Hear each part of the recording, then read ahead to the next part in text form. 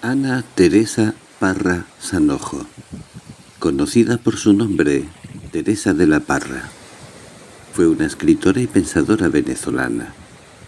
Es considerada una de las narradoras más destacadas de su época, precursora de la literatura feminista en América, y una renovadora de la literatura en lengua española. De esta autora hoy leemos su libro Efigenia, cuya dedicatoria dice así. A ti, dulce ausente, a cuya sombra propicia floreció poco a poco este libro. A aquella luz clarísima de tus ojos, para que el caminar de la escritura lo alumbraron siempre de esperanza, y también a la paz blanca y fría de tus dos manos, que no habrán de ojearlo nunca. A ti lo dedico. Ahora damos comienzo. Espero que te guste.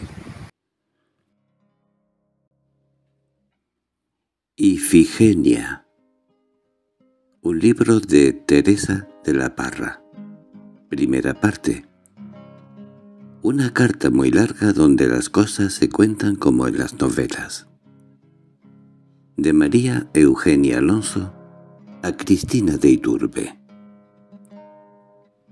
Por fin te escribo, querida Cristina.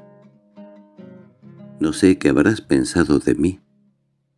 Cuando nos despedimos en la estación de Biarritz, recuerdo que te dije mientras te abrazaba llena de tristeza, de suspiros y de paquetes, «Hasta pronto, pronto, prontísimo». Me refería a una larga carta que pensaba escribirte desde París y que empezaba ya a redactar en mi cabeza. Sin embargo, desde aquel día memorable han transcurrido ya más de cuatro meses y fuera de las postales no te he escrito una letra.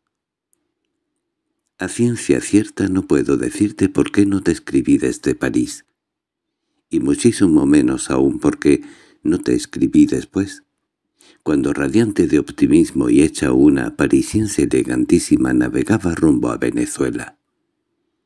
Lo que sí voy a confesarte, porque lo sé y me consta, es que si desde aquí, desde Caracas, mi ciudad natal no te había escrito todavía, aun cuando el tiempo me sobraba de un modo horrible, era única y exclusivamente por pique y amor propio.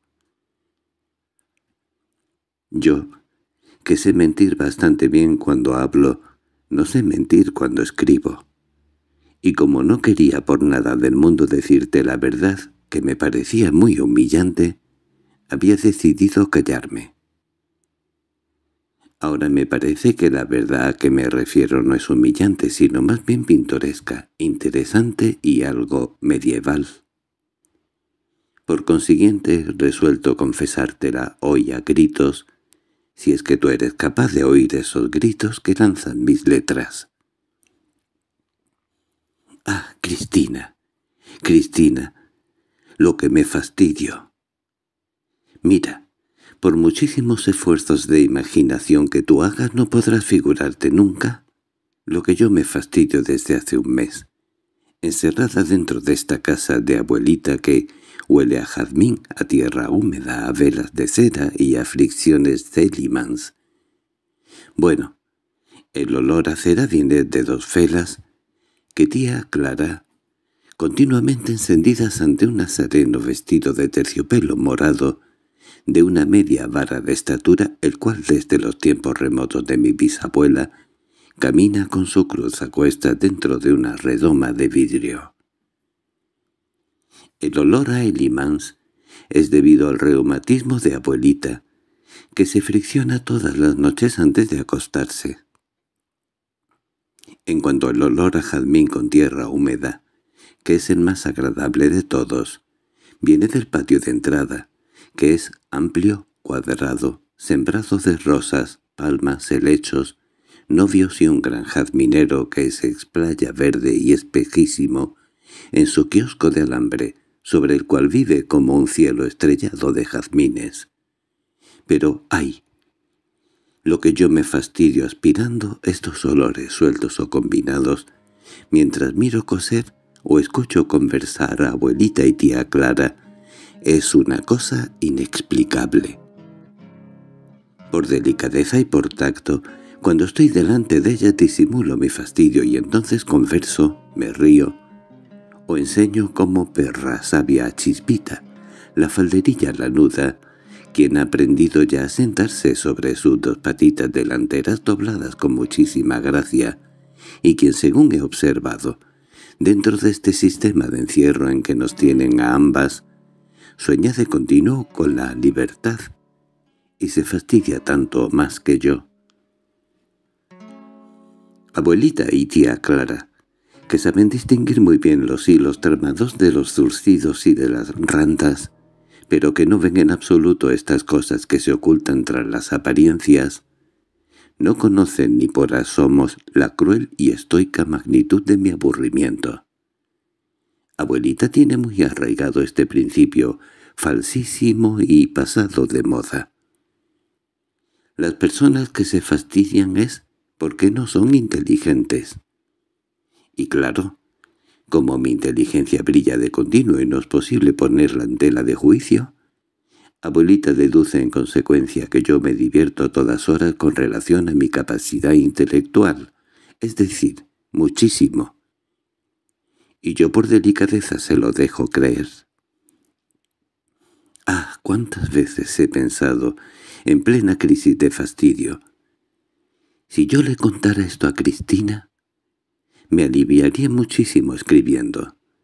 Pero durante un mes entero he vivido presa dentro de mi amor propio como dentro de las cuatro paredes viejas de esta casa.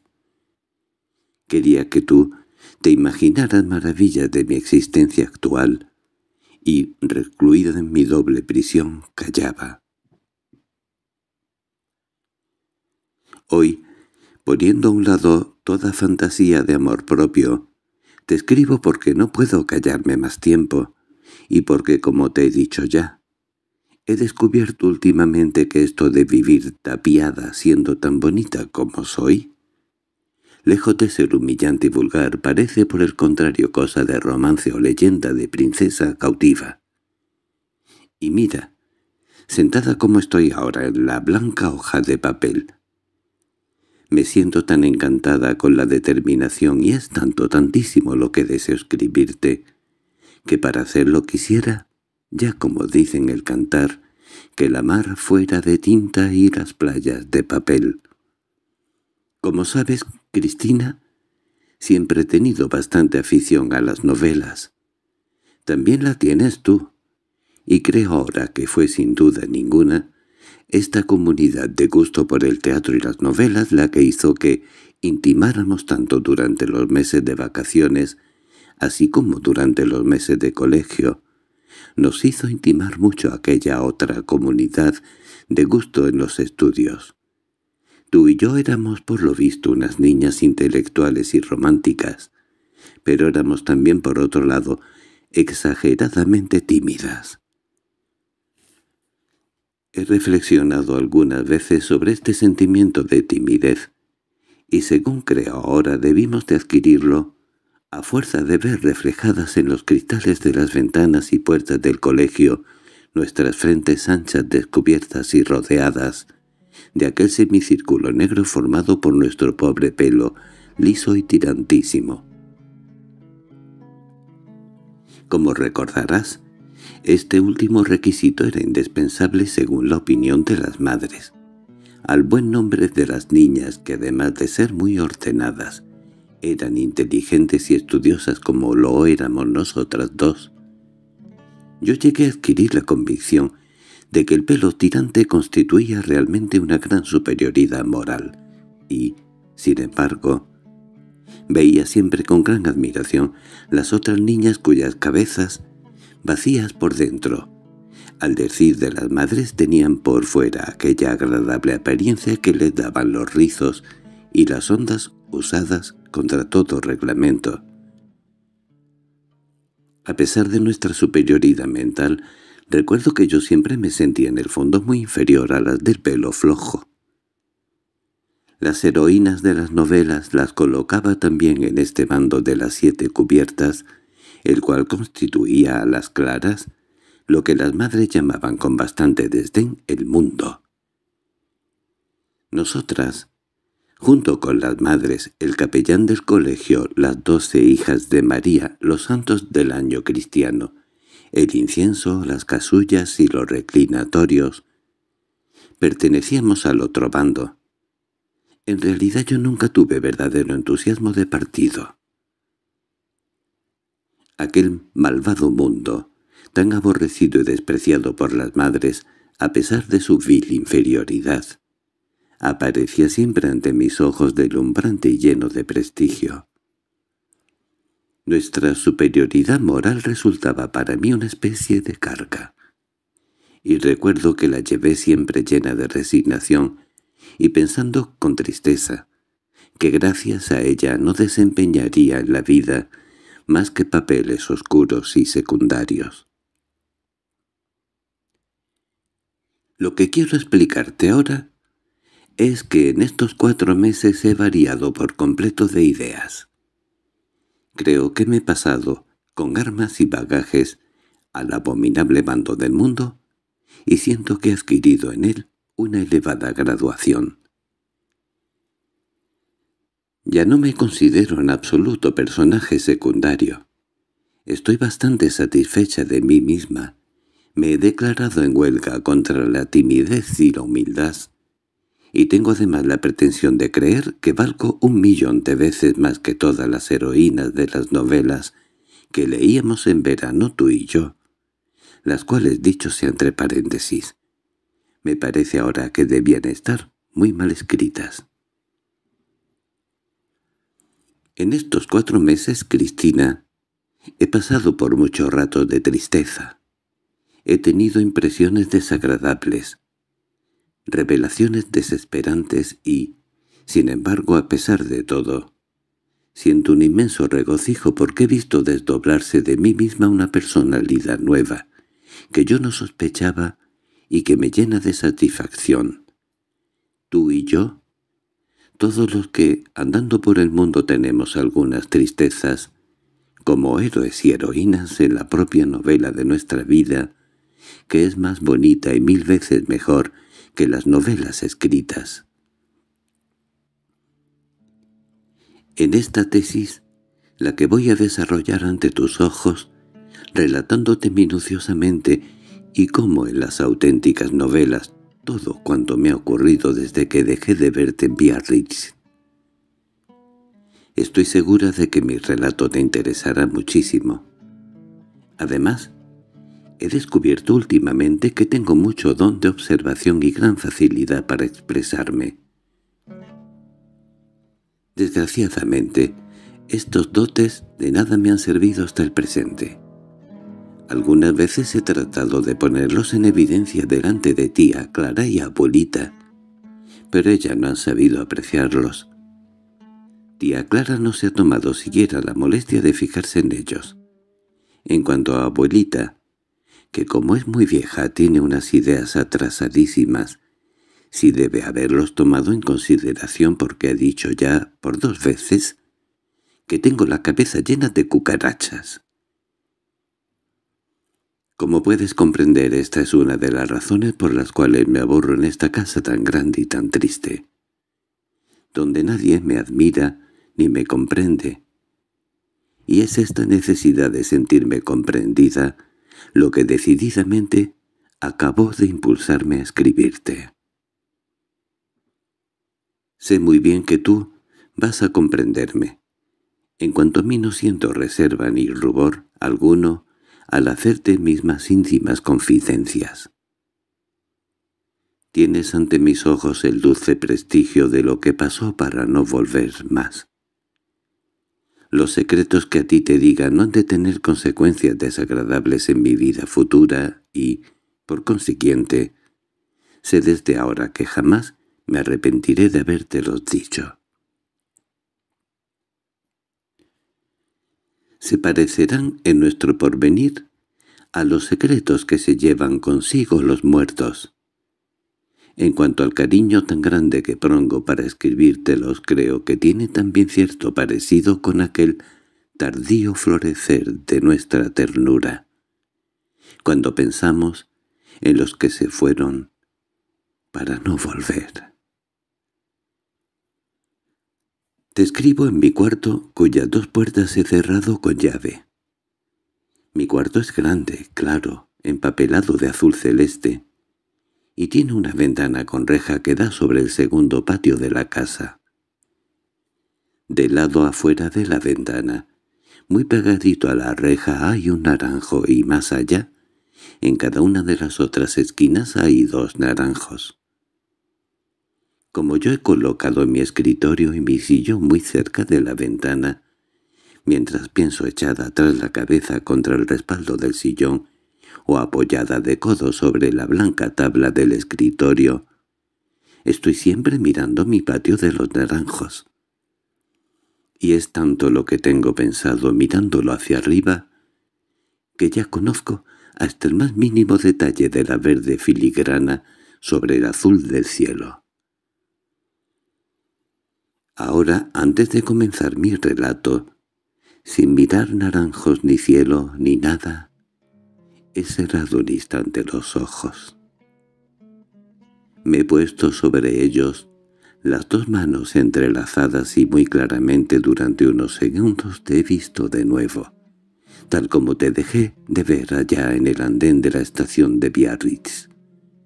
Andando primero, corriendo después, junto a la ventanilla de mi vagón que se alejaba y luego tu mano, y por fin tu pañuelo que me decían a gritos, «¡Adiós!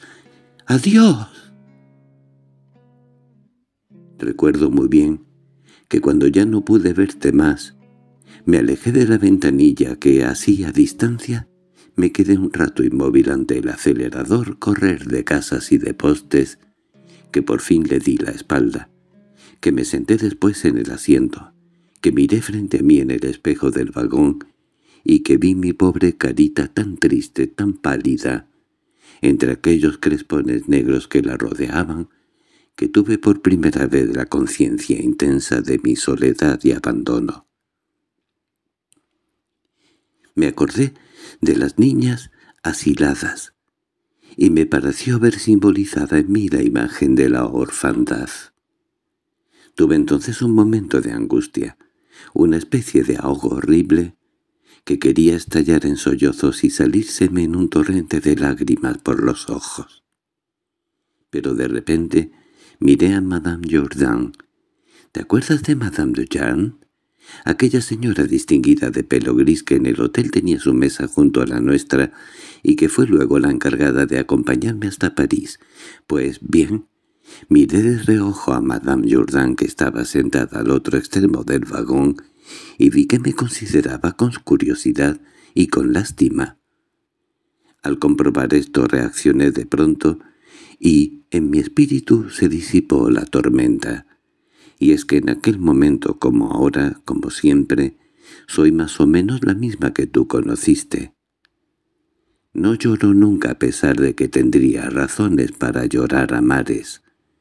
Tal vez porque siempre me ha escoltado la tristeza, es por lo que he aprendido a escondérsela a todos, con un movimiento instintivo, como esconden ciertos niños pobres su zapatito roto delante de la gente rica y bien vestida.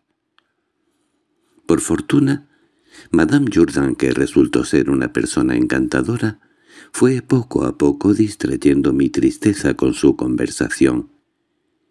Comenzó preguntándome por ti.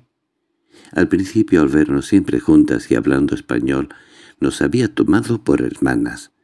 Luego, cuando le relataron la muerte repentina de papá y le preguntaron si quería encargarse de acompañarme hasta París, comenzó a interesarse muy vivamente por mí. Había perdido ella una niña, una única a los cinco años la cual sería ya una muchacha grande como nosotras. Después me preguntó mi edad. Cuando le dije que acababa de cumplir dieciocho años, ella contestó entrecortando las frases con sendos suspiros. «El mundo es un rompecabezas sin arreglar. Las piezas andan sueltas sin encontrar quien las encaje. Yo entro en el desierto de mi vejez tan sola porque se fue mi hija, y usted se marcha a esa gran batalla de juventud sin el amparo y sin la sombra de su madre. Y esto del desierto de su vejez, y lo de la gran batalla de mi juventud, lo dijo de una manera tan bonita y con una voz tan suave y armoniosa que comencé a sentir de repente gran admiración por ella. Me acordé de aquellas actrices que tanto a ti como a mí nos entusiasmaban de un modo frenético por el prestigio de su voz y por el encanto de sus movimientos.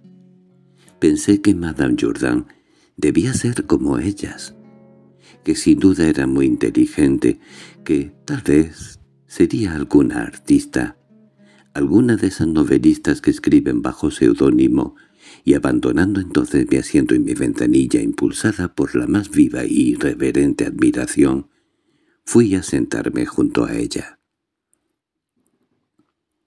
Al principio, y en vista de su superioridad, me sentía algo tímida, algo cohibida, pero me pude al hablarle, y le conté entonces que iba a emprender un largo viaje que me venía a América, donde tenía mi abuela materna y algunos tíos y primos que me querían mucho. Conversamos luego sobre los viajes, sobre los distintos climas, sobre la hermosura de la naturaleza tropical, sobre lo alegre que era la vida a bordo de un transatlántico, y las dos horas disipada ya mi timidez del principio, éramos tan amigas, y habíamos simpatizado tanto, que a mí me parecía haber encajado ya en una de las mil casillas correspondientes del rompecabezas. Créeme, Cristina. Y esto por supuesto sin que lo sepa abuelita. De buena gana me hubiera quedado viviendo para siempre con aquella encantadora Madame Jourdan. Pero por desgracia pasó el trayecto. Vino una hora en que llegamos a París, y entonces ella tuvo que ir a depositarme en casa de mis nuevos chaperons, el señor y la señora Ramírez. Matrimonio venezolano, amigos íntimos de mi familia, entre cuyas manos, ya definitivamente facturada, debía venir hasta la Guaira. Estos Ramírez me fueron muy simpáticos desde el principio, porque eran alegres, obsequiosos, amables y porque tenían la admirable costumbre de no darme nunca ninguna clase de consejos.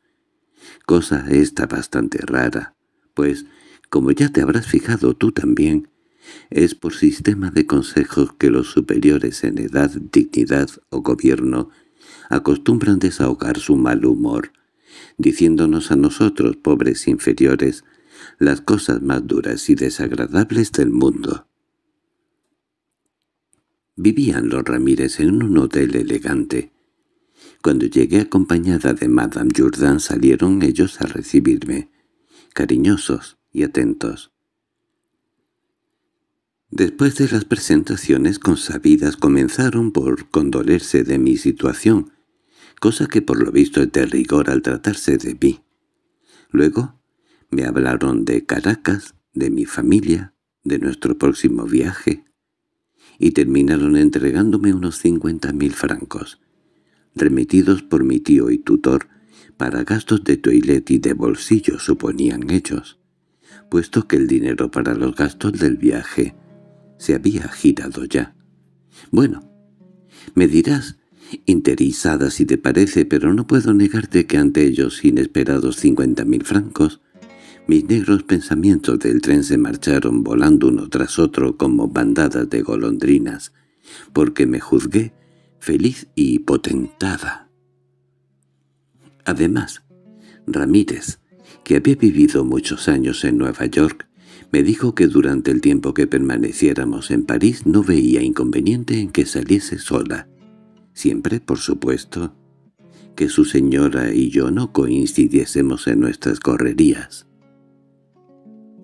Naturalmente que yo decidí al punto no coincidir jamás con las correras de la señora Ramírez y aquí, como ya verás, comienzan mis experiencias, impresiones y aventuras. No sabes tú lo interesante que es viajar, Cristina. Pero no viajes cortos en tren, como los que hacíamos tú y yo en verano durante los meses de vacaciones. No, sino viajes largos como este mío, en que se sale sola por París y se conoce mucha gente, y se pasa el mar y se toca en varios puertos. Lo único desagradable que ocurre en estos viajes es que, como en los demás, es menester llegar un día u otro, y cuando se llega a Cristina, cuando se llega es como cuando se detiene el coche en que paseábamos o se calla la música que nos arrullaba. Qué triste es llegar para siempre a cualquier sitio. Yo digo que será por eso sin duda por lo que la muerte nos espanta, ¿verdad? Volviendo a mi primera entrevista con los Ramírez te diré que desde el día en que murió papá a mí no se me había ocurrido todavía pensar que yo era lo que puede llamarse una persona independiente, más o menos dueña de su cuerpo y de sus actos.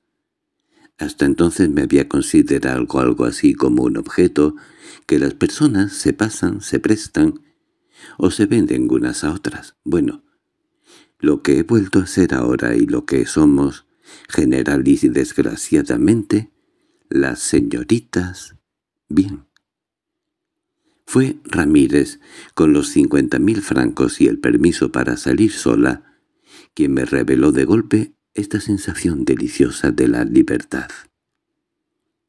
Recuerdo que inmediatamente aquella misma noche de mi llegada a París, sentada sola en el hall del hotel, frente a un gran grupo de personas que a lo lejos hablaban entre sí, rebosantes de optimismo y de cierto espíritu profético, Comencé a saborear con fruición mi futura libertad. Aislada como estaba, frente al alegre bullicio, me miré largo rato en un espejo tal cual acostumbro y observé de repente que, sin tu apoyo y sin tu compañía, mi sencillez de colegiala o señorita tímida resultaba horriblemente llamativa, desairada y ridícula.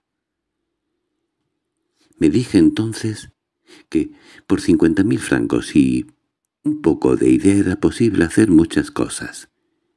Pensé después que bien podía yo dejar a toda mi familia de Caracas con mi elegancia parisiense. Deduje finalmente que para ello era indispensable estrecharme el vestido y cortarme el pelo, a la garzón, al igual que cierta señora o señorita que en aquel instante se destacaba ya en el grupo de enfrente por su silueta graciosísima. Y sin más, quedó al punto resuelto.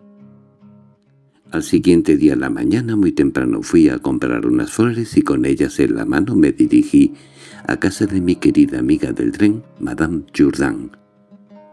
Ella me recibió encantada como si nos hubiéramos conocido toda la vida, y como si hubiéramos pasado un siglo sin vernos. Tenía una casa preciosa puesta con un gusto exquisito, lo cual contribuyó a que mi admiración y aprecio continuaran en crescendo. Le apliqué que había decidido cortarme el pelo porque pretendía volver a mi país hecha una persona verdaderamente chic y a la moda muy amable y servicial, comenzó a darme consejos de toilette y de buen gusto. Me indicó modistos, sombrereras, peluqueros, manicures y multitud de otras cosas. Me ofreció además hacerme en el futuro toda clase de indicaciones y bajo su dirección me puse en campaña aquella misma tarde. Si vieras entonces qué ajetreo, qué ir y venir, qué días. Y sobre todo, ¡qué cambio! Ya no tenía aquel aire desgraciado de colegiala. ¿Sabes? El pelo corto me quedaba maravillosamente. Las modistas me encontraban un cuerpo precioso, flexible, y al probarme me decían a cada paso, ¡Qué bien le sienta! Cosa que comprobaba yo al momento, dando vueltas en todas direcciones ante las hojas abiertas del espejo de tres cuerpos, y lo cual me causaba una satisfacción infinitamente mayor que la cruz de semana, la banda, las primeras en composición y toda aquella gran fama de inteligencia que compartía contigo allá en nuestra clase. Una vez me enamoré de una toquita de luto que, según me dijo la modista, solo usaban las viudas y eso me pareció encantador. A los pocos días iba y venía yo con mi toquita de largo velo negro. En las tiendas me llamaban Madame, y un día que salí con el más pequeño de los niños Ramírez, que era una lindura de tres años, me dijeron en la zapatería que debía haberme casado muy joven para tener aquel niño tan precioso que era completamente mi retrato.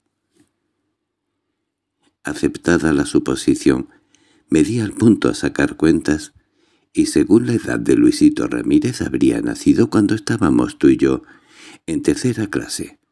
Figúrate qué escándalo el de las monjas, y lo que nos hubiéramos divertido con un chiquitín entonces.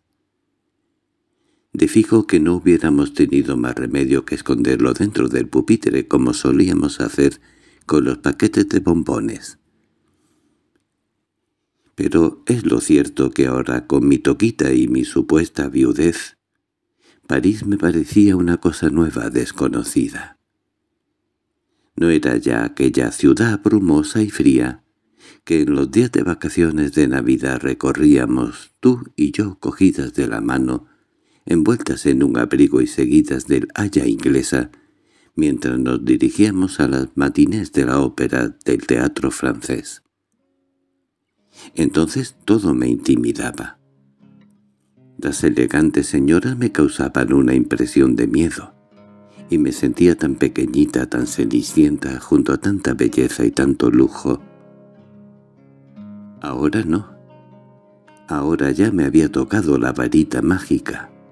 Andaba con soltura, con seguridad y con muchísima gracia, porque sabía demasiado que aquello de...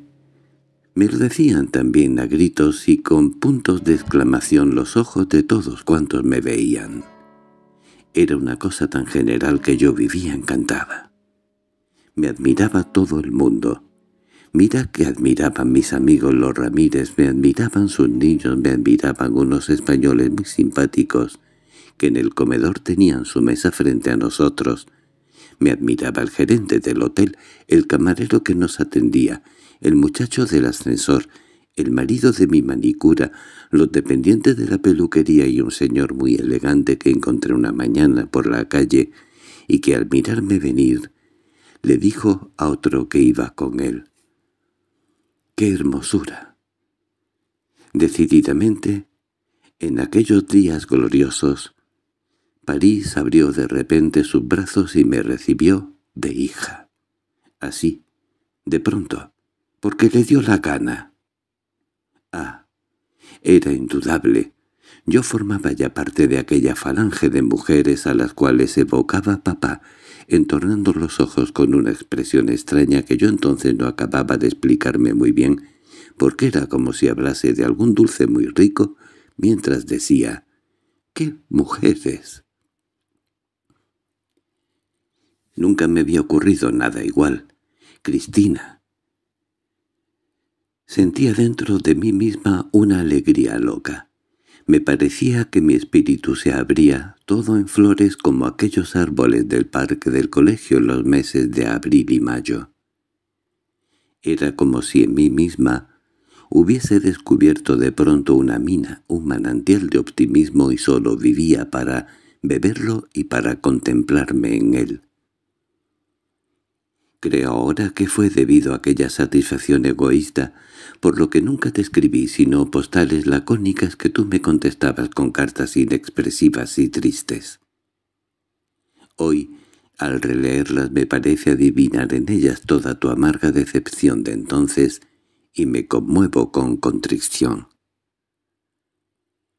Pero pienso que a estas horas debes de haber comprendido el porqué de mi indiferencia tan fugaz como mi alegría, y que generosamente la habrás perdonado ya.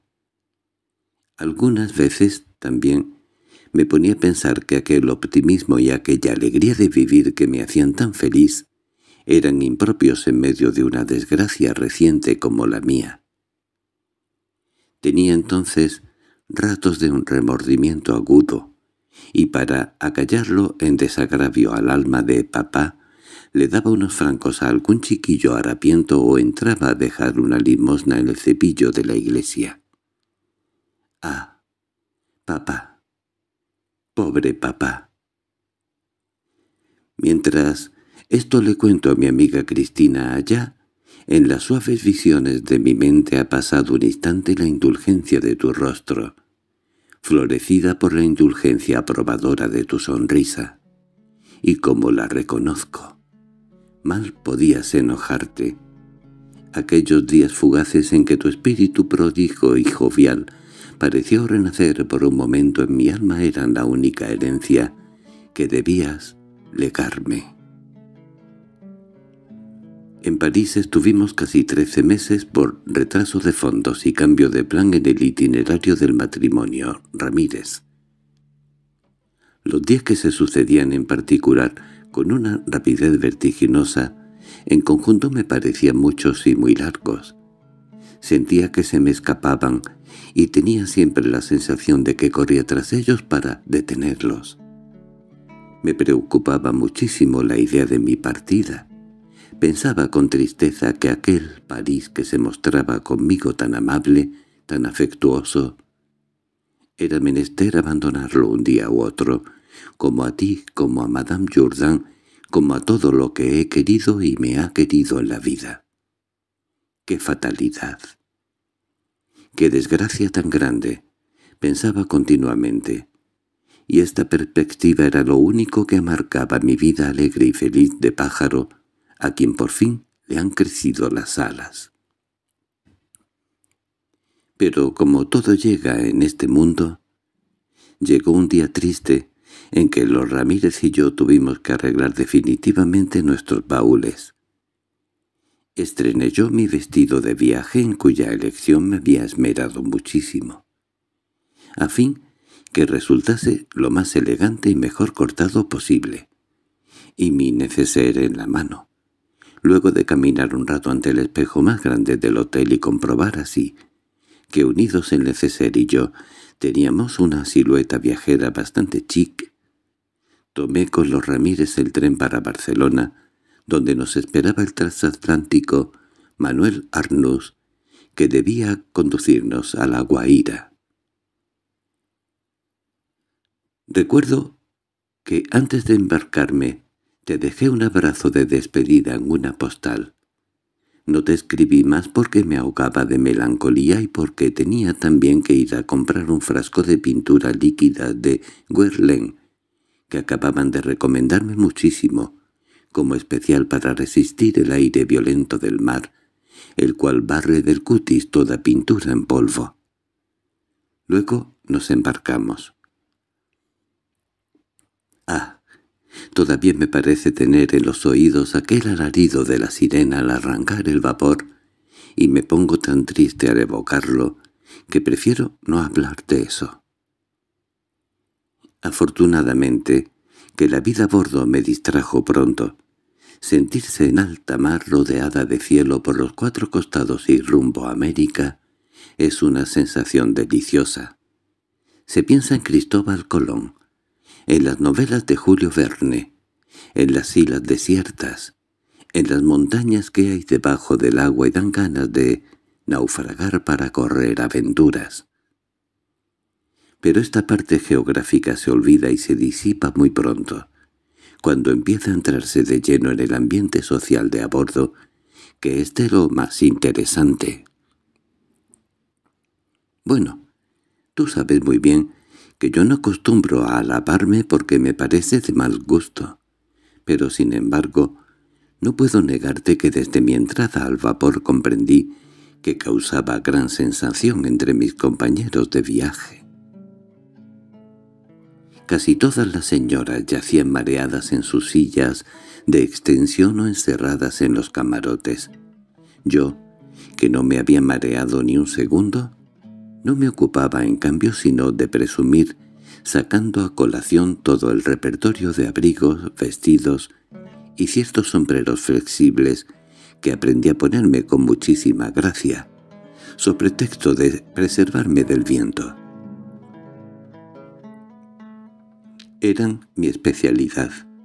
Me ponía uno blanco y negro en la mañana, otro lila al mediodía, uno gris en la noche, y me paseaba de arriba abajo con un libro o un frasco de sales en la mano, y con toda aquella soltura, gracia y distinción adquirida en los días de mi vida parisiense, y que todavía tú no tienes el honor de conocerme.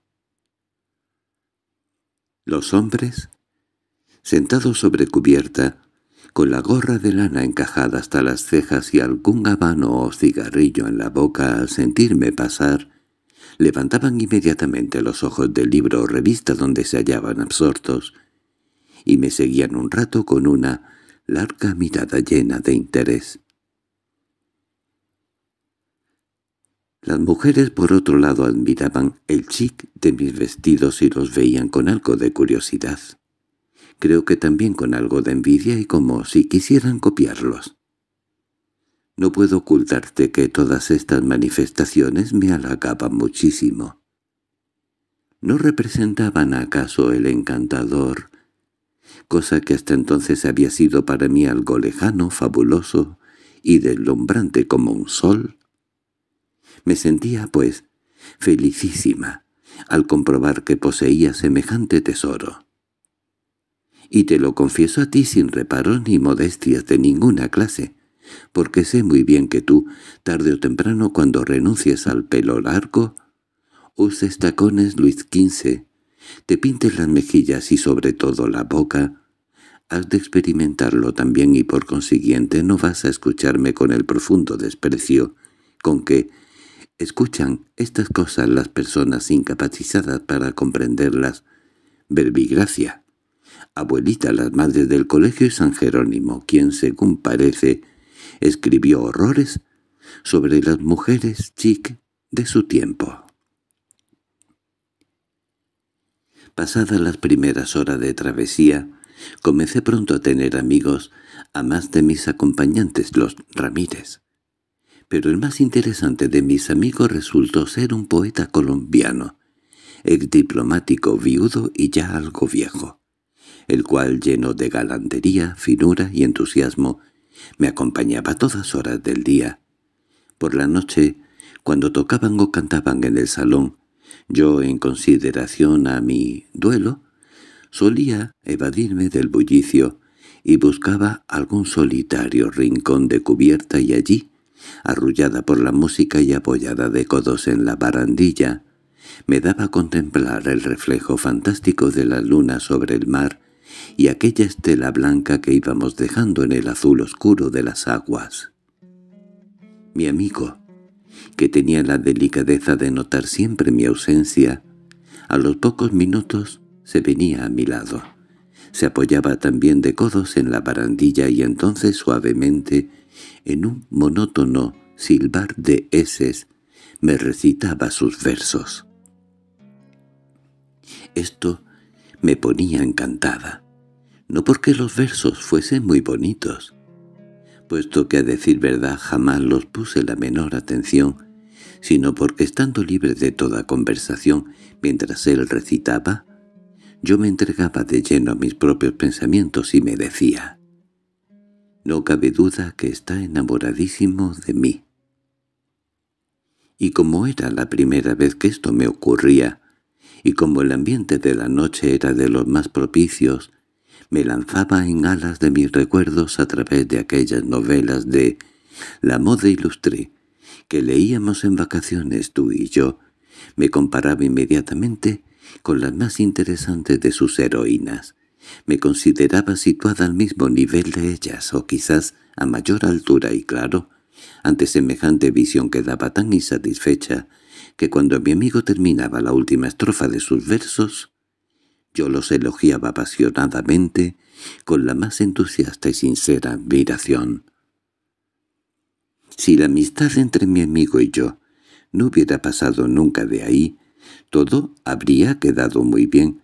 Él hubiese adquirido a mis ojos un eterno prestigio y después de separarnos, yo lo habría contemplado siempre entre la bruma de mis recuerdos esfumándose allá, en lontananza junto al mar y la luna, como en un dulce ensueño de romanticismo y de melancolía. Cristina, los hombres no tienen tacto.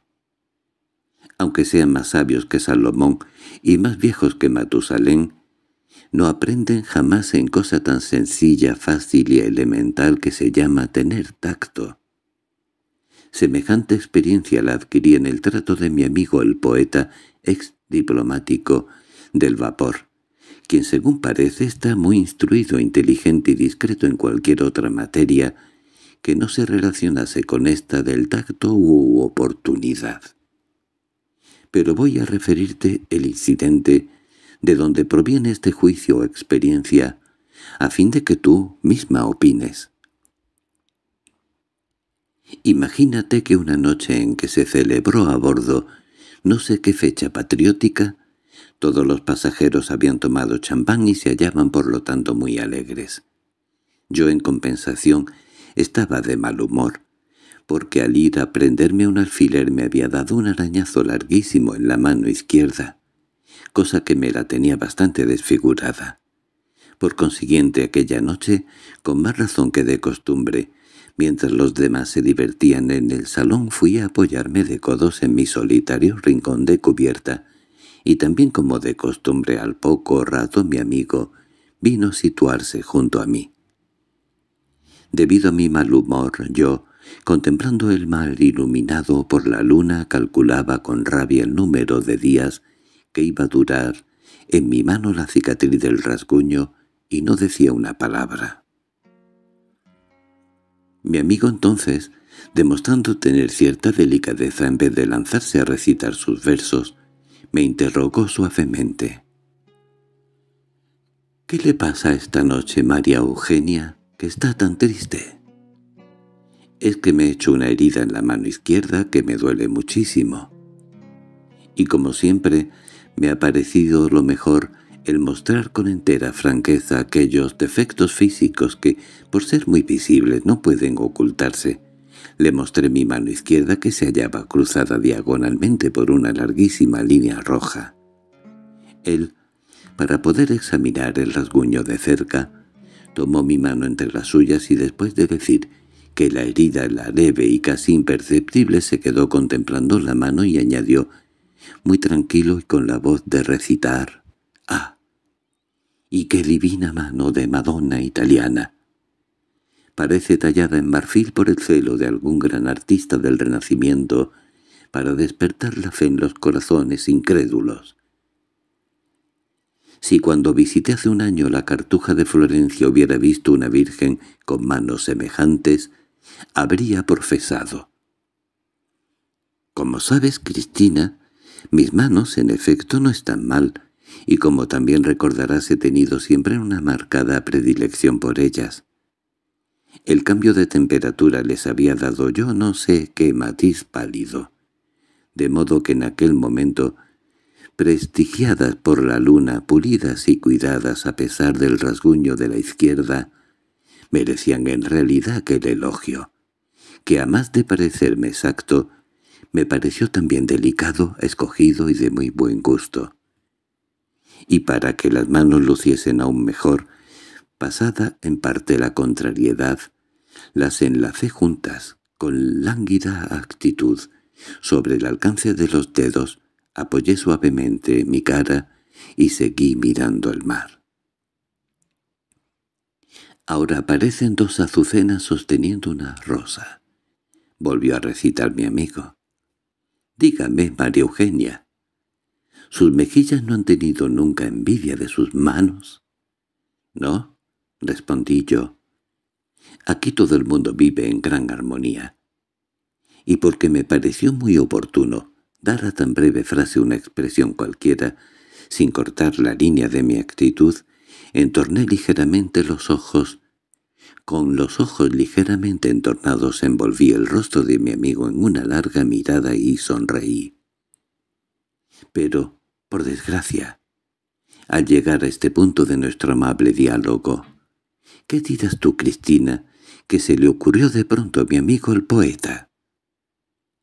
Pues se le ocurrió que su boca, feísima, de bigotes grises, olorosa a tabaco y a champán, podía darle un beso a la mía que en aquel instante se hallaba sonriente, fresca y recién pintada con carmín de Guerlain. Ah, pero afortunadamente, como sabes, soy ágil y asustadiza, gracias a lo cual no pudo consumarse tan desagradable proyecto, porque al sentirme de golpe presa en aquellos brazos, me dominó el espanto producido por la misma sorpresa, y sacudiendo nerviosamente la cabeza en todas direcciones, logré escurrirme hacia un lado y escaparme a toda prisa.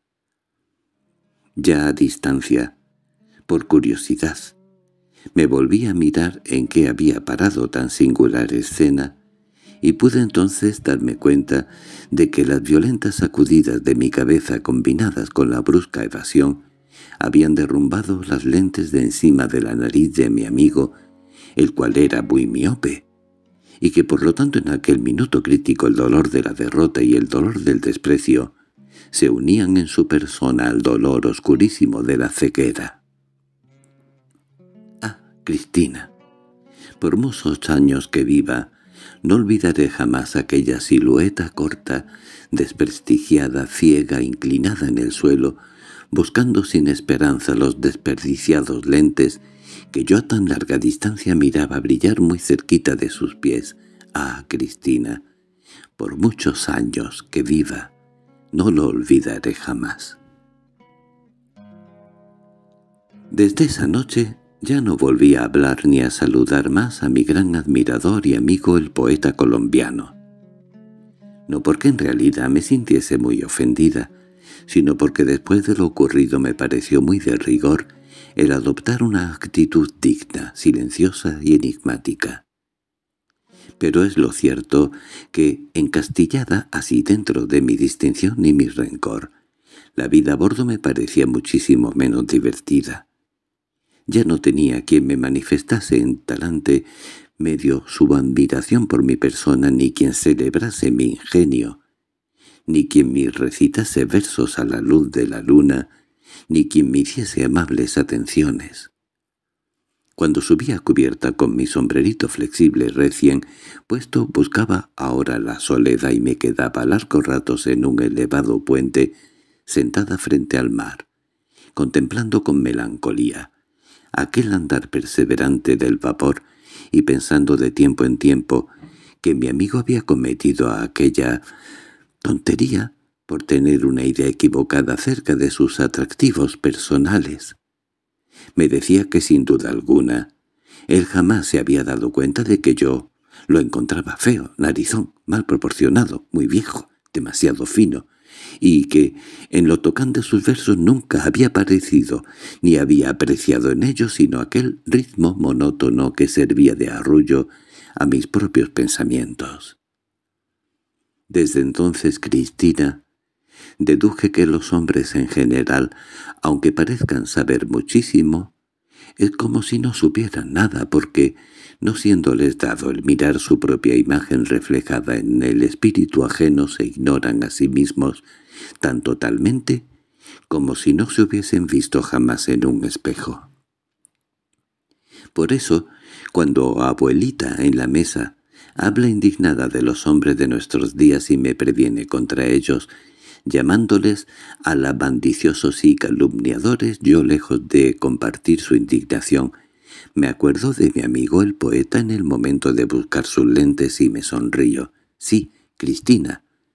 Por más que diga abuelita, yo creo que los hombres calumnian de buena fe, que son albanciosos porque honradamente se ignoran a sí mismos, y que atraviesan la vida felices y rodeados por la aureola piadosísima de la equivocación, mientras los escolta en silencio, como un perro fiel e invisible, un discreto ridículo. Después de navegar dieciocho días, una tarde serena bajo la media luz del más inverosímil de los crepúsculos, entramos por fin en aguas de Venezuela. Al saber la noticia, llena de sensibilidad y de íntima emoción, para sentir el ver bien desde lo alto ese espectáculo triunfante que es llegar a tierra, escondida de todos me fui a sentar en mi elevado puente solitario. Siempre recordará aquella tarde. A instantes de la vida cristina, en que el espíritu parece desmaterializarse por completo. Y lo sentimos erguirse en nosotros exaltado y sublime, como un vidente que nos hablara de cosas desconocidas. Experimentamos entonces una santa resignación por los dolores futuros, y sentimos también en el alma ese melancólico florecer de las alegrías pasadas, mucho más tristes que las tristezas, porque son en nuestro recuerdo como cadáveres de cuerpo presente que nos decidimos a enterrar. Nunca, nunca,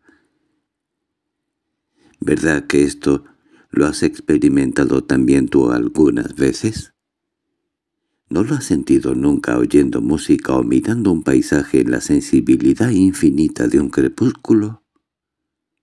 Aquella tarde sentada en el puente, perdidos los ojos por el horizonte y los celajes, me pareció que desde lo alto de una atalaya miraba mi vida entera, la pasada y la futura y no sé por qué tuve un gran presentimiento de tristeza. El vapor caminaba lentamente hacia unas luces que, bajo el tenue central de las nubes, se confundían a lo lejos con las estrellas apenas encendidas del cielo. Poco a poco, las prendidas señuelas comenzaron a multiplicarse y a crecer como si Venus aquella tarde hubiera querido prodigarse generosamente sobre la mar. Luego, imprecisos, esfumados en la penumbra y en la niebla fueron separándose enteramente del cielo los bloques oscuros de las montañas. Las luces alegres, brillantes, titilaban arriba y abajo sembradas en aquel cielo profundo de los montes cada vez más familiares, más hospitalarios, más abiertos de brazos al vapor, hasta que de repente, del lado izquierdo, como una iluminación fantástica se encendió todo el mar, al pie de la montaña. Los pasajeros, apoyados en la barandilla de cubierta bajo mi puente de observación con la alegría que inspira a los navegantes la próxima hospitalidad del puerto, empezaron a agitarse con una inmensa alegría llena de voces y risas porque aquella iluminación a la formaban las luces de Macuto y Macuto Cristina. Es nuestra playa elegante, nuestro balneario de moda, es como si dijéramos el Danubil el San Sebastián de Venezuela. El vapor, todo encendido también, al igual que un galán que paseara a la calle, caminando de costado se acercaba más y más las luces.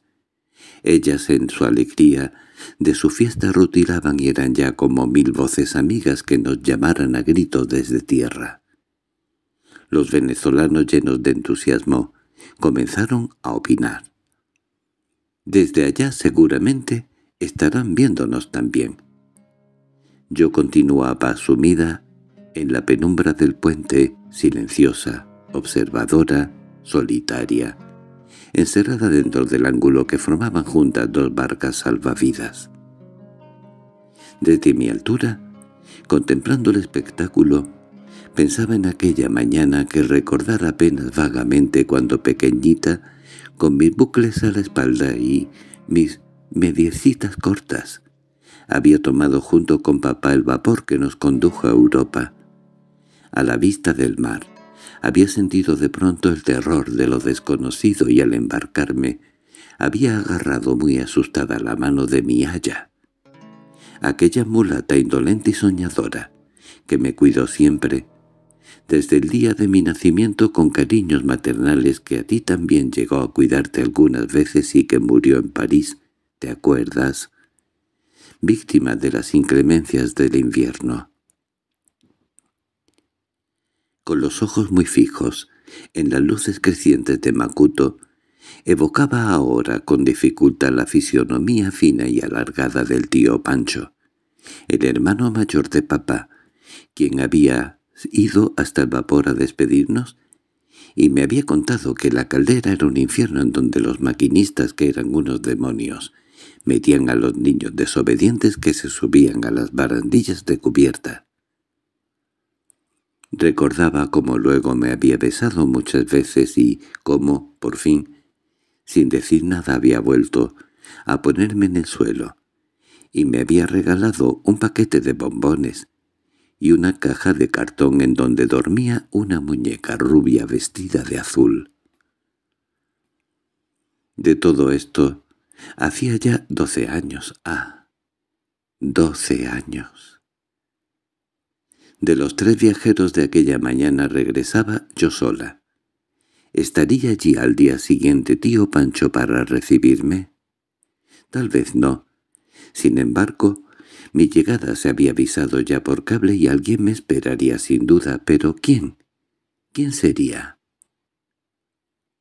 Makuto volvió a esconderse, como había aparecido tras un busco recodo de la costa, y a poco el vapor comenzó a detenerse lentamente frente a la bahía que forma el puerto de la Guaira. Antes de echar el ancla, cabeceó unos minutos, se detuvo indolente y cobijado por la inmensidad de las montañas. En el ambiente tibio parecía descansar por fin de su correr incesante. Como te decía, Cristina, en las llegadas hay siempre un misterio triste. Cuando un vapor se detiene, después de haber caminado mucho, parece que con él se detuvieran también todos nuestros ensueños y que callasen todos nuestros ideales. El suave deslizarse de algo que nos conduce es muy propicio a la fecundidad del espíritu. ¿Por qué? Será tal vez que el alma al sentirse correr sin que los pies se muevan, sueña quizás en que se va volando muy lejos de la tierra desligada por completo de toda materia. No sé, pero recuerdo muy bien que aquella noche, detenido ya el vapor frente a la guaira, me dormí prisionera y triste como si el espíritu me hubiesen cortado una cosecha de alas. Me desperté al día siguiente cuando el vapor arrancaba a andar para atracar en el muelle. La alegría de la mañana parecía entrar a raudales dentro de un rayito de sol que se quebraba en el cristal del ventanillo e inundaba de reflejos todo mi camarote. No bien abrí los ojos, lo miré un instante, y como si al deslumbrarme las pupilas hubiese desvanecido también en mi alma todas las melancolías de la víspera, alegre, con la alegría solar de la mañana y con la curiosidad de los paisajes nuevos, corrí a asomarme al ojo del ventanillo. Al lento caminar del vapor, el panorama se deslizaba por él muy suavemente. Había oído ponderar muchas veces la fealdad del pueblo de la Guaira. Dada esta predisposición, su vista me sorprendió agradablemente aquella mañana, como sorprende la sonrisa en un rostro que creíamos desconocido y que resulta ese rostro ser el de un amigo de la infancia. Ante mis ojos, Cristina, junto a orillas del mar, se alzaba bruscamente una gran montaña amarilla y estéril, pero florecida de casitas de todos los colores, que parecían trepar y escalonarse por los ribazos y las rocas con la audacia de un rebaño de cabras. La vegetación surgía a veces como un capricho entre aquellas casitas que sabían colgarse tan atrevidamente sobre los barrancos y que tenían la ingenuidad y la inverosimilitud apariencia de aquellas otras cabañitas de cartón con que sembraban las madres por Navidad el nacimiento del colegio. Su vista despertó en mi alma el inocente regocijo de los villancicos que anunciaban todos los años la alegre sonora de las vacaciones de Navidad. Pensé con gran placer en que ahora también iba a abandonar la monotonía de a bordo por la fresca sombra de los árboles y por el libre corretear sobre la tierra firme. Sentí de pronto la curiosidad inmensa y feliz de aquel a quien esperan grandes sorpresas y mientras que del lado de afuera, entre chirriar de grúas y de poleas se iniciaba el trabajo bullicioso de desembarque, yo, dentro de mi camarote ávida de estar también sobre cubierta, comencé a arreglarme y a vestirme febrilmente. Recuerdo que acababa de poner en orden todos mis objetos, y que estaba cogiendo el sombrero cuando oí la voz de la señora Ramírez que decía con sus indolentes y musicales inflexiones de criolla. «Por aquí, por aquí. Ya debe estar vestida. María Eugenia, María Eugenia, tu tío». Al oír estas mágicas palabras me precipité fuera del camarote y en el estrecho corredor de salida pude ver, como de espaldas a la luz, que avanzaba también hacia mí la figura alta y algo encorvada de un señor vestido de drill blanco. Al mirarle venir, me sacudió otra vez la emoción intensa de la víspera. Pensé en papá. Sentí renacer de pronto toda mi primera infancia, y emocionada, llorosa, corrí hacia el que venía, tendiéndole los brazos y llamándole en un grito de alegría. —¡Ah, tío Pancho! —¡Tío Panchito! Él me estrechó afectuosamente contra su pechera blanca, mientras contestaba gangoso y lento. —No soy Pancho. Soy Eduardo, tu tío Eduardo. ¿No te acuerdas de mí? Y tomando suavemente del brazo me condujo fuera del corredor hacia la claridad de cubierta. Mi emoción del principio se había disipado bruscamente al darme cuenta de aquel desagradable quid pro quo. La impresión, producida por la figura de mi tío, vista la clara luz del sol, acabó de disgustarme por completo. Aquella impresión, Cristina, hablándote con entera franqueza, era la más desastrosa que pudo jamás producir persona alguna ante los ojos de otra. En primer lugar, te diré que la fisionomía de mi tío y tutor Eduardo Aguirre me era absolutamente desconocida. En los tiempos de mi infancia, este hermano de mamá acostumbraba a vivir con su familia en un lugar algo dejado de Caracas, y si alguna vez le vi, no logró impresionarme, pues que jamás catalogué su fisionomía entre aquella lejana colección de rostros que había conservado siempre en mi memoria. Aunque confusos y borrosos, algo así como retratos que han sido expuestos mucho tiempo al resol. No obstante, sin conocer a tío Eduardo de vista, le conocía muchísimo por referencias, eso sí. Papá le nombraba con frecuencia. Todos los meses llegaban cartas de tío Eduardo. Aún me parece ver a papá cuando las recibía. Antes de abrirlas, volvía y revolvía él sobre entre sus manos con aquel gesto elegante y disciplinante que solían tener las puntas afiladas de sus dedos largos. Dichas cartas debían preocuparle siempre, porque después de leerlas se quedaba largo rato sin hablar, y estaba mustio y pensativo. A veces, mientras se decidía rasgar el sobre, me veía y como si quisiera desahogarse en una semi-confidencia musitaba tranquilo del imbécil de Eduardo. Otras veces tiraba la carta sin abrir sobre una mesa como se tiran las barajas cuando se ha perdido un turno, y entonces, por variar sin duda de vocabulario, expresando no obstante la misma idea, se hacía a sí mismo esta pregunta. ¿Qué me dirá hoy el mentecato de Eduardo? Siempre había atribuido a contrariedades de dinero aquella preocupación que dejaba en papá la lectura de las cartas. Y a la misma causa atribuía también sus calificativos a tío Eduardo, que era el administrador de sus bienes. Sin embargo, aquella mañana de mi llegada, no bien salí a cubierta y pude a plena luz echar una ojeada crítica sobre la persona de mi tío, adquirí inmediatamente la certeza de que papá debía tener profunda razón al emitir mensualmente aquellos juicios breves y terminantes. Pero como me parece de interés para lo sucesivo el describirte en detalles a tío Eduardo, es decir, a este tío Eduardo de mi primera impresión, voy a esbozártelo brevemente tal cual vi aquella mañana en la cubierta de Arnús. Figúrate que a corta distancia, con que suele dialogarse a bordo, junto a una franja de sol y un rayo de cuerdas, le tenía frente a mí, apoyado contra una baranda, flaco, cetrino, encorvado, palidísimo, con bigote lacios y con aspecto de persona enferma y triste. He sabido luego que las fiebres palúdicas le minaron durante su juventud y que ahora parece padece de no sé qué enfermedad del hígado.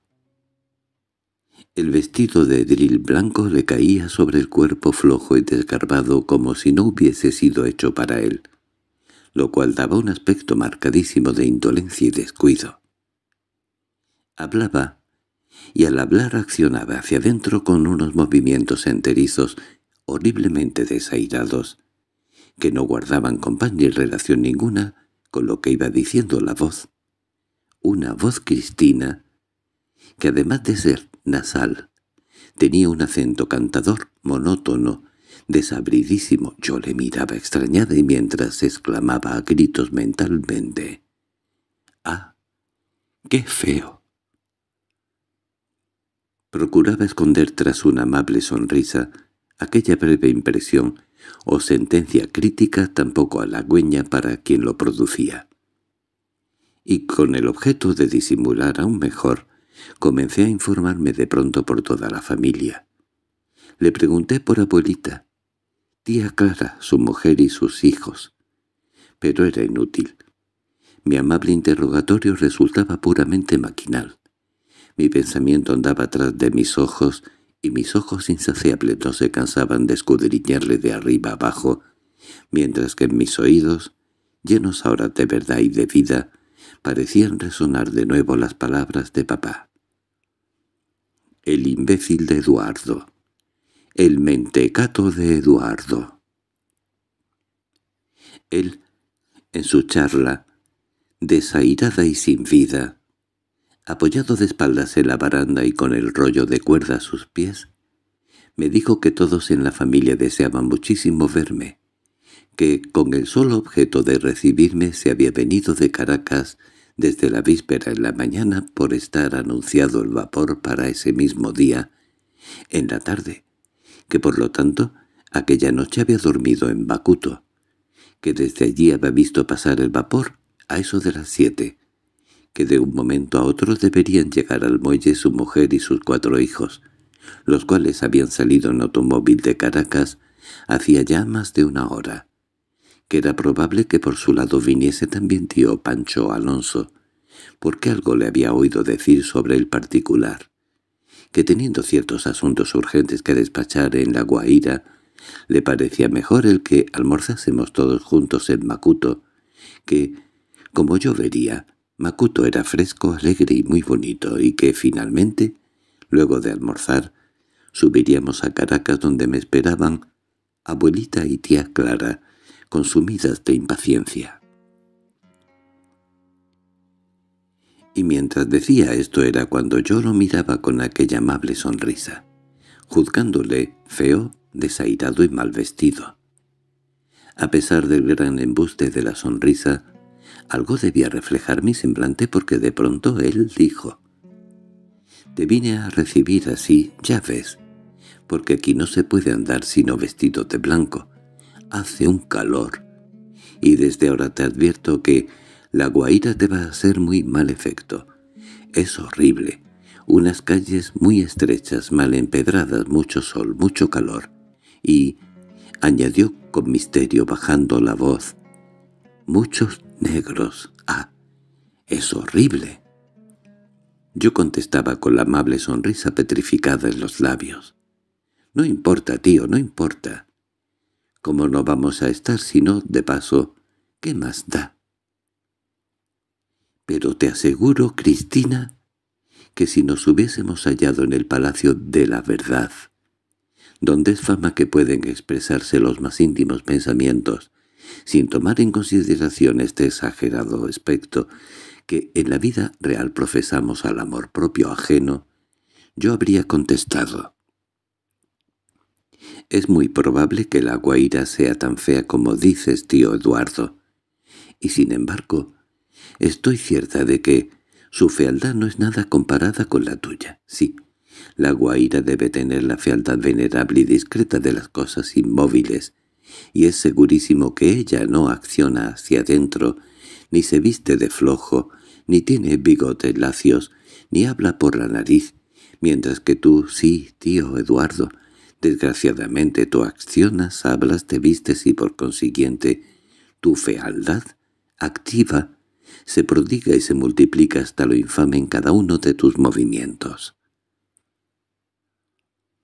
Pero naturalmente que en lugar de decir esta carta de inconveniencias, dije que me parecía admirable el proyecto de irnos a almorzar a Makuto, que deseaba mucho el que nos permitiesen desembarcar pronto, que habíamos hecho un viaje magnífico, que las noches de luna en la alta mar eran una maravilla, que el invierno en Europa se anunciaba muy frío y que en París se usaban las faldas cada día más cortas.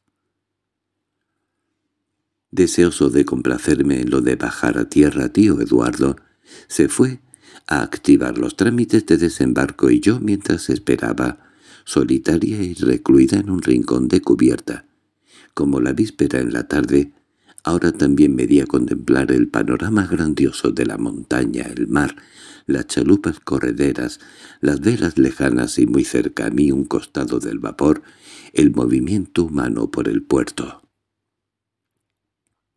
Pero de pronto, cuando más absorta me hallaba, oí que me llamaban varias voces sonoras.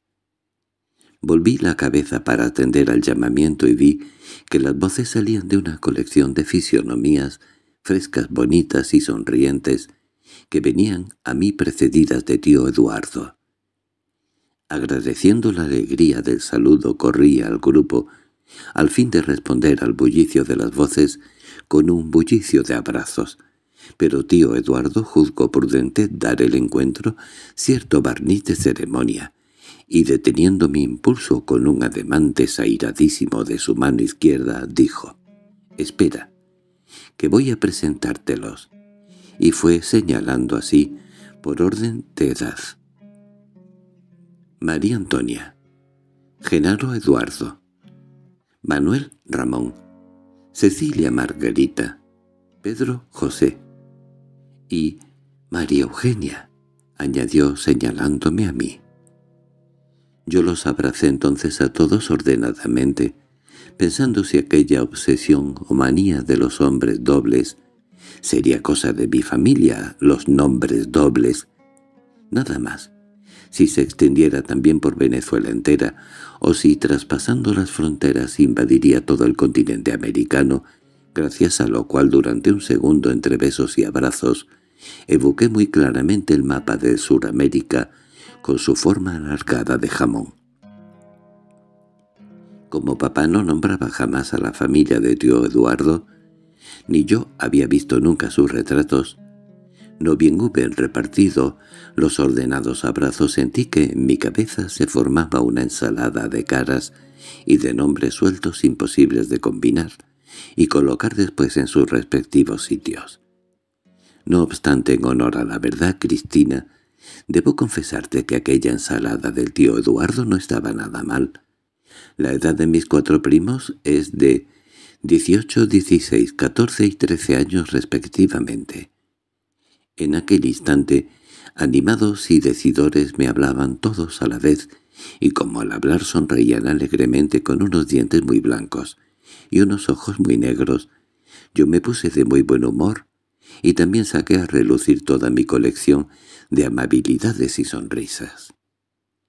Pero debo advertirte, no vayas a confundir, que esto de la ensalada, más o menos fresca y agradable y bien aderezada, no atañe sino a mis primos, o sea, a las cuatro últimas combinaciones de la lista que ha tenido la precaución de escribirte, porque el encabezamiento de dicha lista, o sea, la combinación, María Antonia corresponde a la persona de mi tía política, la honorable matrona, como dirían los periódicos el día de su muerte, esposa de tío Eduardo y madre o cocinera autora de la ensalada, quien al igual de su marido exige imperiosamente los honores de un croquis que paso a esbozarte ya lo mejor y más brevemente posible. Mi tía María Antonia Fernández de Aguirre es más bien pequeña, y su figura completamente trivial e insignificante a no mediar las circunstancias de los ojos. Pero María Antonia Cristina tiene unos ojos inmensos, redondos, negrísimos y brillantes, que están circundados por unas ojeras que también son inmensas, redondas, negrísimas, pero opacas. Este consorcio de los enormes ojos con las enormes ojeras no es nada banal, como te he dicho ya, sino que, por el contrario, tanta negrura brillante asomada, tantísima negrura opaca viene siendo algo así como una tragedia espantosa de cinematógrafo, de esas que pasan entre apaches con puñales en un cuarto oscuro. Y naturalmente que la intensa tragedia de los ojos tiene una influencia directa sobre toda la persona física y moral de María Antonia. En el rostro, por ejemplo, la boca cerrada se tuerce siempre sin saber por qué, y el observador al mirarla así, cerrada y torcida, busca al punto los ojos y se explica el fenómeno pensando «son efectos de la tragedia». Lo mismo dice al considerar la sombra oscura que como una tinta misteriosa parece filtrarse de las pupilas y correr suavemente bajo la epidermis y lo mismo repite al considerar el pelo negrísimo, y la voz, y las palabras, y el sentido de ellas, y los colores violentos y algo desavenidos con que suele vestirse.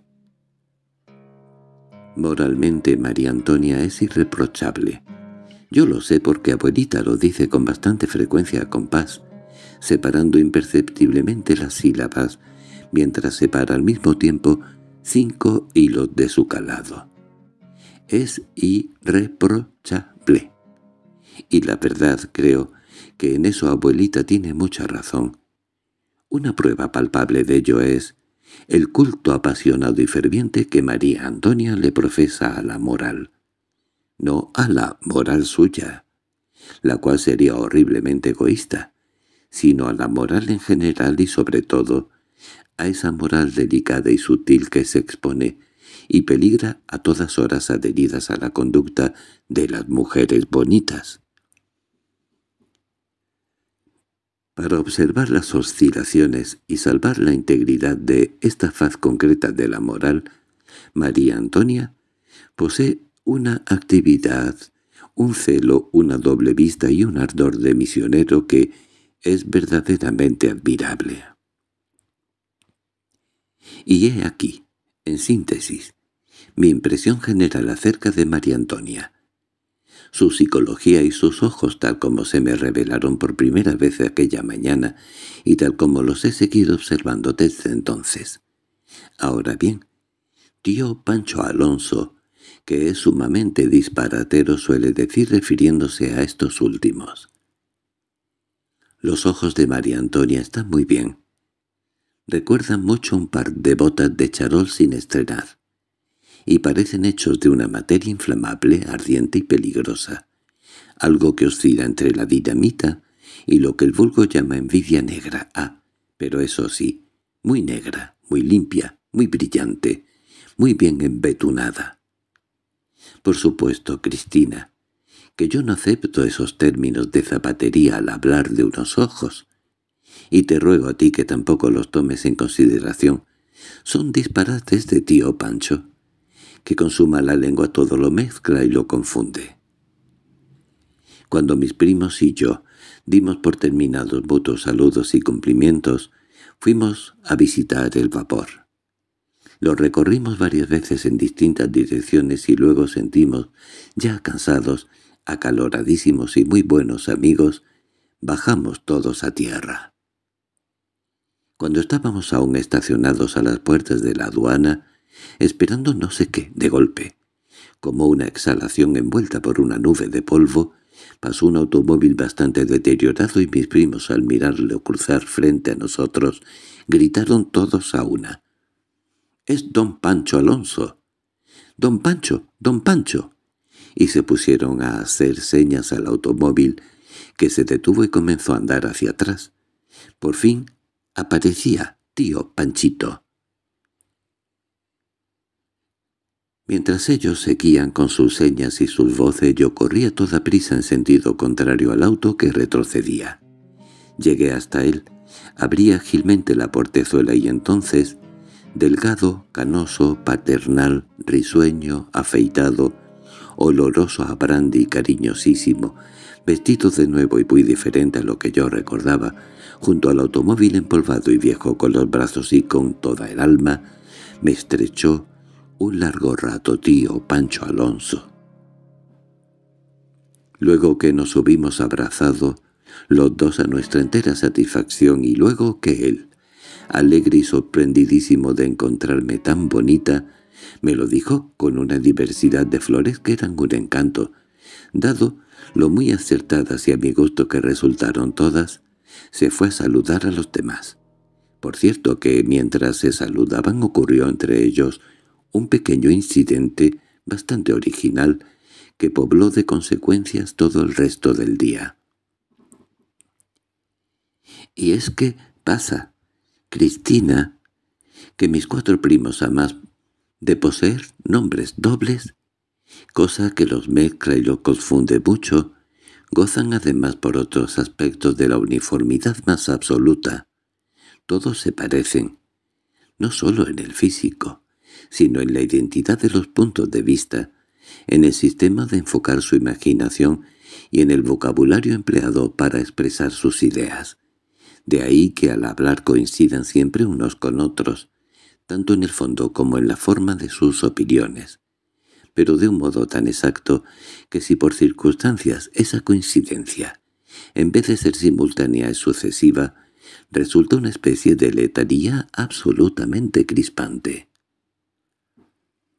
Ocurrió, pues, que luego de abrazarnos efusivamente, mientras tío Pancho y yo caminábamos junto al cortísimo espacio que separaba el automóvil de la aduana, mis primos uno tras otro nos fueron saliendo al encuentro y cada uno de ellos, antes o después de saludar, hizo más o menos con ligerísimas modificaciones la siguiente observación. «¡Caramba! y qué elegante se puso don Pacho para recibir a la sobrina. Así dijo el primero, dijo el segundo, dijo el tercero, pero al decir el cuarto, tío Pancho, que realmente, según he visto después, se hallaba en aquel momento, y en honor mío, de una inusitada elegancia ante tan gran insistencia, perdió por completo el dominio de sus nervios. Con un movimiento rápido que le es muy peculiar, se puso los dos brazos en jarra sobre la flamante chaqueta de Tusor y como si los demás precedidos ya solemnemente por tío Eduardo y María Eugenia estuviesen todos sordos, me interrogó muy serio contemplándome de hito en guito. «Dime, ¿tú habías visto nunca un arreo en donde todos los burros pasaran rebuznando al mismo tiempo?» Yo miré el traje nuevo de tío Pancho su expresión, sus brazos en jarras, la cara de mis tíos, la de mis primos, y me pareció todo tan cómico que, sin decir ni sí ni no, reventé en una sonora carcajada. Al oírme reír uno de los del arreo, protestó al momento muy ofendido.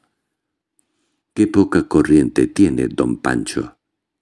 María Antonia por su lado le dijo a tío Eduardo, con la tragedia de los ojos que daba miedo. —¿Tú ves?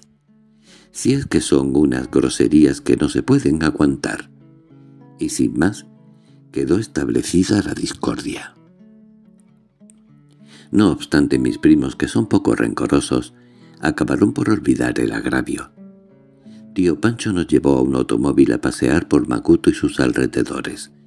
Nos obsequió varias veces con cócteles y aceitunas. Nos regaló dulces y como, entre tanto a propósito de cuantos veníamos, decía cosas divertidísimas. Cuando llegó la hora del almuerzo, entre mis primos y él, se había establecido ya un acuerdo. Pero no pareció ocurrir lo mismo con María Antonia. Al sentarnos a la mesa, ella tomó al punto la palabra, y con una voz gutural y solemne, que ante el gran público de vasos, platos, jarros, botellas, cuchillos y tenedores del hotel casi vacío, resultaba muy ciceroniana y muy bien, rependió severamente a sus hijos por haber tomado cócteles y habló horrores del alcohol en general, deteniéndose muy especialmente en el brandy y el whisky, bebidas que, según he visto después, son por desgracia las dos amigas predilectas de tío Pancho.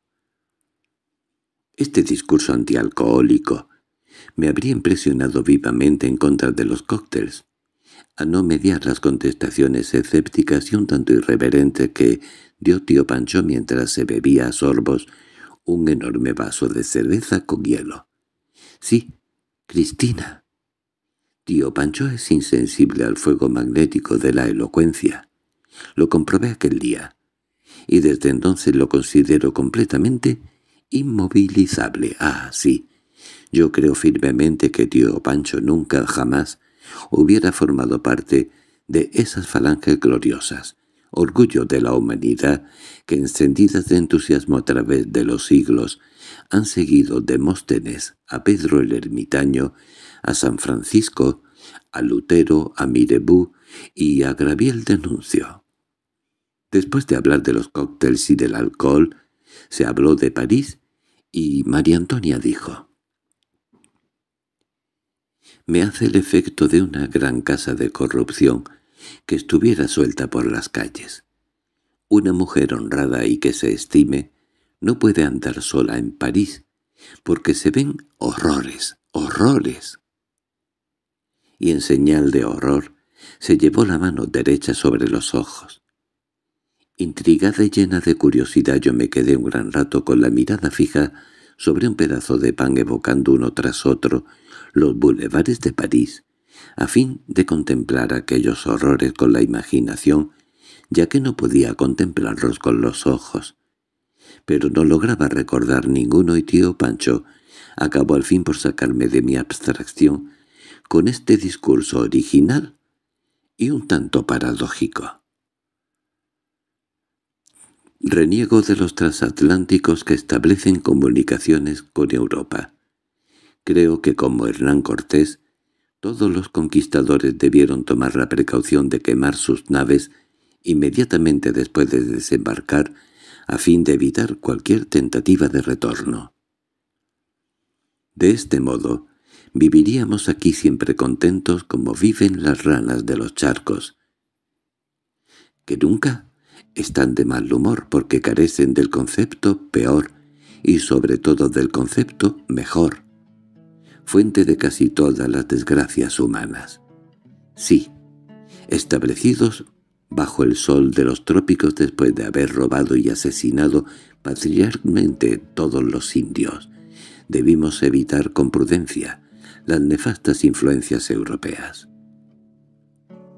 Disfrutaríamos así alegremente de uno de los más benignos climas del mundo.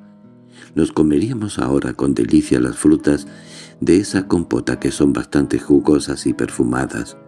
Nos adornaríamos con las plumas maravillosas de nuestros pájaros y dormiríamos en hamaca que es sin duda ninguna la más fresca y mullida de las camas. De resultas de tan sabia política, no habría habido guerra de la independencia. Bolívar no hubiera tenido ocasión de distinguirse en ella como libertador, y a estas horas los periódicos no tormentarían diariamente celebrando nuestras glorias patrias. Con esa profusión de hipérboles redundancias y adjetivos de malísimo gusto. Quizá no existieran tampoco los periódicos, lo cual ya sería el colmo del bienestar. Por mi parte yo no hubiera tenido la posibilidad de instalarme en París hace cosa de treinta años y no habría gastado hasta el último céntimo de mi fortuna regalando collares de perlas, sombreros de dos mil francos y perros premiados, cosa que me parece ahora completamente superficial. Ah, sí. Digan lo que quieran. Yo detesto los antiguos buques de vela y detesto muchísimo más aún los modernos transatlánticos. Los considero el origen de nuestras desgracias. Pero en fin, Después de todo me conformo con los buques de vela y quisiera haber nacido en la época feliz de la colonia. Allá, cuando nuestras bisabuelas y tatarabuelas atravesaban las calles empedradas de Caracas en sillas de mano, llevadas por dos esclavos que eran siempre fieles, negrísimos y robustos, porque no habían sido contaminados aún con los vicios y las pretensiones de la raza blanca. —¿Verdaderamente? —dijo el menor de mis primos. —Yo creo que debe ser muy agradable andar en silla de mano. Será algo así como ir caminando por el aire sin tocar el suelo. Lo malo es que debía andar despacísimo. Ah, qué diferencia ahora con el automóvil. —No lo creas, hijo mío —dijo tío Pancho. Era muchísimo mejor sistema el de la silla de mano. En primer lugar, se economizaban los cauchos y la gasolina. Por otro lado había menos choques, y en cuanto al tiempo gastado en el trayecto, eso no tenía entonces la menor importancia. Para nuestros bisabuelos lo mismo era llegar temprano que tarde, o que no llegar nunca. La manía de llegar es relativamente moderna y el más terrible azote con que nos mortifica a toda la civilización. María Antonia, cuyo pudor se había herido vivamente por el cinismo que encerraban los collares, los sombreros y los perros premiados, volvió a tomar la voz ciceroniana y dijo refiriéndose a la imagen de las ranas. «No comprendo por qué razón no hemos de ir a Europa. Yo, a Dios gracias, no me considero rana ni veo que Venezuela sea ningún charco. Tenemos nuestros defectos, es verdad, como allá también tienen los suyos, pero en todas partes, aún en el mismo París, hay gente muy honrada y muy buena con quien se puede tratar. Pero los que van de aquí no tratan sino con la escoria, y creen que eso es lo elegante y lo que debe ser. Cuando yo fui a Europa recién casada, me distraje mucho, como se distrae la gente decente, eso sí. Eduardo me cuidaba muchísimo. Eduardo no me llevó jamás a ciertos teatros donde van ahora muchas niñas suramericanas. Eduardo no me dejaba salir sola. Eduardo no me permitía de ningún modo que bailara ni que tuviera intimidad con nadie, ni que me pintara, ni que me pusiera vestidos indecentes, aunque estuvieran muy de moda, ni que, y mientras seguía la enumeración, yo ladeé ligeramente la cabeza porque en el centro de la mesa la compotera colmada de frutas y de flores me ocultaba Eduardo sentado frente a mí, y me urgía muchísimo contemplar a mi sabor aquel busto de Otelo. Pero desgraciadamente, allende la compotera, Otelo no parecía estar en carácter, circunstancia que se le quitó colorido a la enumeración. En aquel momento trágico psicológico se hallaba tranquilamente con el tenedor en la mano derecha, un pedacito de pan en la mano izquierda, y los ojos clavados en su plato muy ocupado en quitarle las espinas a su porción de pescado. Y como terminante al punto tan delicada empresa que llevó a la boca el tenedor cargado de blanquísima pulpa, lo saboreó, lo tragó, esperó pacientemente a que María Antona rematase su discurso y dijo entonces con un hilillo sutil de mayonesa prisionero entre los labios de su bigote. Pues yo encuentro que el pescado está fresquísimo. Me parece exquisito. Muy bien preparado y no comprendo por qué en Caracas no hemos de comerlo así, María Antonia. Es indudable que la cocinera nos roba. Convéncete. Por el afán de robar, compra siempre el pescado peor, el que nadie quiere, pues ahora, al pasar por la Guaira voy a hablar con el encargado del depósito, y si me dejan el pescado al precio de costo en Caracas lo voy a encargar fijo para tres días en la semana. Si te parece, la cocinera misma puede pasar a buscarlo cuando vuelve del mercado empleando la misma correspondencia de tranvía que toma siempre para llegar hasta la casa. María Antonia, cuyo plano mental se hallaba ahora muy distante del pescado, la cocinera y el tranvía, contestó indignada. Julia, la martinqueña no nos roba en absoluto. Me conta que es honradísima y encuentro muy malo este pescado. La mayoriesa está hecha con un aceite infernal que diferencia con el que tomamos en casa. Pues a mí, lo mismo que a papá me parece muy bueno el pescado, dijo mi prima con cierta melancolía. Pero no me lo como porque vi al trasluz mi tenedor y deja mucho que desear. Y es inútil que pida otro, los cubiertos de los hoteles siempre están sucios. Y es que no los lavan sino que los limpian con un paño. Lo vi ahora al pasar. «Oye un consejo, hija mía», dijo tío Pancho muy condolido. «Nunca veas los cubiertos ni nada tras luz. En la comida lo mismo que en todo lo demás el afán investigador no nos conduce sino a descubrimientos desagradables». Las personas más felices eran siempre aquellas que hayan descubierto menos cosas durante su vida. Te hablo por experiencia. Mira, desde que yo he perdido la vista lo suficientemente para confundir una mosca con un grano de pimienta, tengo mejor humor y muchísima menor digestión. ¡Ay! Confundir una mosca con un grano de pimienta. Comerse una mosca, qué horror, qué horror, dijeron a la vez casi todos mis primos. Pero tío Pancho, en un nuevo discurso muy bien documentado, y un poco paradójico también, nos demostró palpablemente los grandes prejuicios que ocasionan a la humanidad el microscopio, la higiene, las vacunas, la cirugía y las academias de medicina, cosas todas que según él suelen acabar con las personas verdaderamente robustas, conservando en cambio a los enfermizos, a los pobres, a los aburridos y a los desgraciados, seres infelices con quienes se ensañan arbitrariamente al privarle de la muerte, que es cosa tan natural e inofensiva. María Antonia, que hierve todos los días el agua filtrada y duerme todas las noches con mosquitero, se escandalizó naturalmente al oír tan horrible dislate. Con tal motivo se discutió. Se habló después sin discutir, se tomó café, se volvió a discutir, se volvió, se dio por terminado el almuerzo. Paseamos entonces a pie por la playa.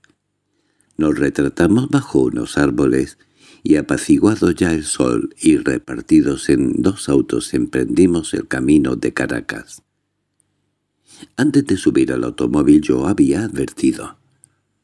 Quisiera ir delante con el chofer para ver mejor el camino y de nuevo, tras el volar del auto por la cinta blanca de la carretera, sobre los abismos y las montañas, en silencio, desde el templo interior de mi sensibilidad, me entregué a la contemplación, a la comunión íntima con la naturaleza, a las suaves evocaciones y al miedo voluptuoso de llegar. El viaje a Macuto a Caracas Cristina es una atrevida excursión por la montaña que dura casi dos horas.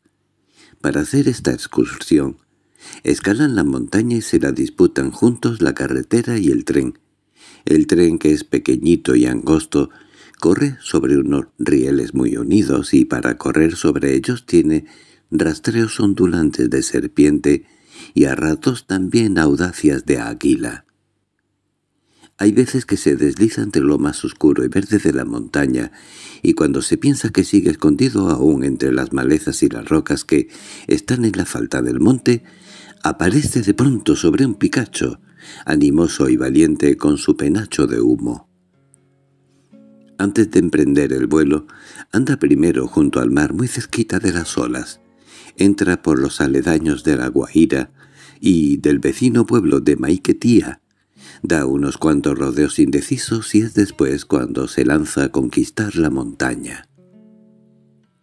La carretera, que es más franca y menos audaz que el tren, camina también un rato junto al mar y los rieles, pasa por los pueblos, se aparta luego de todos y entonces ella sola en blancas espirales va enlazando la montaña con su cinta de polvo. Cuando empezamos la ascensión, tío Pancho me advirtió que aquella montaña que íbamos a escalar estaba formada por un brazo de los Andes, y al momento el paisaje se cubrió para mis ojos de un inmenso prestigio. A decir verdad, el aspecto de la montaña es tan grandioso que no desdice nada de su filiación. Es arrogante, misteriosa y altísima. Sus cimas dominan a Caracas y la separan del mar. Vista desde la duda, cambia del color varias veces al día, condescendiente a los caprichos de la atmósfera que la rodea. Estos cambios y caprichos le han dado un carácter muy suyo, y para interpretárselo la copian con amor todos los pintores, la cantan con más amor aún todos los poetas, y en recuerdo al conquistador que la tomó a los indios, en no sé qué fecha, se llama de su nombre el Ávila. Desde que salimos de Macuto, con la brisa azotándome el rostro, yo tenía una inquieta curiosidad por sentir muy cerca el alma del paisaje americano y me di a buscarle con cariño en todos los detalles del trayecto. Luego de correr junto al mar y atravesar la Guaira y los arrabales del pueblo de Maquiquetia, pasamos junto a los cocales que se extienden allí cerca por la playa, y desde aquel momento atrajeron mis ojos y conquistaron mi atención los cocoteros. Es indudable para mí, Cristina, todo el encanto, toda la dulce languidez del alma tropical que se mece en los cocoteros. Cuando son muchos y se pasa junto a ellos, tienen vaivenes de hamaca, desperezos de siesta y susurros de abanico. El mar se clarea siempre allá en el fondo, y a través de tantos tallos que se retuercen y se encogen con actitudes de dolor humano, en aquella perspectiva que está a la vez poblada y desierta como una iglesia vacía, hay una paz intensa en donde solo vibra la nota azul del mar suave y lejana como un ensueño. Cuando se va subiendo una montaña y se ven los cocoteros de arriba, sus cabezas desmelenadas sobre la finura del tallo parecen alfileres erizados en un acerico que es la playa. Si el cocotero es uno solo y se mira a distancia, en pleno aislamiento, erguido frente al mar, tiene la melancolía de un solitario que medita y la inquietud de un centinela escudriñando el horizonte. Sus palmas desgajadas en el espacio a tan larga distancia de la tierra parecen flores puestas en un búcaro, de pie muy largo. Si se mira de tan lejos, que lo etéreo del tallo se ha perdido en la atmósfera, aquellas hojas flotando en el ambiente tienen entonces el misterio de un jirón de incienso que sube, y parece evocar el símbolo místico de las oraciones, abriendo sus tesoros junto al cielo. Mientras íbamos escalando la montaña, me perdía yo en estas contemplaciones sin pensar ya en la Guaira, que habíamos dejado atrás, cuando de pronto, en una brusca revuelta del camino, allá bajo nuestros pies en el fondo del abismo, apareció de golpe pero tan chiquita, tan chiquita, que con todas sus casas, sus vapores, sus barquitas y sus lanchas parecía ya solo un juguete de niños. Allí en aquel mundo diminuto se hallaba también nuestro vapor que iba a zarpar al caer la tarde Desde mis alturas me pareció elegante y fino, como una gaviota que se dispone a volar, y durante un rato tuve una envidia infinita por su vida aventurera. Ah, él se marcharía ahora a uno y otro y otro puerto siempre animado y activo, y nunca jamás sentiría, como yo, la aridez de los reposos finales definitivos. Estas fueron mis últimas consideraciones marinas, porque en otra brusca revuelta de la carretera se volvió a perder la guaira tan repentinamente como había parecido antes. Luego de caminar un rato, acabó por esfumarse también la estrecha cinta azul que nos quedaba del mar, y entre abismos y rocas nos metimos ya definitivamente en el corazón de la montaña. Por ella anduvimos mucho rato subiendo y bajando hasta que poco a poco se allanaron los abismos, se plantó el camino, apareció el valle y entramos en los arrabales de Caracas. Yo acababa de empolvarme, de pintarme y de arreglar en general los desperfectos ocasionados por el viaje, mi rostro y mi sombrero. Iba de nuevo calzándome los guantes y mientras hacía esto miraba el suceder de las calles y me preguntaba «¿Pero cuándo entramos por fin en la ciudad?» Tras de mí, tío Pancho, adivinó al momento mi pregunta porque advirtió de su cuenta sin que yo nada hubiese dicho.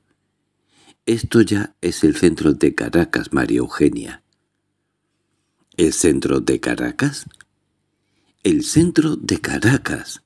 Y entonces, ¿qué se habían hecho las calles de mi infancia? Aquellas calles tan anchas, tan largas, tan elegantes y tiradas a cordel. Ah, Cristina, qué intactas habían vivido siempre en mi recuerdo, y qué cruelmente las desfiguraba de pronto la malvada, la infame evidencia. Unas casas de un solo piso chatas oprimidas bajo los aleros, adornadas las fachadas por el enrejado de las ventanas salientes, se extendían a uno y otro lado de las calles desiertas, angostas y muy largas. La ciudad parecía agobiada por la montaña, agobiada por los aleros, agobiada por los hilos del teléfono que pasaban bajo inmutables, rayando con un sinfín de hebras el azul vivo del cielo y el gris indefinido de unos montes que se asomaban a lo lejos sobre algunos tejados y por entre todas las bocacalles. Y como si los hilos no fuesen suficientes, los postes de teléfono abrían también imponentemente sus brazos y, fingiendo cruces en un calvario larguísimo, se extendían uno tras otro hasta perderse allá, en los más remotos confines de la perspectiva. Ah, sí, Caracas. La del clima delicioso, Caracas. La de los recuerdos suaves, la ciudad familiar, la ciudad íntima y lejana, resultaba ser aquella ciudad chata, una especie de ciudad andaluza, de una Andalucía melancólica sin mantón de Manila ni castañuelas, sin guitarras, sin coplas, sin macetas y sin flores en las rejas, una Andalucía soñolienta que se había adormecido bajo el bochorno de los trópicos. No obstante, mientras así juzgaba, deprimida, corriendo toda prisa por las calles bruscamente en una u otra parte como un chispazo de luz inesperado, aparecía el prodigio de una ventana abierta, y en la ventana, tras la franqueza de la reja ancha eran bustos, ojos, espejos, arañas rutilantes, palmeras, flores, toda una alegría intensa e interior que se ofrecía generosamente a la tristeza de la calle. Ah, la fraternidad y el cariño y la bienvenida y el abrazo familiar de las ventanas abiertas. Pero ¿cuál era? ¿Cuál era? ¿Cuál era, por fin, la casa de mi abuelita? Y de pronto, ante una casa ancha pintada de verde con tres grandes ventanas cerradas y severas se detuvieron los autos. Mis primos bajaron a toda prisa, penetraron en el zanguán Empujaron la entornada puerta del fondo y fue entonces cuando apareció ante mis ojos el patio claro, verde y florecido de la casa de la abuelita. Era la primera impresión deslumbrante que recibía mi llegada a Venezuela. Porque el patio de esta casa, Cristina, este patio que el patio que es el hijo y el amante y el hermano de tía Clara, cuidado como está con tanto amor, tiene siempre para el que llega, yo no sé qué, suave unción de convento, y una placidez hospitalaria que brinda y se ofrece a los brazos abiertos de sus sillones de mimbre. Sobre la tierra, fresca del medio, crecen todo el año rosas, palmas, novios, heliótropos y el jazminero, el gran jazminero amable que, subido en el kiosco todo lo preside y saluda siempre a las visitas, con su perfume insistente y obsequioso.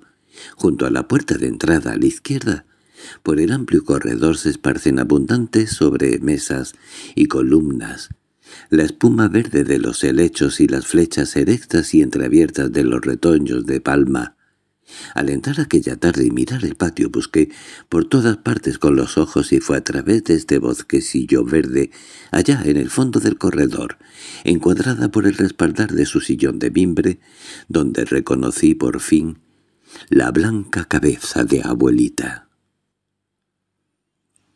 Viendo entrar a mis primos, se había puesto instantáneamente en pie y al dirigirme de lejos en el grupo que avanzaba, me llamó a gritos con la voz y con el temblor maternal de sus brazos abiertos. «¡Mi hija! ¡Mi hija! ¡Mi hijita!» Y no quiero detallarte, Cristina, cómo ni cuándo fueron los abrazos y los besos de entre lágrimas que me dio mi abuelita y me dio luego tía Clara porque el detallarlos resultaría largo, monótono y repetido.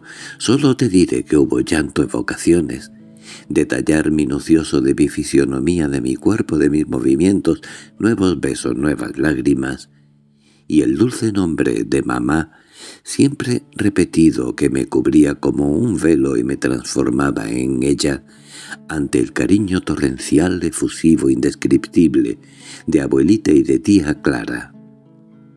Yo me sentía también sorprendida, emocionadísima, y para cortar la escena Conteniendo las lágrimas con los ojos turbios comencé a inspeccionarlo todo arriba, abajo, y al ir reconociendo poco a poco las viejas cosas familiares, me di a preguntar risueña por los predilectos de mi infancia.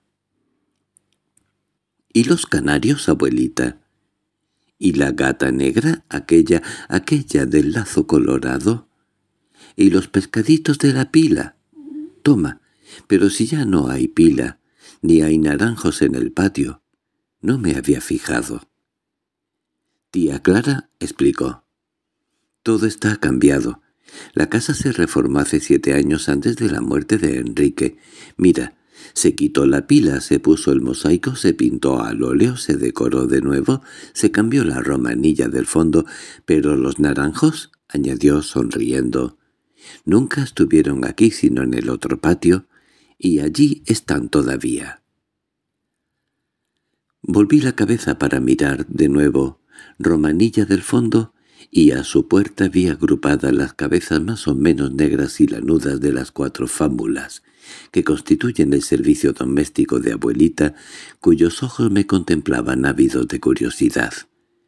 Yo las abarqué a todas en una rápida ojeada indiferente, pero como en la rapidez de la ojeada hubiese sentido la atracción de unos ojos, volví a mirar de nuevo y entonces, iluminada ya por el vivo chispazo del recuerdo, lo mismo que había hecho abuelita un momento antes, yo también ahora abrí efusivamente los brazos y corrí a la romanilla exclamando a voces de alegría. —¡Ah, Gregoria!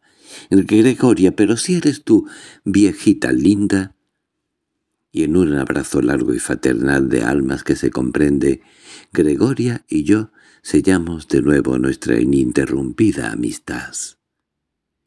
Porque has de saber, Cristina, que Gregoria, la vieja lavandera negra de esta casa contra el parecer de abuelita y de tía Clara, Es actualmente mi amiga, mi confidente y mi mentor, pues aun cuando no sepa leer ni escribir la considero sin disputa ninguna una de las personas más inteligentes y más sabias que he conocido en mi vida.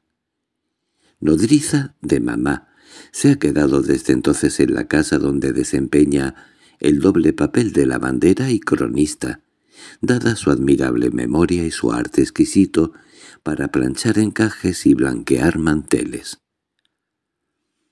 Cuando yo era chiquitita y me venía a pasar el día aquí en la casa de abuelita, era Gregoria quien me daba siempre de comer, quien me contaba cuentos y quien a escondidas de todos me dejaba andar descalza o jugar con agua, atendiendo de este modo al bienestar de mi cuerpo y de mi espíritu. Y es que tu alma de poeta, que desdeña los prejuicios humanos con la elegante displicencia de los filósofos cínicos, tiene para todas las criaturas la dulce piedad trafermal de San Francisco de Asís. Este libre consorcio le ha hecho el alma generosa, indulgente e inmoral, su desdén por las convenciones la preservó siempre de toda ciencia que nos enseñara la misma naturaleza. Por esta razón, además de no saber leer ni escribir, Gregoria tampoco sabe su edad, que es un enigma para mí, para ella y para todo el que la ve.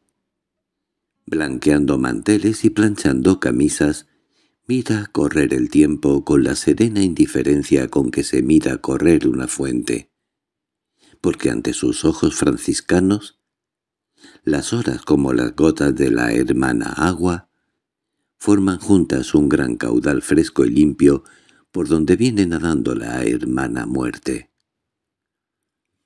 Como te he dicho ya, cuando yo era chiquita, me cuidó siempre con la ternura poética con que se cuidan las flores y animales.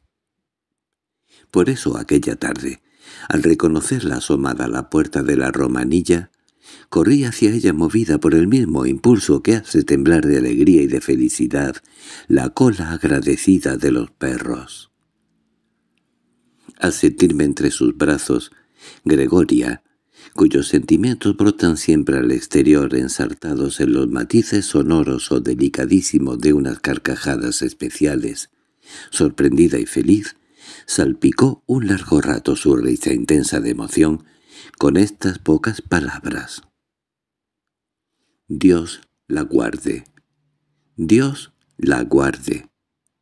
Haberse acordado de su negra, de su negra fea, de su negra vieja. Y tanto nos abrazamos, y tanto se rió Gregoria, y tanto se prolongó la escena que abuelita tuvo que intervenir al fin. «Bueno, Gregoria, ya basta, ya basta. ¿Hasta cuándo? Que empiezas con la risa y no acabas de reírte nunca».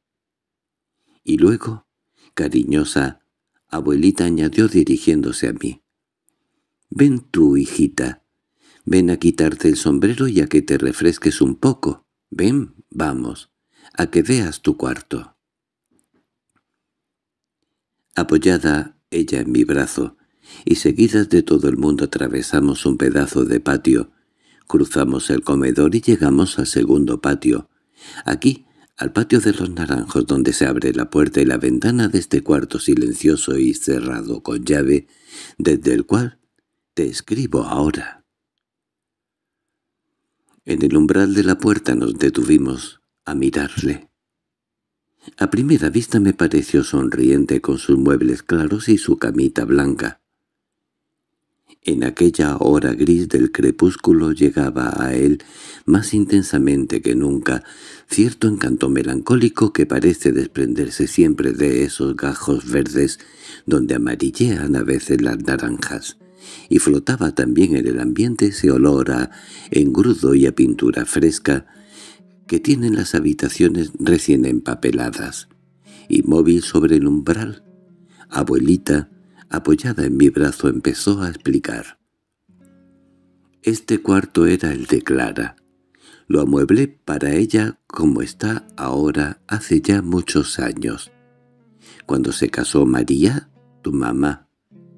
Antes dormían las dos juntas en una habitación más grande que está cerca de la mía. Clara ha querido ahora cedértelo todo. Como los muebles son blancos y alegres, es más natural que sean para ti. «Mira», interrumpió de golpe mi prima, «es un milagro que tía Clara haya convenido en darte su cuarto y sus muebles. Con nosotros antes, cuando veníamos aquí, era una exageración. No nos dejaba ni pasar siquiera porque decía que echábamos a perder los muebles, y que de tanto entrar y salir se llenaba de mosca la habitación. Tía Clara no contestó nada y abuelita continuó. «Sí, Clara te ha dejado su cuarto y se viene ahora cerca de mí al cuarto que era de su padre, de tu abuelo. Allí están todavía sus muebles, unos muebles de caoba muy cómodos y más serios que estos otros. Por supuesto que todo se pintó y se empapeló de nuevo para tu llegada. Mira, te pusimos a los lados de la cama los retratos de tu papá y de tu mamá, para que te acompañen siempre. Este tocador era también de Clara. Ella misma lo vistió de nuevo. No sabes lo que ha trabajado para terminar el bordado antes de tu llegada. Anoche a las doce estaba cosiendo todavía. El tocador, los retratos, el flamante papel de las paredes, los muebles blancos, tía Clara, la observación de mi prima, todo me había ido produciendo una emoción suave. Había en el arreglo del cuarto profusión de detalles que demostraban una disposición minuciosa, un afán muy marcado de que todo resultara alegre elegante a la moda. Este esfuerzo hecho en un medio ambiente tan atrasado, tan añejo, me conmovía y me conmovía sobre todo al comprobar lo poco que habían logrado realizar en mí el efecto deseado. Aquellos cuadros altos simétricos, el bordado de colorines del tocador, el viso tan encendido, la cortina de la cama, la disposición de los muebles, todo, absolutamente todo estaba contra mi gusto y mi manera de sentir. Me daban ganas de desbaratar el trabajo enteramente, de hacerlo otra vez a mi gusto y pensando en lo que esta especie de vandalismo hubiese herido a la pobre tía Clara, la consideré un instante profundamente con lástima, con cariño intenso. Durante la explicación de abuelita, ella no había dicho ni una sola palabra. En pie junto a la puerta, guardando silencio, tenía la callada y humilde desolación de las vidas que se deslizan monótonas sin porvenir, sin objeto. Y sin embargo, bajo su pelo canoso, con su fisionomía alargada y marchita de cutis muy pálido, era bonita tía Clara, y a pesar del vestido de raso negro recién hecho y pasado de moda, era también distinguida, con esa distinción algo ridícula que tienen a veces en los álbumes los retratos ya viejos. Y mirándola así con agradecimiento y con ternura, en un segundo rapidísimo recordé cómo allá, en los tiempos de mi infancia, cuando yo venía a quedarme aquí con abuelita, ella, tía Clara, se sentaba por las tardes en el sofá del salón y hablaba horas enteras con un señor que me daba caramelos y me hacía muñecos y gallitos con pedazos de papel, yo solía jugar con aquellos gallitos sentadas silenciosamente en el suelo, sobre la alfombra, mientras ellos dos en el sofá continuaban su charla que yo encontraba misteriosa en vista de lo prolongada y lo monótona. Ahora por primera vez después de tantos años, mirándola en pie junto a la puerta, recordé la diaria y olvidada escena y recordándola pensé, si aquel señor, como no cabe duda, era el novio de tía Clara, ¿qué había sido de él? ¿Por qué no se casaron? Y para demostrarle mi interés y la fidelidad con que había conservado su imagen a través del tiempo, estuve a punto de describirle la escena tal como la recordaba y de hacerle después la pregunta. Afortunadamente ya con la palabra en la boca me detuve aún a tiempo. Comprendí que podía ver en ello algún secreto dolor que quizás el dolor se anidaría aún en las románticas ruinas de la cabeza gris y que iba sin duda a lastimarlo con la indiscreción de tal pregunta. Entonces, para expresarle mi cariño de otra forma, cambié bruscamente de tema y dije sonriendo que todo, todo en el cuarto estaba precioso y que recibía con amor y con muchísima alegría aquellas cosas que por tanto tiempo la habían acompañado a ella. Por esto no era cierto, Cristina. Esto no era cierto, amiga Cristina, no. Mientras tal decía mirando primero la cabeza gris junto a la puerta y mirando luego la blanca cortina de punto sobre la cama, tenía el alma oprimida de angustia, de frío, de miedo, yo no sé de qué. Y es que lúcidamente, en la faz de los muebles, sentía agitarse ya el espíritu de aquella herencia que me legaba tía Clara a Cristina. La herencia de tía Clara. Era un tropel innumerable de noches negras, largas, iguales que pasaban lentamente cogidas de la mano bajo la niebla de punto de la cortina blanca.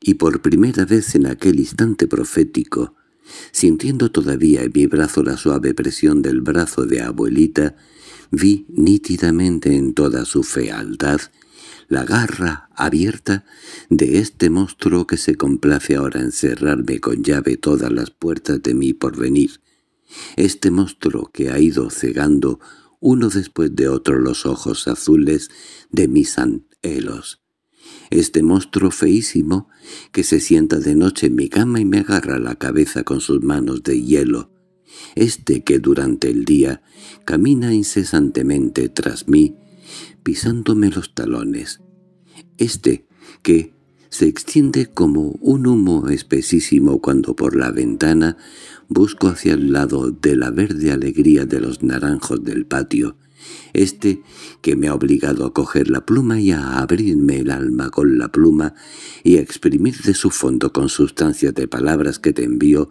muchas cosas que de mí yo misma ignoraba. Este que instalado de fijo aquí en la casa es como un hijo de abuelita y como un hermano mayor de tía Clara. Sí, este, el fastidio, Cristina, el fastidio, el cruel, el perseverante, el malvado fastidio asesino. Pero este fastidio cruel que presentí por vez primera la tarde de mi llegada, este fastidio que me ha hecho analista expansiva y escritora, tiene una raíz muy honda, y la honda raíz tiene su origen en la siguiente reveladora escena que voy a referirte y que ocurrió una mañana a los dos o tres días de mi llegada a Caracas. Sería a cosa de las once y media. Abuelita, tío Pancho, tía Clara y yo nos hallábamos instalados hacia el fondo del corredor de entrada, allí mismo en aquel bosquecillo verde que te he descrito ya, en donde se esparcen varios sillones de mimbre alrededor de una mesa, en donde vi blanquear el día de mi llegada la cabeza de abuelita, en donde ella se instala diariamente con su calado, sus tijeras y su cesta de costura. Aquella mañana habíamos entrado por fin en plena normalidad, o sea, que yo, luego de pasar dos días en una especie de exhibición ante las reacciones góticas de abuelita, es decir, ante un reducido número de personas de ambos sexos más o menos uniformadas en cuanto a ideas, vestimenta y edad, las cuales acudieron a conocerme y a felicitar a abuelita por mi feliz llegada, y las cuales durante unas visitas muy largas me hicieron, todas con ligerísimas variantes, los mismos cumplidos y las mismas preguntas. Aquella mañana, digo, terminado ya el desfile, yo había podido al fin entregarme a mi libre albedrío y a mis personales ocupaciones. La mañana, dedicada por entero al arreglo de mi cuarto, había sido muy bien aprovechada. Al dar las once me hallaba cansada y satisfecha porque hermanado el espíritu de conquista al espíritu de conciliación, había logrado imponer mi gusto moderno y algo atrevido, sobre el gusto rutinario, simétrico y cobarde de tía Clara. Sin herir susceptibilidades la obra primitiva se encontraba ya reformada y bajo la presidencia de dos muñecas parisienses rubias, petulantísimas y vestidas de seda que esponjaban como pantalla sus dos crinolinas, rosa la una y verde la otra, sobre mi mesa de noche y sobre mi escritorio. El cuarto se veía ahora bastante contemporáneo y bastante bien.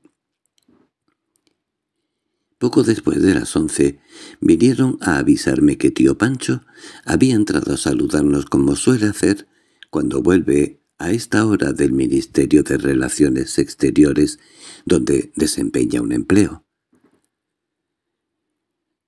Al tener noticias de su llegada dejé al punto de contemplar mi obra y fue entonces cuando entré, helechos y palmas, hacia el fondo del corredor de entrada. Me instalé en tertulia con él, con abuelita y con tía Clara. Como era sábado, día de repasar, tía Clara se hallaba ante una cesta llena de medias y de ropa surciendo una servilleta de hilo ya muy vieja y usada.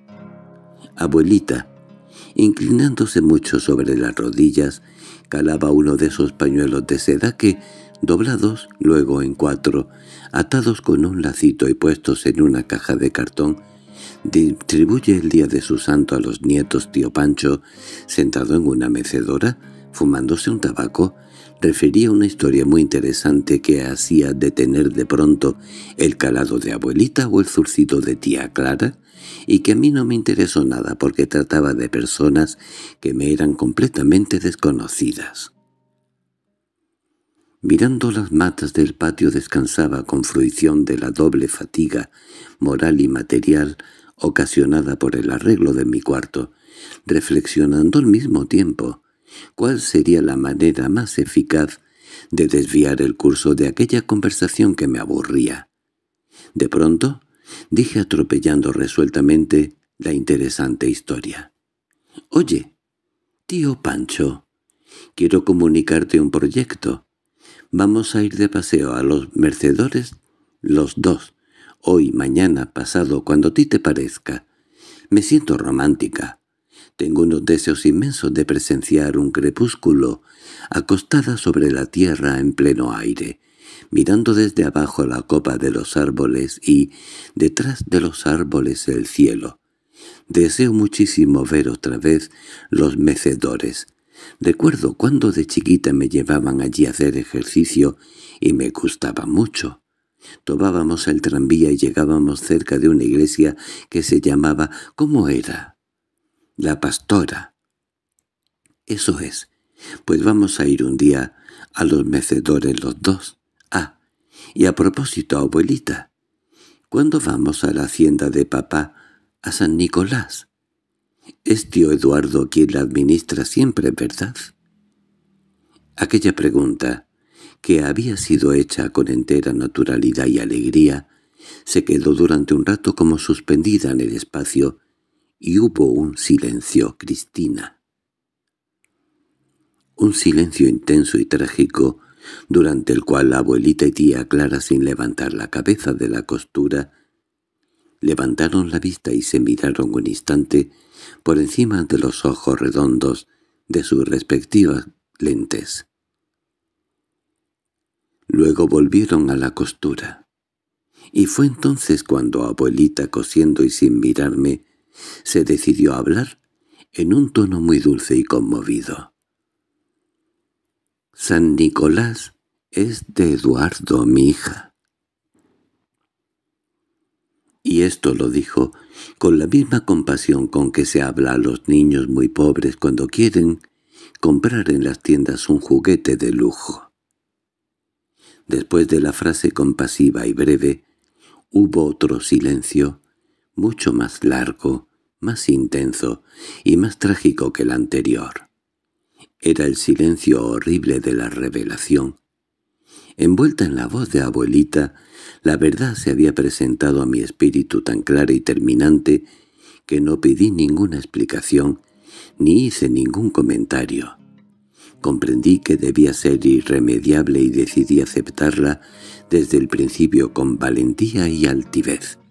Sin embargo, Cristina, las consecuencias que surgían en tropel de aquella revelación eran demasiado enormes para que yo me las viese al momento y para que su vista no desencadenase en mi alma una horrible tempestad interior. San Nicolás era de tío Eduardo. No sabía cómo ni por qué, pero era de tío Eduardo, por lo tanto, yo, que me creía rica, yo, que había aprendido a gastar con la misma naturalidad con que se respira o se anda, no tenía nada en el mundo, nada fuera de la protección severa de abuelita, que se inclinaba ahora sacando la aguja por entre las hebras del pañuelo de seda, y fuera del cariño jovial de tío Pancho, que también callaba enigmático, recostado en la mecedora, apretando entre los dientes el tabaco encendido y oloroso. Con mis ojos, espantados, les miré a los dos, y seguí luego contemplando interiormente la horrible noticia que se abría de golpe ante mí por venir, como una ventana sobre una noche lúgubre. La pobreza.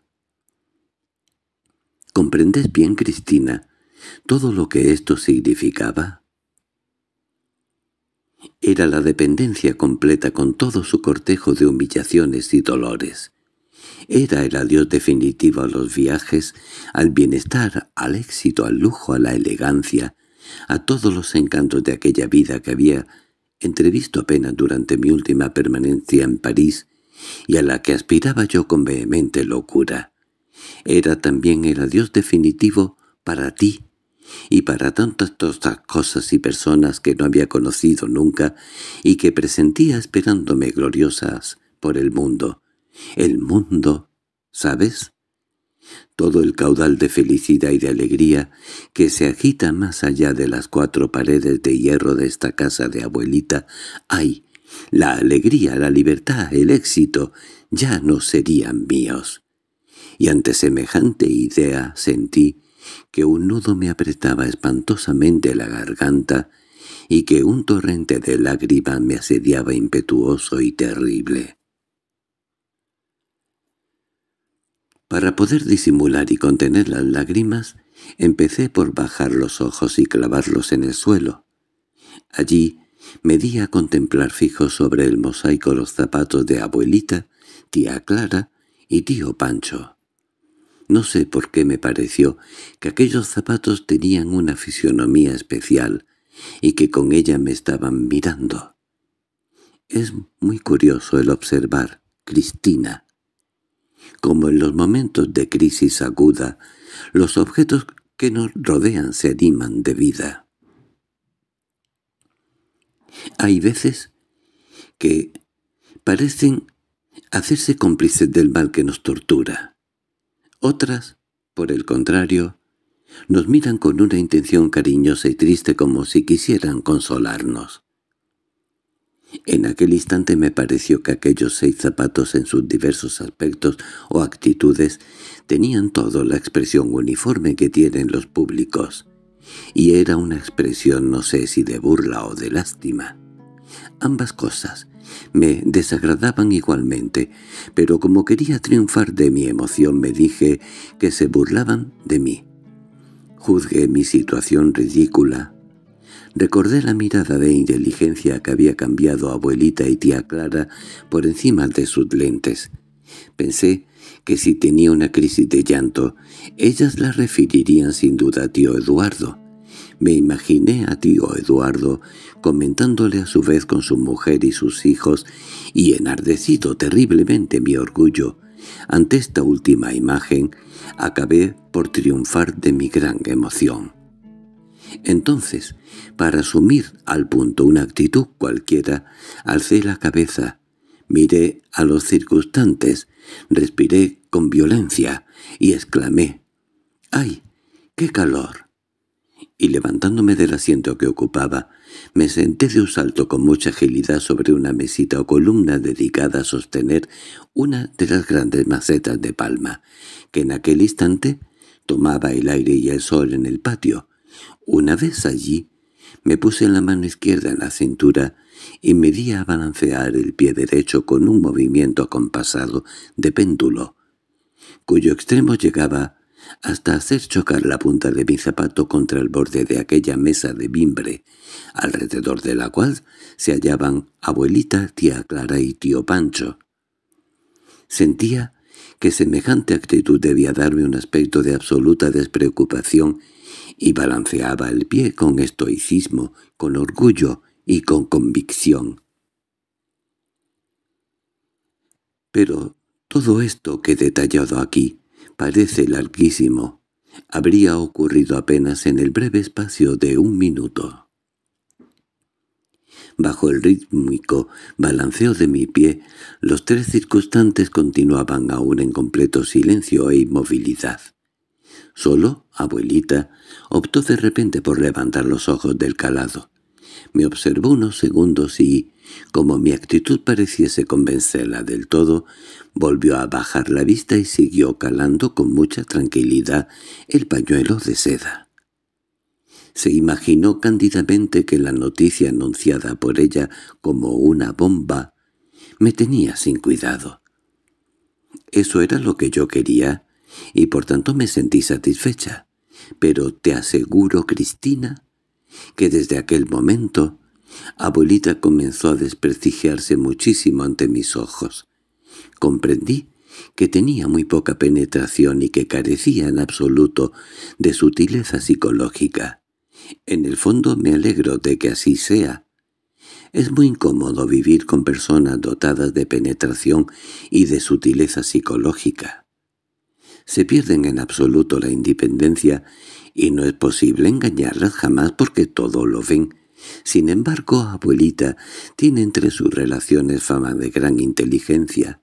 Ah, pero desde ese día cuando me dicen a mí «el talento de tu abuela», yo exclamo inmediatamente en mi fuero interno «no es verdad, no tiene ninguno». Como te decía, abuelita, luego de observarme sin hacer comentario, volvió a su costura enhebró la aguja que le había desenhebrado, dio unas cuantas puntadas, levantó otra vez de la cabeza, volvió a observarme y entonces dijo «María Eugenia, hija mía, oye, eres distinguida, bien educada. Tienes bastante instrucción, sabes presentarte correctamente y sin embargo, algunas veces tomas esos modales de muchacho de la calle. Mira, en lugar de sentarte en una silla como los demás, estás sentada ahí arriba al nivel de mi cabeza, de esa columna que se puede venir abajo con tu peso. Se te ven las piernas hasta las rodillas. Tienes una mano en la cintura, lo mismo que las sirvientas, y estás balanceando el pie con un movimiento muy vulgar. Además, fíjate, mira, al darle hacia la mesa con la punta del zapato, echas a perder a un tiempo las dos cosas, la mesa y la punta de tu zapato nuevo. Terminada esta exhortación dejé de balancear el pie y me quité la mano de la cintura. Pero como sentía una necesidad violenta de destruir algo, sin bajarme de la columna, cosa que hubiera sido demasiado obediencia, Empecé a surcar con la uña una hoja de palma que para desgracia suya se encontraba a mi alcance. Abuelita, entretanto, había vuelto a sumirse en el calado y callaba de nuevo.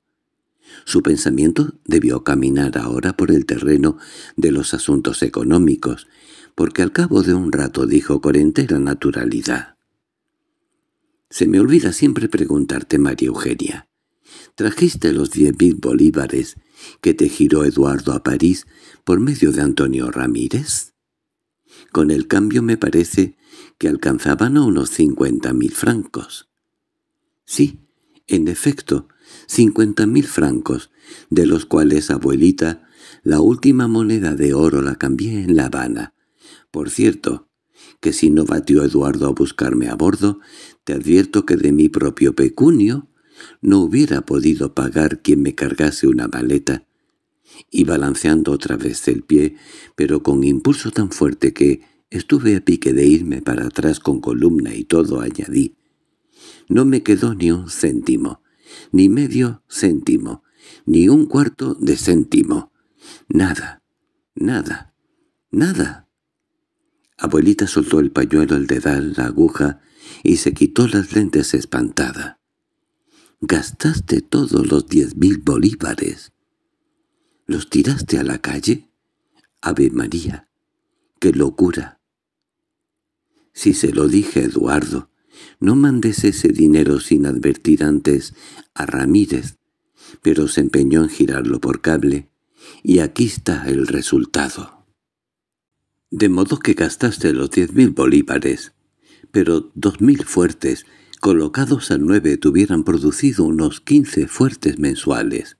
Mi hijita, tal vez se hubieran podido colocar al diez hasta al doce, y hubieran sido entonces ochenta o cien bolívares al mes. Piensa, hubieras tenido algo, muy poco, una miseria, pero en fin, algo, algo para gastos de bolsillo siquiera. Ese dinero se mandó a París solo por previsión, en caso de un accidente, de una enfermedad. Un mes antes se había girado al consulado una letra para tu viaje, para pagar cualquier gasto extraordinario que hubiera ocasionado la muerte de tu padre y para tu luto. Era más que suficiente. Ah, el celo extremado de abuelita hacia aquellos dos mil fuertes, último jirón de mi patrimonio, me crispaba horriblemente los nervios, ahora que ante mis osos acababan de esfumarse los muchos miles que representa San Nicolás. Mientras ella hablaba exaltadísima, yo que me encontraba ahora sobre la columna inmóvil y heroica como el estilita, tuve de pronto el firme presentimiento de que tío Eduardo había rendido con mi herencia las cuentas del gran capitán y sentí una rabia espantosa. Esa rabia alcanzó su periodo álgido cuando abuelita dijo «Hubieras tenido muy poco una miseria, pero en fin, algo, algo». Y como me imaginase al punto la cabeza antipática de tío Eduardo, me apresuré a insultada con toda mi alma dirigiéndole en pensamiento y de carretilla los siguientes apóstrofes viejo avaro, ladrón, canalla, cursi, gangoso, escoba vestida de hombre, e injustamente hice a abuelita cómplice de mi desgracia. Entonces, con el objeto de molestarla de cualquier manera cuando terminó de hablar, fingiendo buen humor, exclamé alegrísima. «¡Ay, abuelita, abuelita! Y como se conoce que no has estado nunca en París, yo me hice mis vestidos de luto en Biarritz, claro.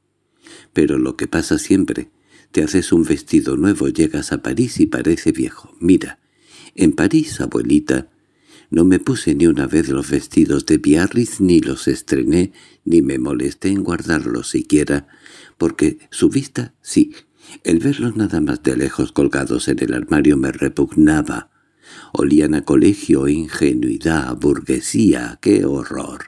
¡Ah! Fue en París, abuelita, donde aprendí a vestirme, donde sentí de lleno esta revelación del chic. Los vestidos de Biarritz, que eran más o menos...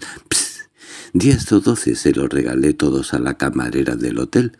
Como eran negros, a la camarera le quedaban bastante bien, con la cofia de batista y esos delantitos que... Abuelita me interrumpió, desesperada y con las lentes trémulos, enarbolados en la mano derecha, exclamó varias veces, en ese tono trágico en que se lamentan las catástrofes irremediables. —¡Qué locura, señor! ¡Qué disparate! Cincuenta mil francos en trapos cuando ya estaba equipada para el viaje. —¿Pero no viste ayer mis vestidos? Mis sombreros, mis medias y mis combinaciones de seda, ¿o crees acaso, abuelita, que eso se regala en París? Si demasiado barato lo compré todo. Aquello representa lo muy menos, lo muy menos, ochenta mil francos. A ver, tú, tío Pancho, que según dices has pagado muchos sombreros en París, di. ¿Están caros mis sombreros? ¿Están caros? Y esta última pregunta la hice con tantísima vehemencia que estuve de nuevo a punto de caerme de la columna, pero esta vez de narices y en dirección a tío Pancho. Él me consideró un instante y respondió evasivo envolviendo la respuesta en una bocanada de humo. «Acuérdate que todavía no me has enseñado tus sombreros, María Eugenia». «Bueno, pues mira, lo más elegante, lo más bonito, lo mejor que has visto en tu vida. Figúrate que llamaban la atención en París, y como yo tenía con ellos tanta personalidad, pues no me llamaban sino Madame, sí, Madame Alonso. —¡Ay, María Eugenia! —dijo abuelita, asustada, desmayando sobre la falda la mano de los lentes. —¿Quién sabe, hija mía? ¿Quién sabe por lo que te tomaban? Y para hacer ese papel tan triste, botaste tu dinero. —¿Cómo para hacer ese papel tan triste? Mira, abuelita, cuando se tiene dinero en París y ese dinero se bota como tú dices, pasas a ser más que un rey y más que un emperador. Te parece que todo es tuyo. La plaza de la Concordia, por ejemplo, es como si fuera... el patio de tu casa, los campos elíseos, el San Juan de entrada, el bosque de, Colonia, tu corral total, que acabas por convencerte de que vives en una especie de hacienda tuya, en donde todo el que pasa está a tus órdenes para lo que quieran mandar. Las pruebas de lo que te estoy diciendo es esto que me ocurrió de esas mañanas de sol en que uno se siente muy alegre. Iba yo subiendo hacia la estrella cuando mi taxi se quedó estacionado en plenos campos elíseos, porque estaban arreglando la calzada y la circulación se hacía difícil. De pronto, gran sensación. Pasaba el presidente de la República con comitiva de ministros llenos de coronas y discursos que se iban a celebrar una de sus eternas ceremonias ante la tumba del soldado desconocido. Bueno, ¿tú crees que me impusieron ellos a mí o que me dieron ni por un segundo la sensación de mando? Todo lo contrario. Como esos del gobierno no tienen por lo general un aire tan desgraciado y llevan tan mal la ropa, ¿sabes que les grité en pensamiento desde mi taxi parado? Pues saqué la cabeza y les dije así con mucho cariño. Adiós, el mayordomo y el personaje. Y a ver, por Dios, cuando me acaban de arreglar el piso es una vergüenza lo que dura ya esto. Aquí me quedo todos los días como están viendo, y llego en retardo para mis pruebas que no son por lo general cosas de muchísimo apuro, y a ver también si aprenden a tener un poco más de gracia y que se afeiten tanto bigote, que eso ya no se usa, y que adelgacen, y que crezcan. Agua. Recuerdos al desconocido. María Eugenia interrumpió, abuelita. Mi madre decía siempre que Dios nos toma en cuenta las tonterías y las palabras inútiles. Según eso, mi hija, tú, vas a tener mucha cuenta que entregarle a Dios. Yo volví a la anterior conversación y seguí enumerando mis gastos. Bueno, además de los sombreros, el calzado, todo a medida. Añade otras cosas. Encajes añade el kimono negro, ah, y sobre todo los regalos, se me olvidaba, los regalos me costaron carísimos. Fíjate, abuelita, fíjate en la etiqueta de las cajas. Todas cosas finas de la Rue de la Pix. Ah, es que yo no regalo pacotilla. Ah, no, no regalas pacotilla, volvió a decir abuelita sulfurada enarbolando otra vez los lentes. Sí, me parece que estoy oyendo a tu padre. Qué carácter de despilfarro, pero tú te imaginas, hija mía, que pueden causarme algún placer ese saco de mano que me trajiste, ahora que sé de dónde salió y lo que te costaría. Pero yo tuve gusto en regalártelo y eso me basta. Ah, si supieras lo que yo aproveché mi dinero, si supieras lo que me encanta probarme vestidos y más vestidos. Mira, Me iba a casa de Lelang, quien, te advierto entre paréntesis, siendo de los más chic, tiene precios bastante moderados, pues yo soy económica, aunque tú no lo creas.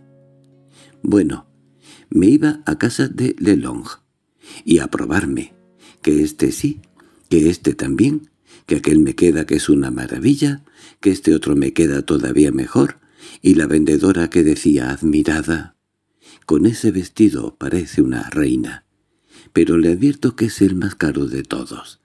Y yo, que respondía con ese ademán así de millonaria elegante, «El precio es lo de menos» y a ver más modelos y a tiendas y a correr bulevares, arriba, abajo, sola, sola, solita, de mi propia cuenta. ¿Crees, abuelita, que cambio esos días de libertad por tener veinte miserables fuertes mensuales? Ah, no, no y no. Sí, ya sabía por Eduardo, a quien se lo contaron en la Guaira, que andaba sola por las calles de París, y eso me contrarió muchísimo. No comprendo cómo Ramírez, un hombre sensato, pudo autorizar jamás semejante locura. Una niña de 18 años sola de su cuenta en una capital como esa. ¡Qué disparate, qué peligro! Cuando lo pienso, y no te figures que aquí en Caracas puedes hacer lo mismo. Ah, de modo que esas eran las ocupaciones que tenía tío Eduardo en la Guaira. Andar averiguando lo que yo hice en París para venir a contártelo a ti. Quiere decir que también es espía y chismoso. Con aquella cara de mosca muerta. Eso no es un chisme. Era su deber advertirme, así como también es mi deber aconsejarte que no vuelvas nunca a cometer semejante imprudencia. Tío Pancho y tía Clara, con ese tacto sutil que tienen las almas muy buenas, se debieron sentir la tempestad subterránea que se desarrollaba en mi alma bajo aquella discusión trivial con abuelita. Respetaban los dos mi dolor con su silencio. Ella muy abismada en el pasar de la aguja por la trama del zurcido, él distraído echando hacia atrás la cabeza sobre el respaldo de la mecedora, siguiendo con una mirada baja las figuritas alargadas y tenues que el humo del tabaco iba forjando en el aire. De pronto se levantó, tiró la colilla entre las matas del patio, se quedó un rato pensativo, se vino luego hacia mí, se paró frente a la columna con pies separados, las dos manos en los bolsillos del pantalón, la chaqueta recogida tras la actitud de los brazos y así, entre irónico y festivo, intervino al fin. —¿Te divertiste con tus cincuenta mil francos? —Sí, bastante. Pues entonces estuvieron muy bien gastados. Ah, sobrina, ¿no sabes tú la serie de cheques de cincuenta mil francos que gasté yo en París, y como a ti no me pesa. Más vale gastar el dinero en divertirse que gastarlo en malos negocios de los cuales se aprovecha infaliblemente un tercero. Al menos, divirtiéndose con él no se corren riesgos de hacer el papel de imbécil pero abuelita y tía Clara, con gran vehemencia, le cortaron la palabra a tío Panchito por medio de dos distintas objeciones. Tía Clara dijo, «¿Pero cómo te figuras, Pancho, que María Eugenia podía divertirse en París cuando el cadáver de su padre estaba todavía caliente como quien dice? No la creo tan sin corazón». Y abuelita, por su lado, dominando la voz de tía Clara, se puso a decir exaltadísima. «Eso faltaba, Pancho. Eso no más faltaba. Que vinieras tú ahora a predicarle a esta niña sus doctrinas corrompidas. ¿Por qué no le aconsejas también que beba o que se ponga morfina o cocaína ahora que no tiene cómo gastar?» Tío Pancho sin modificar su actitud se volvió ligeramente hacia abuelita y dijo con mucha calma. Supongamos, Eugenia, que esta niña, movida por un espíritu de economía y de prudencia, llega a Caracas con su cheque de cincuenta mil francos sin cobrar. ¿Qué hubiera sucedido? Usted en su justo afán de acrecentar la suma, se entusiasma con tal o cual negocio que tiene Eduardo en San Nicolás. En una siembra de algodón, de tabaco o de papas, un negocio seguro, segurísimo, Eduardo cede generosamente a María Eugenia un tablón de la hacienda. Se planta la semilla pero viene un invierno. Un gusano, la langosta precisamente, es del tablón de María Eugenia, del que se encapricha la plaga y de profundis clavami domine. No quedan de él ni cenizas. ¿No es mil veces mejor que haya entonces empleado su dinero en divertirse? Ah, en negocios de agricultura, que son los que hasta ahora hemos acostumbrado a hacer en la familia, resulta que las calamidades y los malos precios se alían siempre contra el ausente, la mujer o el menor.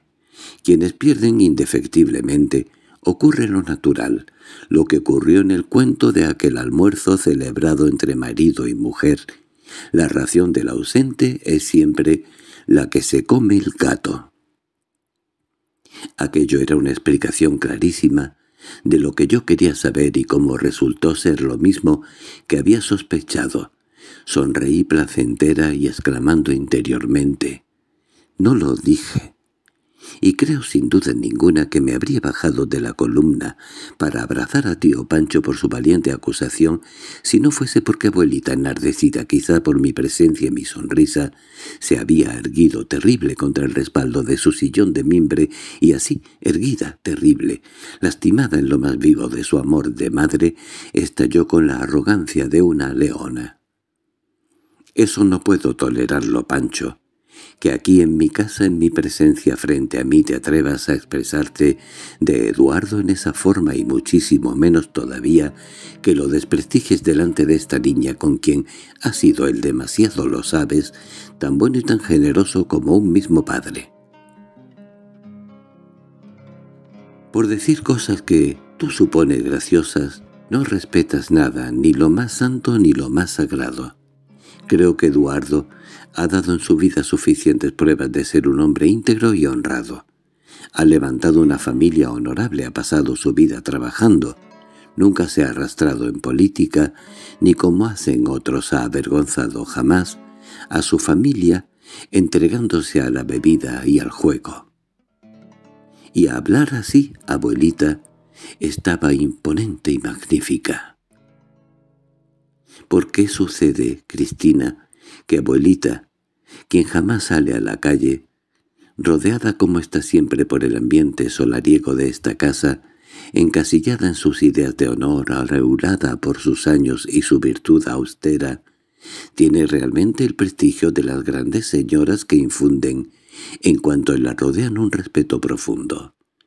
Del trato con mi abuelo, su marido, que fue poeta, historiador, ministro y académico, adquirió un ademán distinguido en el decir y la palabra fácil y elegante, circunstancias que le han valido sin duda ninguna su gran fama de inteligencia. En aquel instante, defendiendo a su hijo de las sospechas que las palabras de tío Pancho hubieran podido despertar en mi espíritu, estaba, como te digo, soberbiamente altiva. Sus ojos ya apagados de ordinario brillaban ahora encendidos por el fuego de la santa indignación y enarcados por las cejas severas, realzados por la majestad de los cabellos blancos, infundían temor. Y no puedo negarte que durante un instante olvidé mi propio infortunio para admirar a abuelita. La admiré con sorpresa, con veneración y con orgullo, por la majestad y por la elegancia que tenía para indignarse. Pero en cambio tío Pancho, que como te he dicho ya es insensible a la elocuencia y a cualquier otra de esas manifestaciones sublimes en que suelen exteriorizarse la cólera, el entusiasmo o la desaprobación, permaneció impasible. Cuando abuelita remató su brillante apología de tío Eduardo con aquella frase alusiva e hiriente, no ha avergonzado jamás a su familia entregándose a la bebida y al juego. Tío Pancho. Este tío Pancho, que es inconmovible, sin decir ni una palabra, siguió inmóvil frente a abuelita, con sus dos manos en los bolsillos, indiferente, apacible, silencioso, contemplando sobre el patio la inmensidad del espacio como una roca erguida frente a un mar tempestuoso. Estoy cierta que pensaba, ¿y para qué contestar? ¿De qué sirven las palabras? Si también son paravanes, mentiras, monedas falsas. Pero esto no lo dijo, sino que debió reflexionarlo mientras callaba durante una larga pausa, que siguió la indignación de abuelita, como la calma sigue a la borrasca. Luego, en la misma actitud reflexiva y silenciosa, dio unos cuantos pasos por el corredor. Pero a poco se detuvo, sacó el reloj del bolsillo de su chaleco, lo miró y exclamó, «¡Diablo! ¡Si van a dar las doce!» Y muy tranquilamente, como si nada hubiese ocurrido, tomó el colgador, su bastón, su sombrero. Se puso el sombrero, se asomó un segundo al espejo, angostó del colgador, se despidió sonriente. «¡Hasta mañana!» Sonó la puerta de la calle que se cerró tras él, y los pasos se fueron apagando por el San Juan y la acera. En efecto, a poco de salir tío Pancho, en plenos puntos suspensivos, el reloj de la catedral, un reloj filarmónico Cristina, un reloj Sochantre, que asomado a los cuatro costados de la torre, se pasa el día cantando las horas. Las medias y los cuartos, con un canto monótono que se oye de toda la ciudad y que de noche recuerda el fraternal e igualitario de «Morir tenemos», de los cartujos. Comenzó a cantar con mucha filosofía y unción. «Tin, tan, tin, tan...» Bueno, una especie de canción que en notas musicales viene siendo mi, do, re, sol, un cuarto, sol, re, mi, do, otro cuarto, do, si, la, mi, etcétera, etcétera. Tía Clara dijo al momento, son las doce. Y puesta en pie como por resorte se santiguó y entonó el ángelus en voz alta.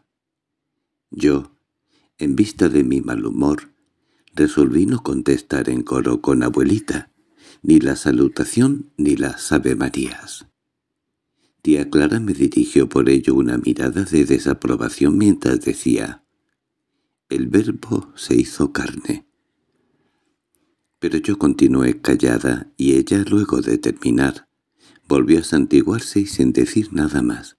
Recogió la ropa y las medias, las dobló, las metió en la cesta, se fue taconeando y cuando el rítmico martilleo se perdió ahora también más allá del comedor y del segundo patio, entre abuelita y yo, se interpuso definitivamente un silencio penoso.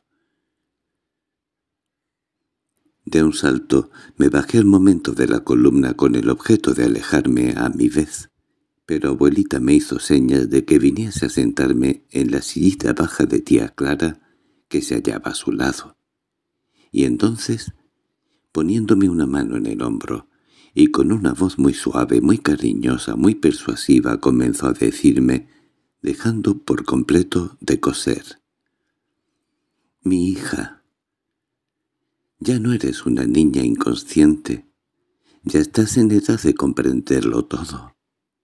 Tienes una inteligencia muy clara, un corazón muy recto, y es preciso que con ellos juzgues las cosas tales como son, sin guardar nunca para nadie ni odio ni rencor.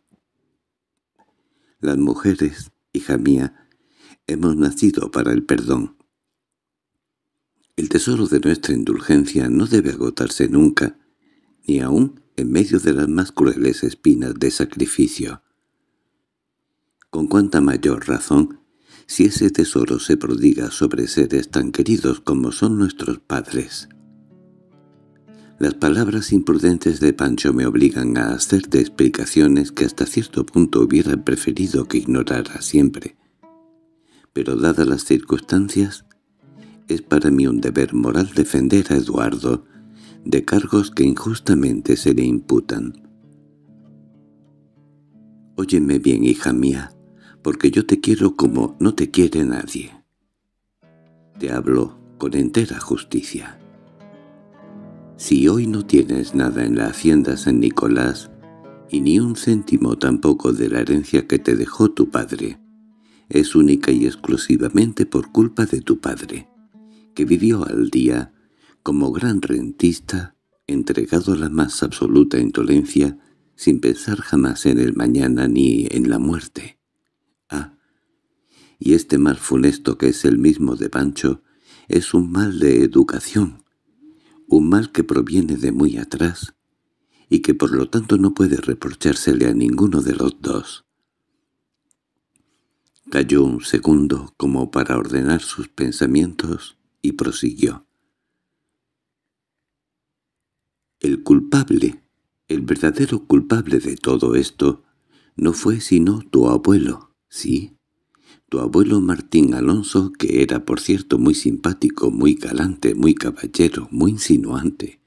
Ah, y piensa tú si lo conocería yo, cuando, como sabes, Martín era primo hermano mío. Y entonces abuelita, en un relato que iba a ser muy largo, para mejor explicar el proceso de mi ruina, se subió varias ramas a mi árbol genealógico y comenzó por describir detalladamente la persona y la casa de mi abuelo Martín Alonso, pero allá, en los tiempos remotísimos en que mi abuelo adolescente e hijo de familia no pensaba casarse todavía. Según ella, nada ni nadie igualaría ya nunca en Caracas el esplendor de aquella casa y de aquellos bailes, celebrados en sociedad muy escogida, llenos de elegancia, de distinción, de suntuosidad. Ah, yo no me río de la elegancia y de la suntuosidad de aquellos tiempos Cristina, sin luz eléctrica, las mujeres sin pintar y las parejas que bailarían algún vals sobre las olas, con metro y medio de separación. Pero no olvides que es abuelita quien tiene la palabra.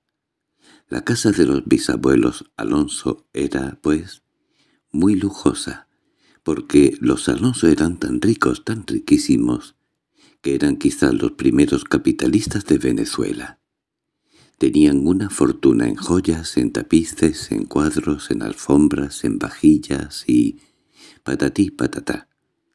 Abuelita, que como te he dicho, tiene mucho don de palabras, se puso a detallar con tal entusiasmo la magnificencia de aquella casa y de aquellas fiestas en donde la conocí y cortejó a ella su marido y mi abuelo don Manuel Aguirre, que yo, a pesar de mi horrible mal humor, la vi un instante florecer triunfalmente en los salones Alonso, con su ancha crinolina pompadour, los bucles negros caídos sobre la nuca, el abanico de nácar en una mano, inclinada, sonriente, desmayándose de ingenuidad, junto al futuro académico don Manuel. Bueno, algo así que oscilaba entre un retrato de la emperatriz Eugenia y aquel par de muñecas que yo había dejado una hora antes esponjadas en mi cuarto. Terminada la descripción o apología de los primitivos Alonso, su casa y sus bailes, abuelita se concretó en mi abuelo Martín, príncipe heredero de todo aquel esplendor. Según ella, mi brillante y seductor abuelo se casó muy bien y su vida hubiera sido tan apacible y feliz como la de sus padres a no haber tenido la desgracia de enviudar a los pocos años de matrimonio. Lo mismo, lo mismo que debía pasarle después a tu padre. En un hondo suspiro, comentó abuelita al llegar aquí. Tras el comentario, hizo una pausa y siguió adelante con su relato. De tan efímero como feliz matrimonio, a mi abuelo Martín le quedaron dos hijos, tío Pancho y papá. Con ellos todavía niño se fue a Europa, solo en viaje de salud y para regresar apenas unos meses después. Pero una vez en Europa perdió el juicio. Aquello se le subió a la cabeza, le entró el delirio de grandezas. Se instaló en París a todo tren, se entregó enteramente a las diversiones y como la vida de disipación y de lujo es una pendiente que conduce a un abismo sin fondo, apegándose cada día más y más a tan frívola existencia no volvió nunca a Venezuela. Allá crecieron sus dos hijos, y aquellos niños criados en un ambiente de ociosidad y despilfarro, sin hábito ninguno para el trabajo, cuando llegaron a grandes siguieron el ejemplo de su padre. Entonces juntos, como tres compañeros de la misma edad, se dieron a la disipación, al derroche, a los placeres, a la más culpable ociosidad e inconsciencia, a los frutos de la mala educación, a los peligros del lujo. Y mientras abuelita con estas u otras parecidas palabras lamentaba hondamente semejante desordenada existencia, yo, la verdad, lo mismo que me la había imaginado a ella un rato antes, esponjada en su crinolina, me imaginé ahora a mi abuelo y sus dos hijos, puestos de frac, corbata blanca, flor en el ojal y chistera un poco ladeada, es decir, algo así como tres joviales personajes de opereta vienesa, de esos que entran alegremente en algún cabaret acompañados de frus frus y de mimis, que se colocan en fila uno tras otro, con una copa de champán en la mano, que levantan a compás el mismo pie, mientras cantan en coro primero hacia la derecha y después hacia la izquierda aquello de «¡Viva, viva la alegría!» o alguna otra sugestiva canción por el estilo. «Ah, Cristina», lo que debió divertirse esta sagrada familia y el gusto que debe dar el tener dinero y ser hombre.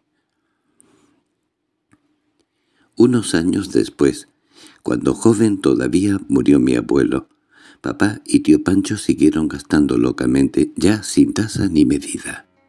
Esto, sumado a una malísima administración, revoluciones, crisis, bajas de precio, etc., hizo que aquella fortuna inmensa acabara de venirse abajo en poco tiempo.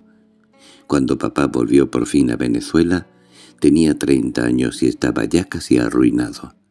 En cuanto a tío Pancho no vino, sino que de acuerdo con sus teorías acerca del uso que debe tener el dinero, resolvió quedarse indefinidamente en París mientras el correo le llevase los célebres cheques de cincuenta mil francos.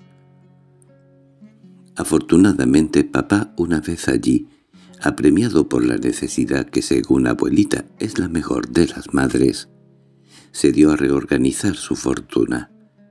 Todavía era tiempo de quedar al abrigo de la pobreza, y así, regenerado por el trabajo, comenzó a ser otro. ¡Qué actividad, qué inteligencia, qué acierto demostró en la organización de sus intereses!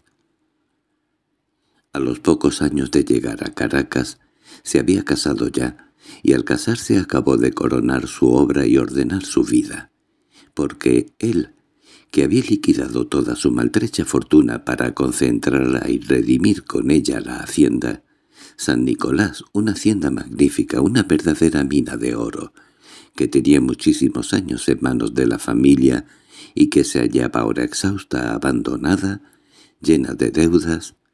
Al casarse, digo, sumó a aquella liquidación de sus propios bienes la pequeña fortuna de mamá y se entregó de lleno a su proyecto redimir a San Nicolás. Y fue tanto, tantísimo, lo que se apasionó por la agricultura y la reconstrucción de la hacienda, que en San Nicolás se instaló de un todo después de casado. Allí se dio a trabajar, allí nací yo, allí pasó sus años felicísimos de matrimonio, y finalmente allí, sin saber cómo, cogió mamá aquel tifus terrible que la mató en unos días. Poco tiempo después de esta catástrofe, papá enfermó, triste, neurasténico. Lo mismo que había hecho mi abuelo treinta años antes, él también resolvió irse a Europa en viaje de recreo y de salud. Y fue entonces cuando obstinadamente, contra la opinión de abuelita que se ofrecía a cuidarme durante su ausencia, desoyendo sus consejos, destrozando su corazón al arrancarme de su lado, para no volver ya más embarcó en la Guaira con mi haya y conmigo, aquella mañana lejanísima que yo recuerdo aún. Hasta aquí, Cristina. Estoy conforme con el relato de abuelita. En él aparece la verdad pura y clarísima, como aparecen los guijarros en el fondo de agua muy limpia. Pero como verás de aquí en adelante, el agua se ensucia, gracias a la jabonadura de las manos de tío Eduardo, y ya, bajo las palabras sinceramente dichas, la verdad no aparece más ante mis ojos con aquella nítida claridad del principio. Y es que, según parece, papá, antes de su desgracia se había entusiasmado con no sé qué empresa industrial de hilandería y en combinación con ella había hecho una gran siembra de algodón en San Nicolás que se hallaba ya completamente libre y floreciente.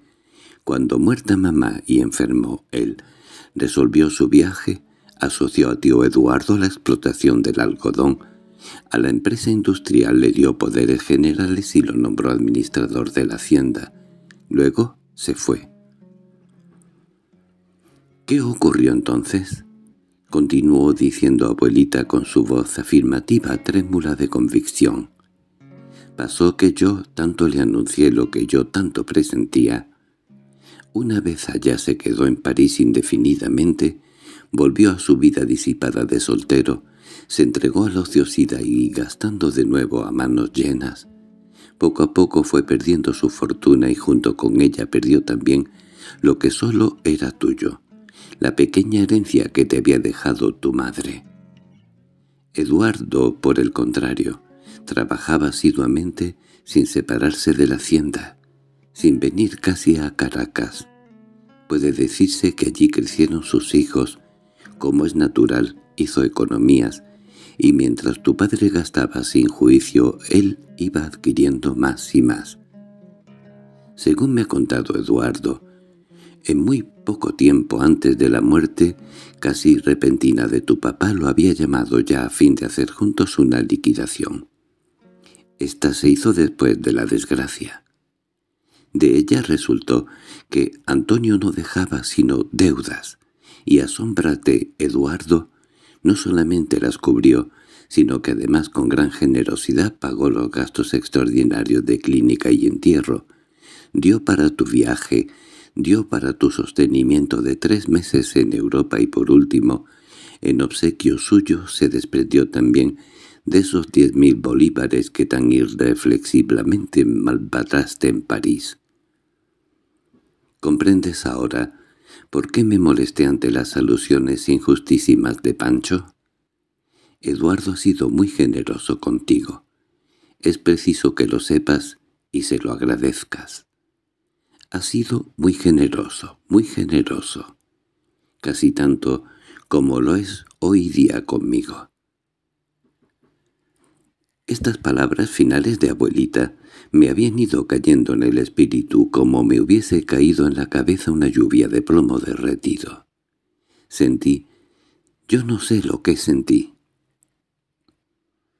El tono convencido y rotundamente afirmativo con que hablaba había domado a tal punto mi espíritu que mi alma se mezclaba ahora con desesperada efervescencia la indignación de la víctima despojada y la perplejidad humillante de la duda.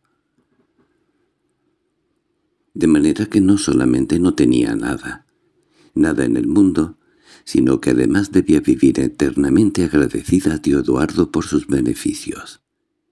Pensaba en el aire de superioridad con que me había tratado María Antonia el día de mi llegada, y me daban ganas de quemar uno tras otro todos los objetos adquiridos por medio de aquellos diez mil bolívares. ¡Ah! ¡Qué humillación! ¡Qué rabia! Pero de pronto me dominaba otra vez mi primera sospecha. No, no.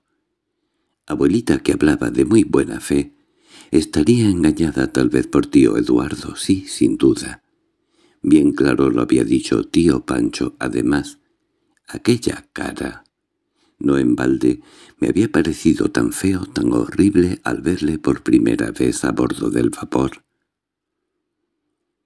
Cuando la voz de abuelita, después de elogiar multitud de veces la generosidad infinita de tío Eduardo, se hubo callado al fin, yo, Con los dientes muy apretados me quedé reflexionando un instante esto que te llevo dicho. Luego, mientras la gran baraunda de perplejidades y de dudas se agitaba aún en mí, tratando de fingir indiferencia, le repliqué con el mismo tono firme con que había hablado ella. «Pero, abuelita, yo no vi nunca que papá viviera en medio de ese despilfarro que tú dices, y siempre, siempre hablaba de San Nicolás como si fuese dueño único exclusivo. ¿Cómo es posible que no se hubiera dado nunca cuenta de su absoluta ruina? Tu padre, hija mía, continuó diciendo abuelita con su tono convencido y magnetizador. Tu padre en Europa no volvió a ocuparse más del estado de sus negocios. Vivía entregado un libro de críticas históricas que según parece estaba escribiendo y a otras distracciones. Cayó un instante y después añadió más enérgicamente sembrando las palabras de pausas y de misteriosas reticencias. «Ah, los hombres. Los hombres, hija mía, gastan a veces mucho, mucho. Ese París, ah, ese París, es el sepulcro de todas nuestras grandes fortunas y muchas veces es también el sepulcro de la felicidad honrada y tranquila. Continuó hablando, y en el tono misterioso continuó su obra de sugestión, porque ya, muda, con los ojos abiertos fijos sobre las matas del patio, sumida enteramente dentro de la duda, solo tenía fuerzas para comentar conmigo misma. ¿Y quién sabe? ¿Quién sabe? Sí, lo único que verdaderamente sabía es que en aquella mañana, en aquella hora negra que acababa de pasar, se había revelado a mis ojos un hecho evidente, irremediable y espantoso. La absoluta pobreza, sin más remisión, ni más esperanza que el apoyo de los mismos que me habían quizás despojado. Abuelita, conmovida sin duda por mi silencio aprobador, suavizando la voz más y más, seguía torturándome por querer consolarme. «Comprendo, hijita mía, que estas noticias te contrarien, pero piensa. Piensa que no estás sola en este mundo. ¿Cuántas otras hay más desgraciadas que tú, porque viven en la absoluta miseria y tienen además que trabajar para poder comer? ¿De cuántos peligros no se ven rodeadas? A ti no te faltará nada mientras yo viva. Desgraciadamente no soy rica, no tengo sino lo indispensable, pero sé que Eduardo velará siempre por mí, y yo, a mi vez, me ocuparé de llenar todas tus necesidades. Por otro lado, eres bonita, distinguida, estás bien educada. Perteneces a lo mejor de Caracas. Harás sin duda un buen matrimonio. No veas tu situación desde el punto de vista europeo. Allá la pobreza de una joven representa generalmente el fracaso completo de su vida. Aquí, no. Allá se le dice a la mujer, tanto tienes, tanto vales. Aquí, no. Aquí solo cuenta el ser bonita y sobre todo virtuosa. En nuestra sociedad, muy decaída por otros conceptos, existe todavía cierta delicadeza en los hombres. Nuestros hombres tienen un verdadero culto por la mujer virtuosa, y cuando van a casarse no buscan nunca la compañera rica, sino a la compañera irreprochable. Por eso, por eso, hija mía, te quiero ver siempre sin la más leve sombra de ligereza. Quiero que seas severísima contigo misma, María Eugenia. Óyelo bien. En todas partes, y aquí más que en todas partes, la virtud de una mujer intachable vale muchísimo más que su dinero. Mira, yo era pobre cuando tu abuelo se enamoró de mí. Fui feliz. Ah, tan feliz. Tu abuela paterna, Julia Alonso, se casó con Martín, millonario, cuando ella y su familia vivían en la miseria más completa. Tenían que trabajar para poder comer. Rosita Aristeiqueta parienta nada menos que de Bolívar y del Marqués del Toro, la surdenata, las Sublet, las Mendoza, María Isabel Tobar, mi prima.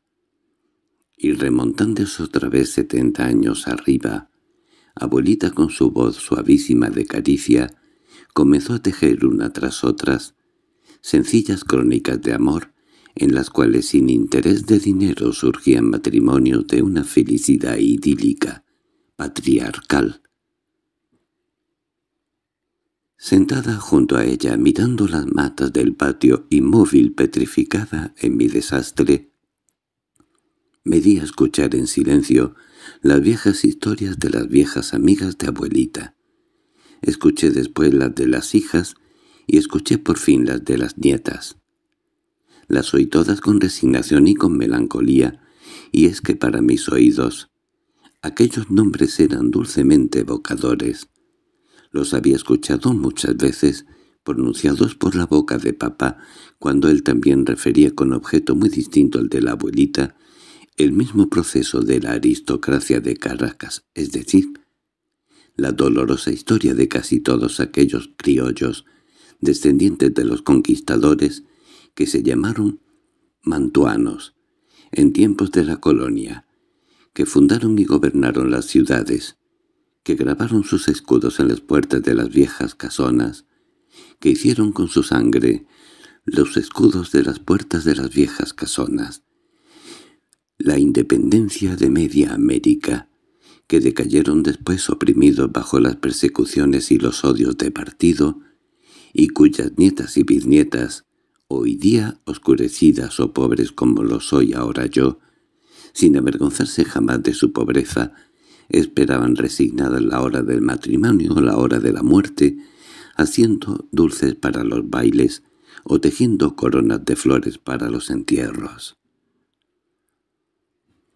Y como el tono y los nombres y los relatos venían a estar de acuerdo con mi estado de ánimo, escuchando la voz de abuelita, me dejé llevar suavemente en alas de la conformidad. Mis nervios comenzaron a deprimirse. Las ideas irritantes se apagaron una tras otra.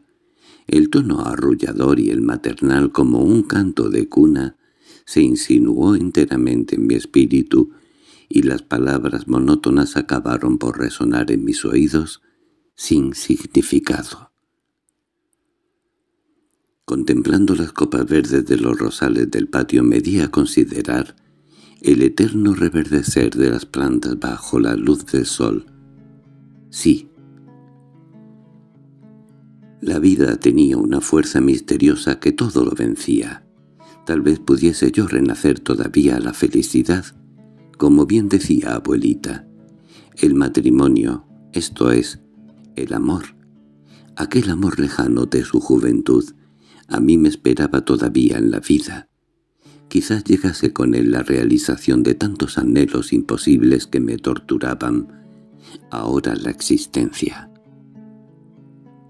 Mi alma, como aquellos rosales más pequeños del patio, no había florecido aún.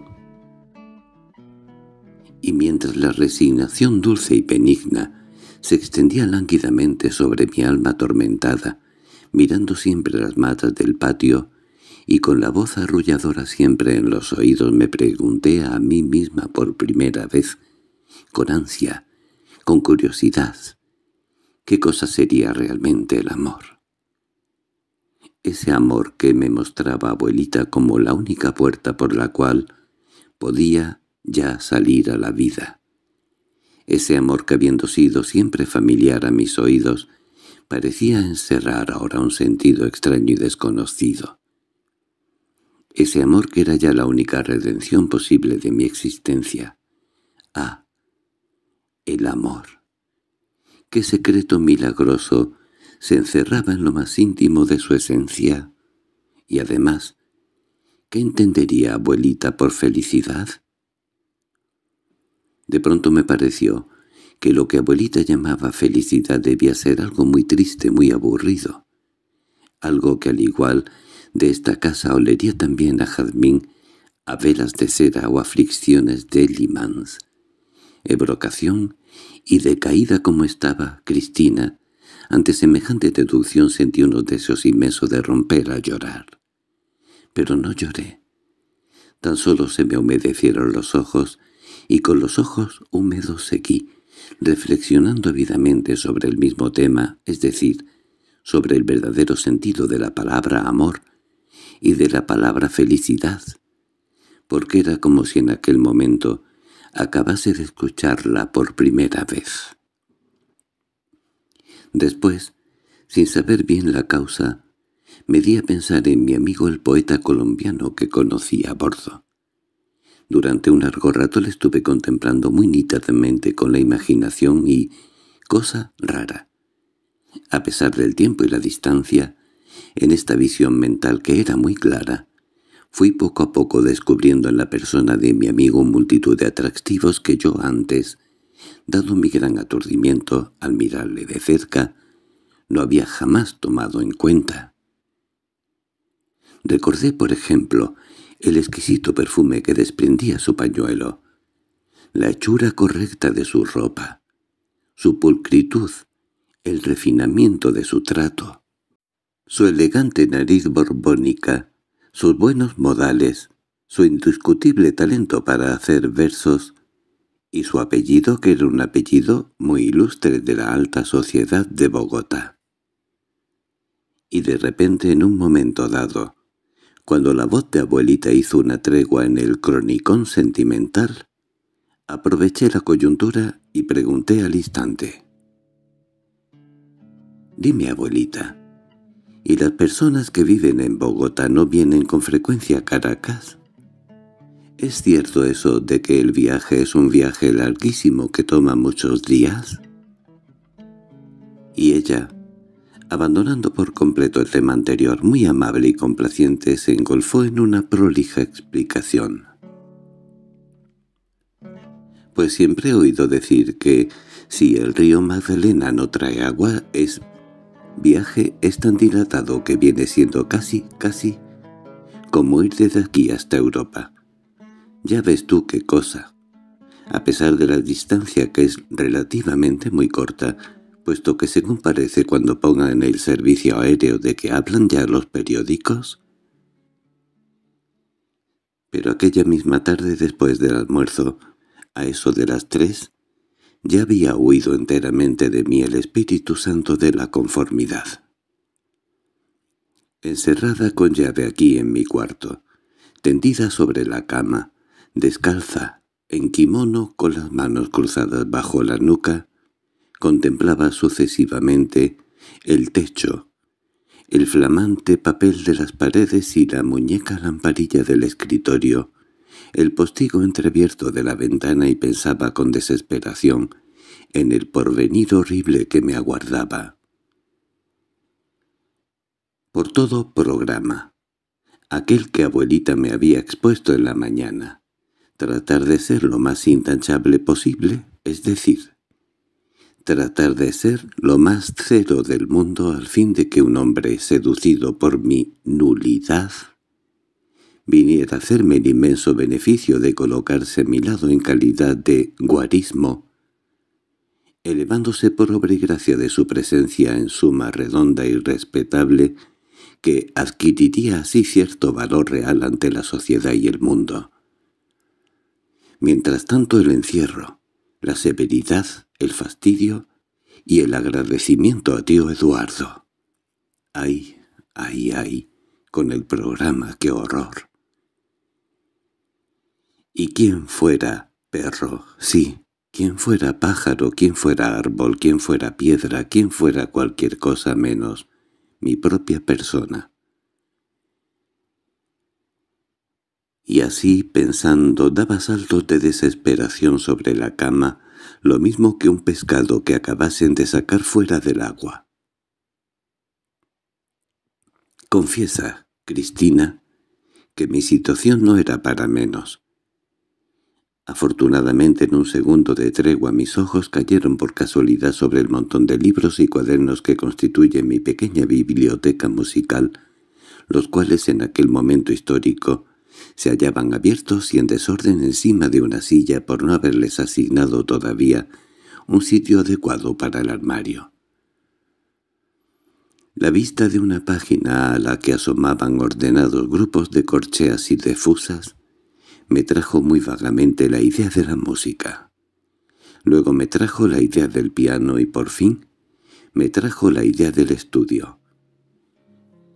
Recordé que allá en el colegio el profesor que iba a darnos clase alababa con frecuencia la finura de mi oído diciendo además que mi mano era la mano larga y firme de los buenos pianistas. La palabra pianista me hizo pensar al punto mi compatriota Teresa Carreño, que como sabe llegó a ser una estrella del arte aplaudida y celebrada en el mundo entero. Pensando en Teresa Carreño, me imaginé a papá cuando refería de tan artista debía su gloria al tesón y a la perseverancia con que se había dado al estudio desde muy joven. Volví entonces a recordar la opinión de nuestro profesor del colegio acerca de mis disposiciones musicales y de repente, ¡eureka! Una esperanza se encendió en la lobreguez de mi porvenir como una cerilla que se hubiese raspado inopinadamente en las profundidades de un subterráneo. «Me entregaré al arte», exclamé. «Ah, sí, Estudiaré el piano ocho, nueve o diez horas diarias. Gracias a mis naturales disposiciones desarrolladas, así como un estudio paciente y metódico, en pocos años puedo llegar a ser una verdadera pianista. Me presentaré al conservatorio. Quizás obtenga un premio. Obtenido el premio daré conciertos. Los conciertos me darán renombre. Este renombre puede llegar a ser universal y entonces ¿Por qué no? Al igual de Teresa Carreño yo también conoceré el triunfo, las ovaciones y la gloria. Eso es. Y para ello me pondré a la obra sin tardar el próximo lunes. No, no, mañana mismo, no, ya. Y sin más me levanté de la cama, me puse los zapatos, me ceñí el kimono, me até la banda bien apretada sobre las caderas, tomé los cuadernos de encima de la silla y con ellos bajo el brazo me dirigí al salón. Al desembocar en el corredor de entrada encontré a tía Clara y a abuelita, que habían vuelto a instalarse con sus respectivas lentes sobre la nariz y sus respectivos enseres de costura sobre la falda. Viéndolas tan abstraídas, me detuve y me acerqué a participarles. «Voy a tocar el piano si no las molesto». Y seguí caminando tranquilamente hacia la puerta del salón. Fue solo los pocos segundos, al escuchar la voz alarmadísima de tía Clara cuando pude apreciar el escándalo que había producido en ella mi noticia. «Pero María Eugenia, por Dios, niña, ven acá», dijo con una voz trémula que oscilaba entre el asombro y el reproche. ¿Cómo vas a ponerte a tocar piano cuando tu padre no ha cumplido siquiera los cinco meses de muerto? —¿Y eso qué importa? —contesté yo luego de detenerme y de plantearme insolentemente frente a ella que me contemplaba atónita por encima de sus lentes. Tocaré estudios, melodías, nocturnos, bueno, cosas indiferentes o cosas tristes. Pero si desde el día en que se supo la muerte de tu papá se cerró aquí la ventana, María Eugenia, y nadie ha vuelto nunca a poner las manos en el piano, ¿cómo es posible que seas tú, su hija, quien al llegar lo abra de nuevo? Reflexiona. ¿Qué dirán los vecinos? ¿Los vecinos? Yo me río y me burlo de los vecinos, tía Clara. Los desprecio por completo, y lo que desearía es que se fueran todos juntos al infierno. ¿Y por qué te vas a burlar ni a reír de los vecinos, María Eugenia, ni a mandarlos al infierno? Si son todas personas decentes de lo mejor de Caracas. Es preciso que lo sepas. Esta calle está admirablemente bien habitada. ¿No es verdad, mamá? Ah, de maneras entonces que, porque el vecindario sea muy distinguido, yo voy a vivir también bajo la tutela de los vecinos. Pero ven acá, María Eugenia, hija mía, ven, reflexiona. Intervino abuelita con la misma voz persuasiva de la mañana. Clara tiene razón. Considera lo que dice. Un padre es algo muy grande, muy sagrado, que no se muere sino una sola vez en la vida. Debes tener sentimientos.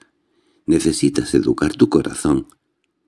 ¿Qué puede esperarse de una mujer que sea incapaz de sacrificarse un poco, un poquito, solamente lo que se requiere en general para guardar con decoro el luto sacratísimo de un padre?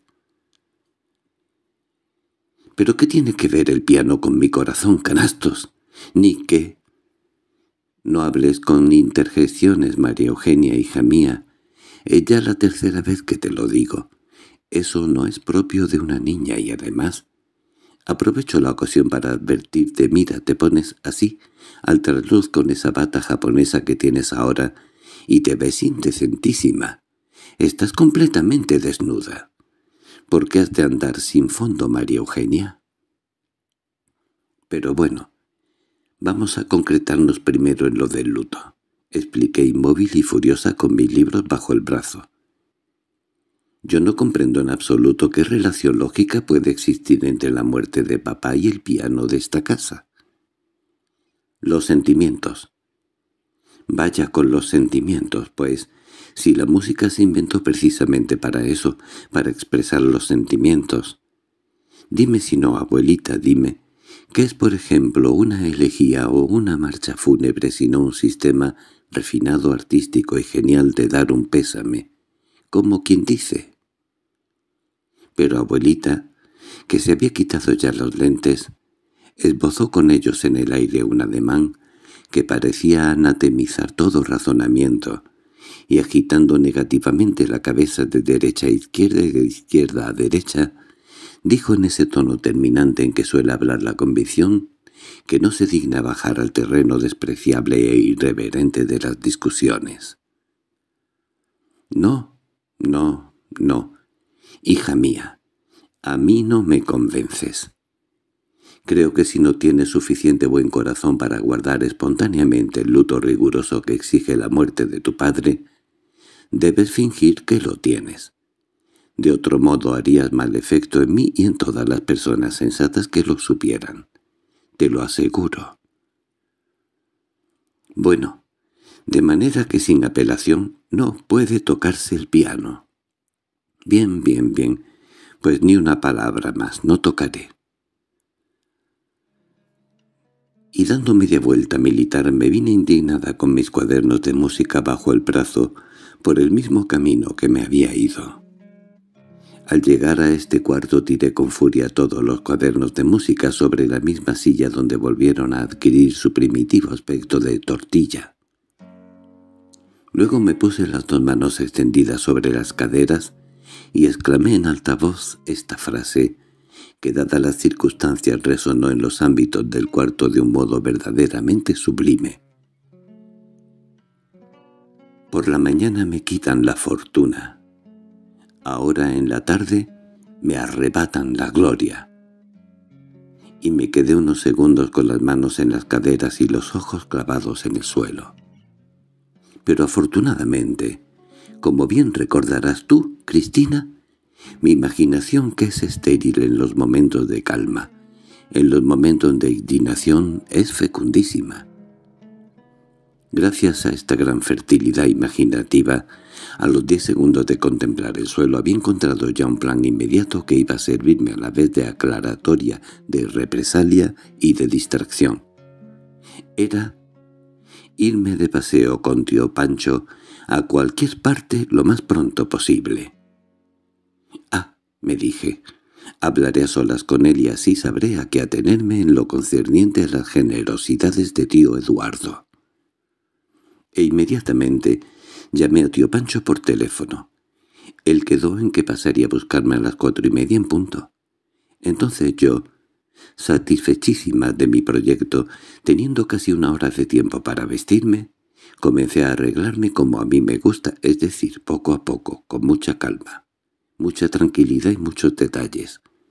Por fin, cuando ya perfumada y puesto el sombrero, mi toilette estuvo lista, una toilet de paseo, ¿sabes? Sencilla, sobria, elegantísima.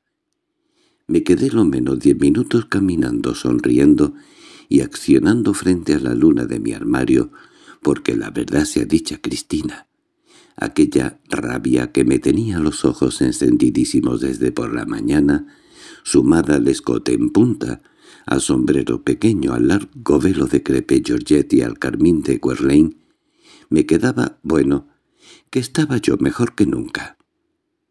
Y por mi gusto hubiera permanecido accionando y sonriendo ante el espejo un buen rato, si no fuera porque el reloj de la catedral con su canto de barítono cartujo comenzó a advertirme. Mi, do, re, sol, sol, re, mi, do. O sea que eran ya las cuatro y media. Para no hacer esperar a tío Pancho, me fui caminando muy deprisa hacia el corredor de entrada en el cual aparecí triunfalmente, erguida la cabeza, recogido el velo a lo manto real y abrochándome los guantes. Como era de esperar al verme llegar así, tan inopinadamente de sombrero y guantes, el espanto volvió a cundir de nuevo entre abuelita y tía Clara. —¿Pero dónde vas a estas horas y con quién? —interrogó al momento abuelita en tono de queja profunda y quitándose los lentes, lo cual, como habrás visto ya, es señal indiscutible de borrasca. Yo, que además de encontrarme encantada en sí misma, venía preparada para el ataque y respondí sonriente, amabilísima, metiendo la mano izquierda por entre la botonadura del vestido a la altura del pecho, actitud que debió prestarme cierta arrogancia napoleónica. Pues me voy de paseo a los mecedores con tío Pancho. Creo que es un lugar muy solitario propio para mi luto riguroso y hecha esta declaración, abrí al punto mi bolsa de mano, tomé el espejito y comencé a mirarme bajo la luz viva del patio, porque me urgía muchísimo saber si la rebelde punta de mi nariz se encontraba bien de polvo. Pero como lo notase aún un poquito brillante, saqué la mota de mi polverilla esmaltada, la sacudí y me di a empolvarme la nariz, estirando la boca y con refinada atención.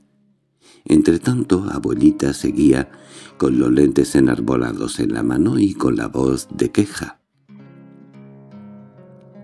«Te vas así, a pasear con Pancho, sin consultarme, sin advertirme. Ah, veo que eres muy independiente».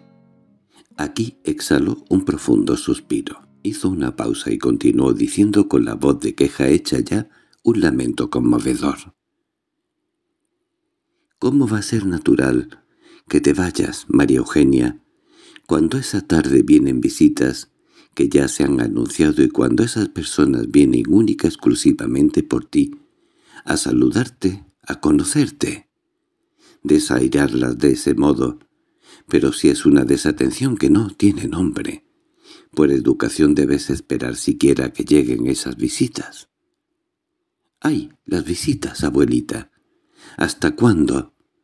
—exclamé trágicamente con la polvera en una mano y la otra. —Si todas me preguntan la misma necedad, que si me hace falta París y que si me ha gustado Caracas. Estoy harta ya de esa eterna letanía y todas, todas son iguales. ¿Quieres que te diga, abuelita, el efecto que me hacen tus amigas? Pues mira la verdad, no las distingo. No sé si la que vino ayer es la misma que estuvo anteayer, o la que volverá pasado mañana, parecen esos tonos que hay a veces en las bibliotecas, ¿sabes? Tomos todos igualitos, todos juntos. Tomos, todos forrados en pergamino que, si por una casualidad los coges y los abres te encuentras en que dentro están escritos en latín o en español antiguo. Bueno, que ni lo entiendes. Te equivocas, María Eugenia. Las personas que han venido a verte son todas muy cultas, muy respetables parientes o amigos míos, de lo mejor de Caracas, a quienes debías agradecer. Ay, abuelita, por Dios, déjame salir. Mira, si no me voy a pasear me ahogo. Sí, me muero. Y esta noche lo que verán la visita será mi cadáver tendido con cuatro velas. Ah, Diles que me dolía la cabeza, las muelas, cualquier cosa. Que tuve que ir al dentista y que me esperen.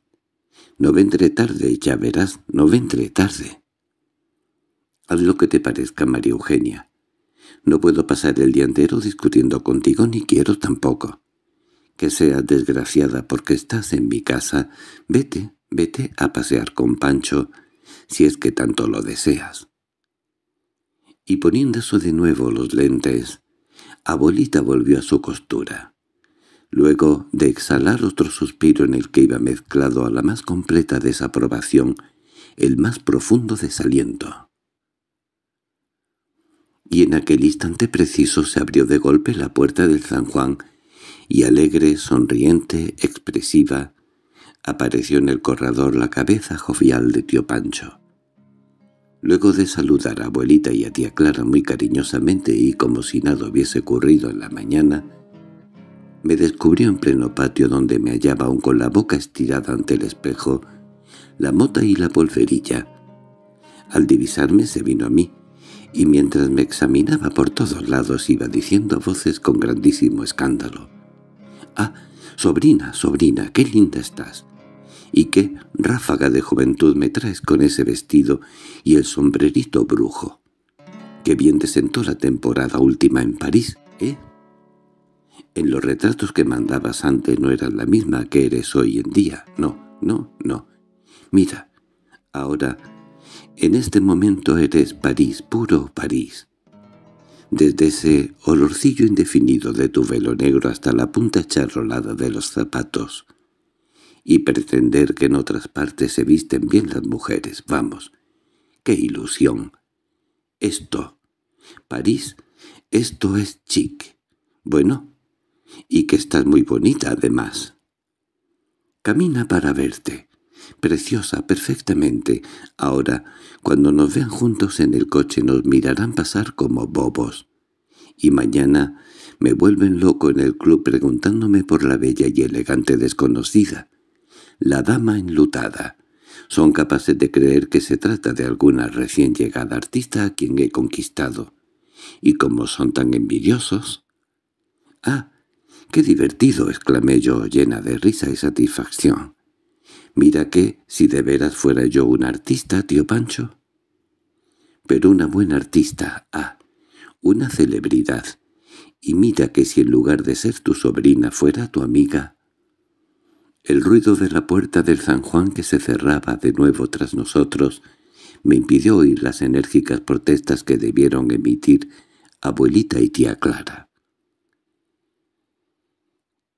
Ante unas suposiciones tan disparatadas como ofensivas para mi dignidad y mi virtud, pero yo que estaba encantada en el exuberante florilegio de tío Pancho, una vez dentro del coche me di a explicarle muy detalladamente donde había comprado mi sombrero, que como bien veía era un modelo muy elegante.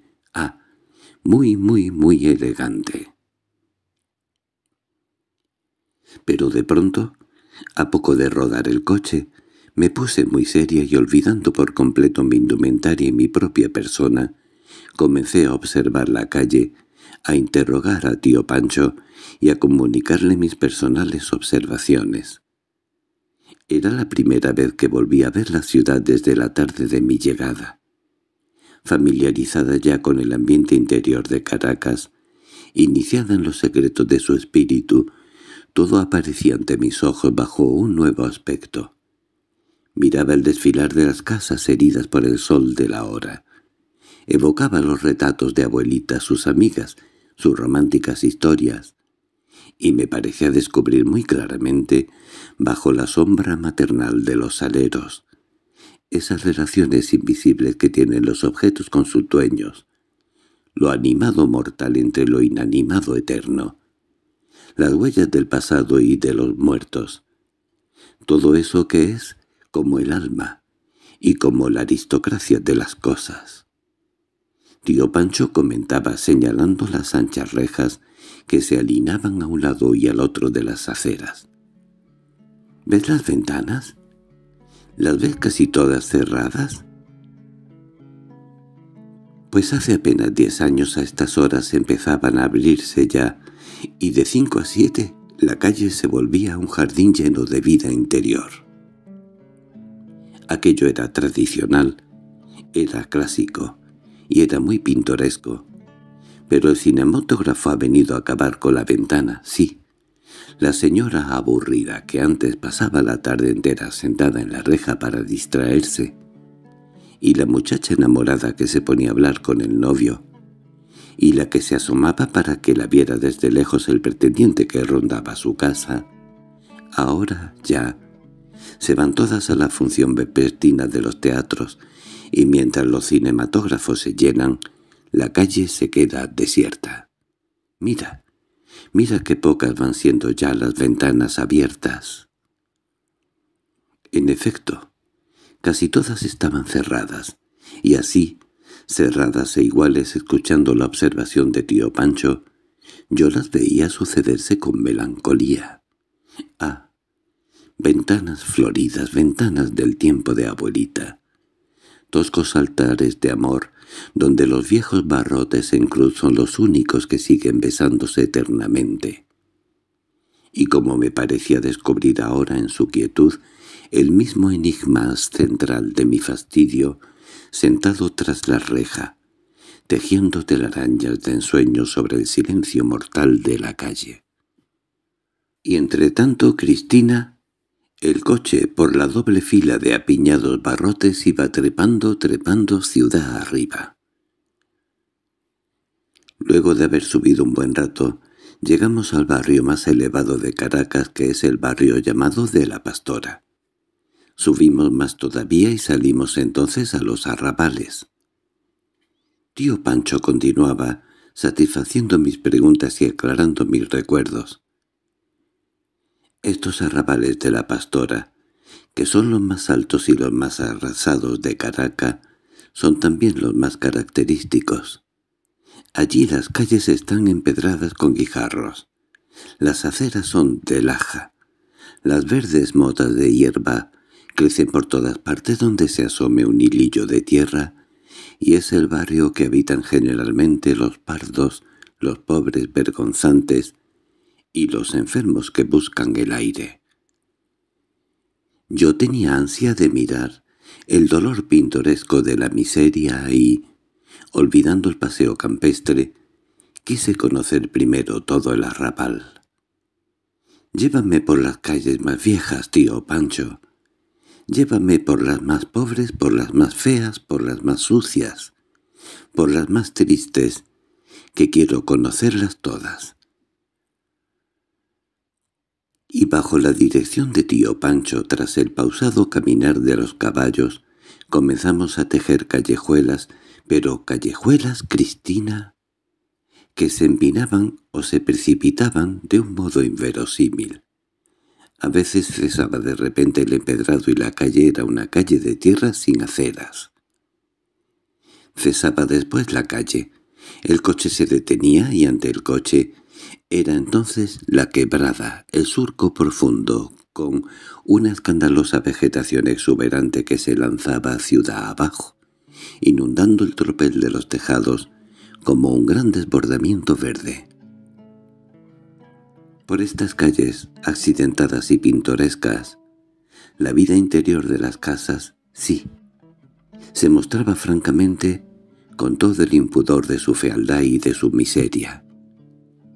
Sobre las aceras, junto a las puertas entornadas, impidiendo el paso se arrastraban los cuerpecillos desnudos de los niños del arrabal, negritos o mulatitos que apenas sabían andar, verdaderas visiones simiescas en cuyos cuerpos deformes blanqueaban de tiempo en tiempo las manchas del polvo recogidas por la oscura epidermis en su roce con el piso, mientras que arriba, asomadas a los postigos o sentadas a las rejas de par en par abiertas, eran las cabezas abigarradas de las mulatas, petulantes, encintadas con violentos colorines cuyos ojos, al divisarnos desde lejos, clavaban en nuestro coche unas pupilas ardientes y luminosas que parecían estar encendidas por la sed de mirar.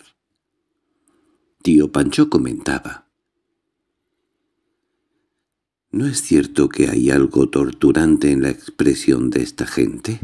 Fíjate, se diría que el odio profundo de las razas que se reconciliaron un instante para formarlas continúa luchando todavía en sus facciones y en su espíritu.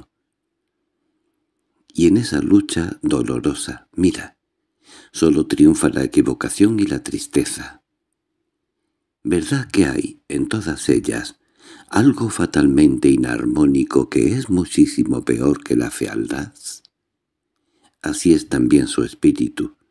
No tienen personalidad definida y viven en plena desorientación.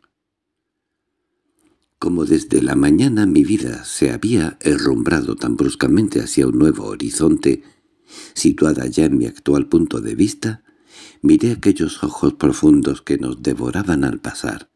Los uní a los míos en una amable mirada fraternal y dije atenuando la ruda verdad que había expresado tío Pancho. Habrá inarmonía o fealdad en el conjunto de las facciones, y en ese deseo de alternar que las impulsa a amarrarse la cabeza con un lazo verde o con un calón colorado, pero fíjate en los ojos. Mira qué ardientes y qué interesantes son los ojos. Parece que, asomados a la calle, pidieran algo imposible que nunca le han de dar. —Sí —dijo tío Pancho, exaltándose de pronto. Es la voz de las aspiraciones presas en la cárcel de un cuerpo que las tiraniza y las encadena al pregonar a gritos la inferioridad mortificante de su origen. Y este desacuerdo entre el cuerpo y el espíritu sensibilísimo del mulato, como bien dices tú, es un conflicto muy interesante. Es la misma tragedia que ocultaba la nariz deforme de Siriano, mucho más cruel y mucho más bella aquí, porque al ser más humillante es más irremediable. Sí, el mulato es el crisol paciente donde se funden con dolor los elementos heterogéneos de tanta raza aventurera. En él se encierra la causa de toda nuestra inquietud, de todos nuestros errores, nuestra absurda democracia, nuestra errante inestabilidad. Quizá en él se elabore también algún tipo social exquisito y complejo que aún no sospechamos. Y luego de filosofar así, sin hacer más comentarios, nos quedamos callados un buen rato mirando pasar a uno y otro lado del coche aquel misterio de la vida humilde que se mostraba en la calle por franquezas de las puertas, los postigos y las ventanas abiertas, hasta que al fin ya saciados de andar por el arrabal, salimos al campo. Cuando sentí en el rostro la frescura de la brisa aromada y campesina, inmediatamente, sin consultar a tío Pancho, mandé detener los caballos y le propuse que siguiésemos caminando a pie. Él se bajó del coche muy complaciente y yo luego de bajarme tras él con mi velo arrollado al brazo corrí alegremente hacia un pequeño ribazo del camino. Me subí a su cúspide. Una vez en lo harto sorbí el aire con avidez. Me llené bien los pulmones y así, erguida en mi pedestal, me quedé unos segundos saludando el paisaje. La tarde era tan apacible como yo la quería. El sol iba buscando a lo lejos la cumbre de una colina. El valle maravilloso se extendía abajo, rodeando la ciudad. La ciudad florecida de vegetación anidada en el centro del valle, blanca de paredes, roja de tejados, mientras a mi espalda presidiéndolo todo, la majestad del Ávila, la gran montaña, se alzaba maternal y pensativa. Después de contemplar la tarde, después desde la cumbre del ribazo me volví al camino y entonces, paso a paso, en un lento caminar lleno de estaciones y de conversación, tío Pancho y yo alejamos por una vereda hasta llegar a la selva de mis paseos infantiles, entre cuyos mismos árboles, bajo la paz de la sombra, tienden aún sus columpios de bejuco los mecedores. Ansiosa de conocer la opinión concreta de tío Pancho acerca del tío Eduardo y su conducta conmigo, mientras andábamos, Le repetí literalmente todo cuanto abuelita me había referido en la mañana sobre papá, San Nicolás y tío Eduardo. Dada mi exaltación, detenía continuamente el paseo o relato para preguntar a tío Pancho su parecer o para explicar con vehemencia las múltiples razones de mi desconfianza y mi perplejidad. Pero él, Cristina, como si le aburriese mucho aquel tema, lo mismo que había hecho antes durante el rodeo en coche, ahora también trataba de desviar la conversación sobre cualquier detalle o accidente del camino. Esta porfiada reticencia acabó por impacientarme tanto que al fin, sentado ya bajo un árbol de los mecedores, donde la quietud y la sombra hacían más apremiantes mis palabras, le exigí imperiosamente que me dijese cuanto hubiese de cierto sobre el particular, porque me consideraba con derecho de saberlo. Planteada así la cuestión, tío Pancho se quedó un instante reflexivo y como indeciso, pero luego se resolvió a hablar y dijo con mucha calma. «Pues bien, ya que tienes tanto empeño en saber lo que pienso acerca del asunto, te lo voy a decir. Pero no es para que con ello te envenene la existencia. La desgracia, María Eugenia, en cualquier orden que sea, debe aceptarse con valor tratando de remediar lo remediable, es claro, pero eliminando de nuestra memoria todo lo irreparable, a fin de no gastar energías en oídos y en venganzas estériles. Ah, es una ciencia muy útil la de saber olvidar. Y de hecho, este exordio añadió poco a poco encendiendo un cigarrillo mientras que yo, ansiosa de sus palabras, le devoraba con los ojos. Creo, o mejor dicho estoy seguro, de que Antonio, tu padre, además de gastar su renta, gastaría si acaso una cuarta parte del capital que representa San Nicolás. Lo demás, es decir, las tres cuartas partes restantes, te las robó Eduardo A. No te quepa duda. Con orden, ¿eh? Eso sí, con mucho orden, mucha claridad, presentando cuentas correctísimas y sobre todo haciendo derroches de generosidad que, como sabes, yo no le dejé concluir. Lo mismo que la mañana cuando me hallaba instalada sobre la columna ahora también, vi de pronto en mi imaginación la figura de tío Eduardo cuya estampa ilustrada por las anteriores palabras de tío Pancho venía a ser tan abominable que no pude menos de increparla con los dientes apretados y en el paroxismo de la indignación. —¡Ah! Herodes, Nerón, Caifás, hipócrita. —¿Ves lo que te decía? —interrogó tío Pancho. —Vas a excitarte, y si no tienes luego la suficiente prudencia... Pero la palabra prudencia Oído en semejantes circunstancias Cristina, me irritó muchísimo más que la imagen de tío Eduardo, por lo cual volví a cortarle la palabra a tío Pancho exclamando exaltadísima. «Ah, si te figuras que voy a tener prudencia después de lo que acabas de decirme es porque me consideras sorda, imbécil o muda. Mira, te juro, tío Pancho, que ahora no más llegar a casa voy a decirle a abuelita todo, absolutamente todo cuanto pienso de tío Eduardo, sí. Le diré que debía estar preso por ladrón, con un vestido a rayas blancas y coloradas como el que usan los presidiarios, que lo detesto con toda mi alma y lo que desearía es ver su horrible silueta flaca, lo mismo que la de Judas, balanceándose de una horca con un saco de monedas a los pies y con la lengua fuera. —Bueno —prorrumpió tío Pancho—, es una gran carcajada. Muy bien —decía sin dejar de reírse—, mira, con este sistema de insultos histórico-descriptivos obtendrás, María Eugenia, el mismo resultado que obtendría un ateo que se pusiera a blasfemar a gritos en medio de una iglesia llena de creyentes. Si hablas irrespetuosamente de Eduardo, en esa forma violenta o en cualquier otra más atenuada? Ya lo viste conmigo esta mañana. Eugenia te considerará un monstruo sacrílego impío y a mí me acusará de calumniador. Es lo más probable que se disguste de ver así que, de resultas del disgusto, no vuelva yo a poner los pies en su casa, con todo lo cual no se perjudicará a nadie más que tú. Ten discreción, ten paciencia, María Eugenia, oye. Y aquí tío Pancho se dio a calmarme con cariño y dulzura.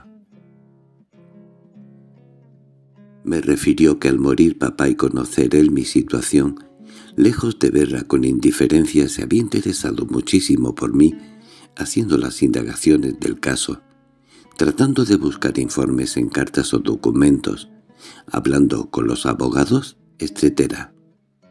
Pero que desgraciadamente todas sus gestiones habían resultado infructuosas porque papá, al asociarse a tío Eduardo, doce años atrás, le habían entregado incondicionalmente la administración general de sus bienes con un tanto por ciento sobre la renta y las utilidades. Ahora moría de pronto sin haber testamento ni poner en claro el estado de sus negocios. Por lo tanto tío Eduardo, que era tan rapaz como metódico, avaro y previsor, en doce años de libre administración había ido arreglando las cosas a su favor y, claro, al desaparecer papá, presentó unas cuentas que verdaderas o imaginarias eran las únicas que existían. La negligencia del uno se aliaba a la rapacidad del otro y las explicaciones de tío Eduardo, único árbitro en este asunto, eran irrefutables.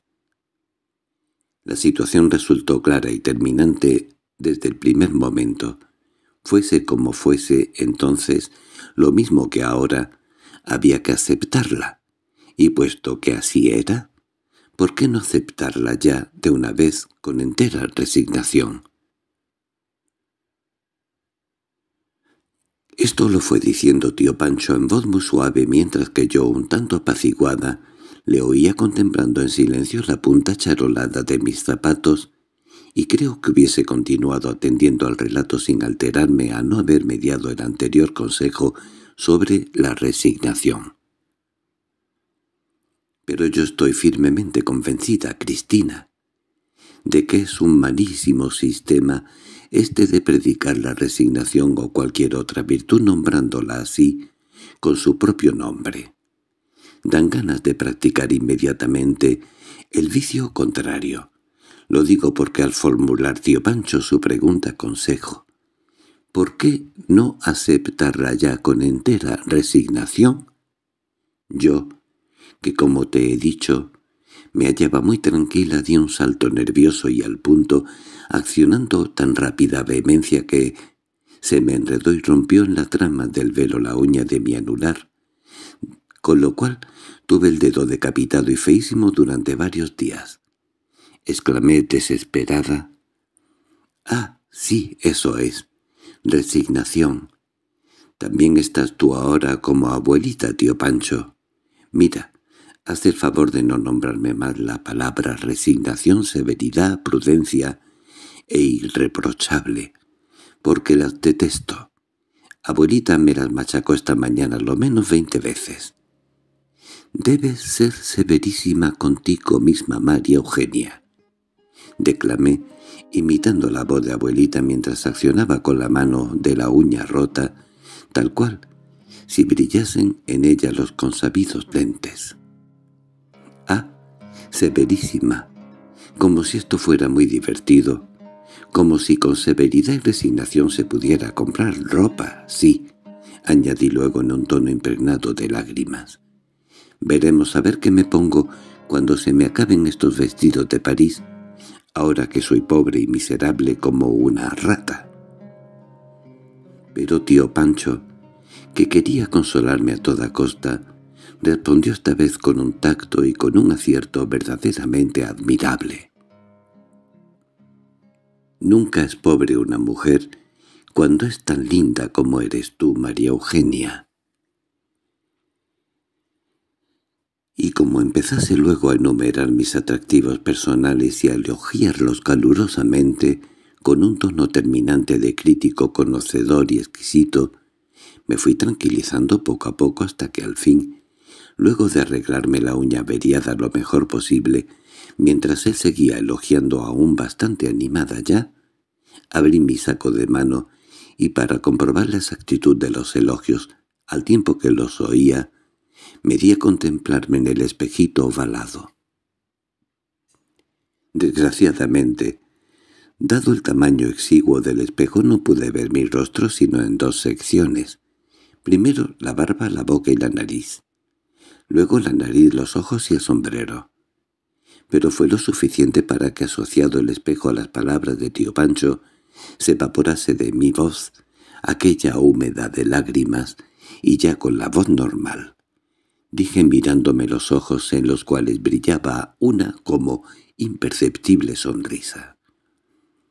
Pero a mí me gustaría, tío Pancho, ¿sabes qué? Pues tener los ojos claros y un poco más de estatura. Vaya qué disparate. Serías entonces demasiado alta, y los de los ojos claros te quitarían el tipo. Si los ojos es lo mejor que tienes, María Eugenia. Difícilmente se encuentran ojos así. Tú lo sabes muy bien. Como esperaba esta contestación, al oírla la cogí con una franca sonrisa, mientras protestaba enérgicamente sacudiendo la cabeza. «Nada, nada, nada, tengo yo bien. Tío Pancho, nada tengo bien. Son cosas tuyas que como me quieres, me ves bonita» y nos quedamos callados un instante. Pero yo hube de cerrar al fin mi bolsa de mano. En ella se ocultó el espejo y por tanto, tras el espejo se ocultó también mi propia imagen que aún así, trunca y a pedazos, es la única que sabe darme suavísimos consejos. La única, sí. La única que sin decir ni jota me predica la resignación, el buen humor, la bondad y la alegría. Una vez enterrada mi imagen entre las negruras del saco de mano, hubo unos segundos de silencio y claro, al instante volvió a surgir en mi mente la figura flaca de tío Eduardo, con todo su cortejo de ideas irritantes. Al divisarla interiormente, ataqué de nuevo el mismo tema. Pero oye, tío Pancho, lo que yo no comprendo es este asunto del tío Eduardo, es... Abuelita, eso de que esté tan convencida de que el mamarracho del tío Eduardo es un ser superior, magnánimo, generosísimo. Misterios inefables de la fe, hija mía, exclamó tío Pancho, y suspiró, y puso los ojos en blanco muy cómicamente, y como si estuviese rezando expresión que me dio muchísima rabia, porque no me pareció cosa de tomarse a risa el que yo me encontrara de la mañana a la noche sin un céntimo de qué disponer. Por esta razón, viendo los ojos místicos de tío Pancho, le interrogué al instante de muy mal humor. —¿Cómo misterios de la fe? ¿Qué quieres decir con eso? —Sí, mira, Eugenia, lo mismo que Clara, lo mismo que casi todas las mujeres que se llaman de hogar en Caracas. No les basta generalmente con una sola religión y tienen dos. La una la practican en la iglesia o ante algún altar preparado al efecto, como aquel del Nazareno que tiene Eugenia en su cuarto. La otra la practican a todas horas, en todas partes, y es lo que ellas llaman tener corazón y sentimientos. De esta segunda religión el Dios es uno de los hombres de la familia. Puede ser el padre, el hermano, el hijo, el marido o el novio, no importa. Lo esencial es sentir una superioridad masculina a quien rendir ciego tributo de obediencia, y entonces todo cuanto esta deidad hace está bien hecho. Todo cuanto dice es una ley, todo cuanto existe se pone entre sus manos y su cólera, por justa, arbitraria o grotesca que sea, así provenga de un atentado de la mujer a las leyes estrictas del recato, como estalle de golpe ante un plato de carne demasiado dura, o se desarrolle imponente en calzoncillos frente a la pechera de una camisa mal planchada, siempre, siempre, semejante voz resonará en los ámbitos del hogar majestuosa y solemne como resonó la voz de Jehová sobre el Sinaí. En tu casa ese Dios es hoy Eduardo, quien en honor de la verdad y dicho sea entre paréntesis, no tiene mal carácter, nunca grita. Claro, con aquella voz, la nariz, bonito estaría tío Eduardo gritando furioso y en paños menores. Parecería un Judas de esos que queman por Pascua de Resurrección. Bueno, lo que él es. Pero tío Pancho seguía filosofando. Y yo no sé si esta arraigada costumbre de deificar al hombre provenga de atavismos orientales heredados de nuestros antepasados andaluces, o si obedezca más bien a un sencillo problema económico, a las mujeres siendo tener fortuna propia como son en nuestra organización social casi todas las mujeres, ¿es el hombre quien está obligado siempre a sostenerlas? De un todo, y dime, para un corazón sensible y agradecido, ¿puede haber algo más parecido al Dios omnipotente del cielo que aquel que pague todos nuestros gastos en la tierra? Según dije yo reflexionando el caso con mucha gravedad. Si las cosas que paga son elegantes y finas, si se tiene el buen automóvil y se vive además de una casa chic donde haya por ejemplo varios baños de agua caliente y un saloncito oriental, con tapices, pebeteros y su gran diván negro lleno de cojines, sí, estoy de acuerdo. Pero de lo contrario, ¿Crees tú, tío Pancho, que yo agradecería mucho que me pagaran un vestido de raso como el que tenía puesto tía Clara, todo verde, y con el talle allá de las narices? Ah, no, no, no. No lo agradecería nada, al revés. Si estuviera obligada a ponérmelo, maldeciría con toda mi alma la mano que me lo hubiera pagado. Y es que yo no concibo el raso, ¿sabes? Si no es Charmius, de treinta bolívares en adelante el metro. Y lo mismo las medias. Mira, mira estas que tengo puestas. Son bonitas, ¿eh? Bueno, ¿y por qué? ¿Por qué son bonitas? Pues porque me costaron en París ciento veinte francos. Bien, dijo tío Pancho riéndose otra vez con mucho escándalo. Veo, María Eugenia, por ese escalofriante presupuesto que te evalúas, carísima. Tienes muy definida la conciencia de tu propio valer, condición indispensable para llegar a valer. Sí, sí, haces bien. Si queremos que los demás nos estimen un poco, es preciso empezar por estimarnos mucho nosotros mismos. No lo olvides nunca. Mira que es un principio importantísimo para una mujer que generalmente solo vale porque... por lo que dé en estimarla un hombre. Otra cosa, tío Pancho, dije yo volviéndome a mi arraigada obsesión. Abuelita me predica moral a mí con tantísimo interés y con tantísima vehemencia que si el honor de una mujer, que si la virtud de una mujer, bueno, ¿y por qué no se la predica también a esa sardina seca de tío Eduardo? Vamos a ver a que nunca lo ha sentado en una sillita a su lado y le ha dicho como a mí esta mañana, «El honor de un hombre». Tío Pancho volvió a poner la cara mística y dijo, «Porque el honor de estos hombres tan honorables como Eduardo no hay para qué mencionarlo. El mencionarlo solo implica ya cierta duda y poco respeto hacia él, pecado en el cual no incurriría nunca Eugenia. Mira, el honor de los hombres, hija mía, en todas partes es algo así. ¿Cómo diremos? Algo indefinido, elástico, conveccional. Pero aquí en nuestro medio se ha hecho ya tan elástico e indefinido que al igual que las cosas sagradas siendo muy trascendentales completamente invisible, así como el alma humana y los espíritus angélicos. Es un atributo que subsiste por sí, independientemente del sujeto que lo ostenta, con cuyos actos, conducta o proceder no suele guardar la menor relación. Solo a la mujer o a las mujeres de la casa, quienes por lo común son las encargadas de su cuidado y vigilancia, le es dado el mancharlo, herirlo o denigrarlo, con el más leve descuido de su conducta. Debido a ello el hombre de nuestra sociedad, tan celoso de su honor como lleno de lógica y de abnegación, en lugar de ocuparse de sí mismo y de su propio comportamiento, no, no.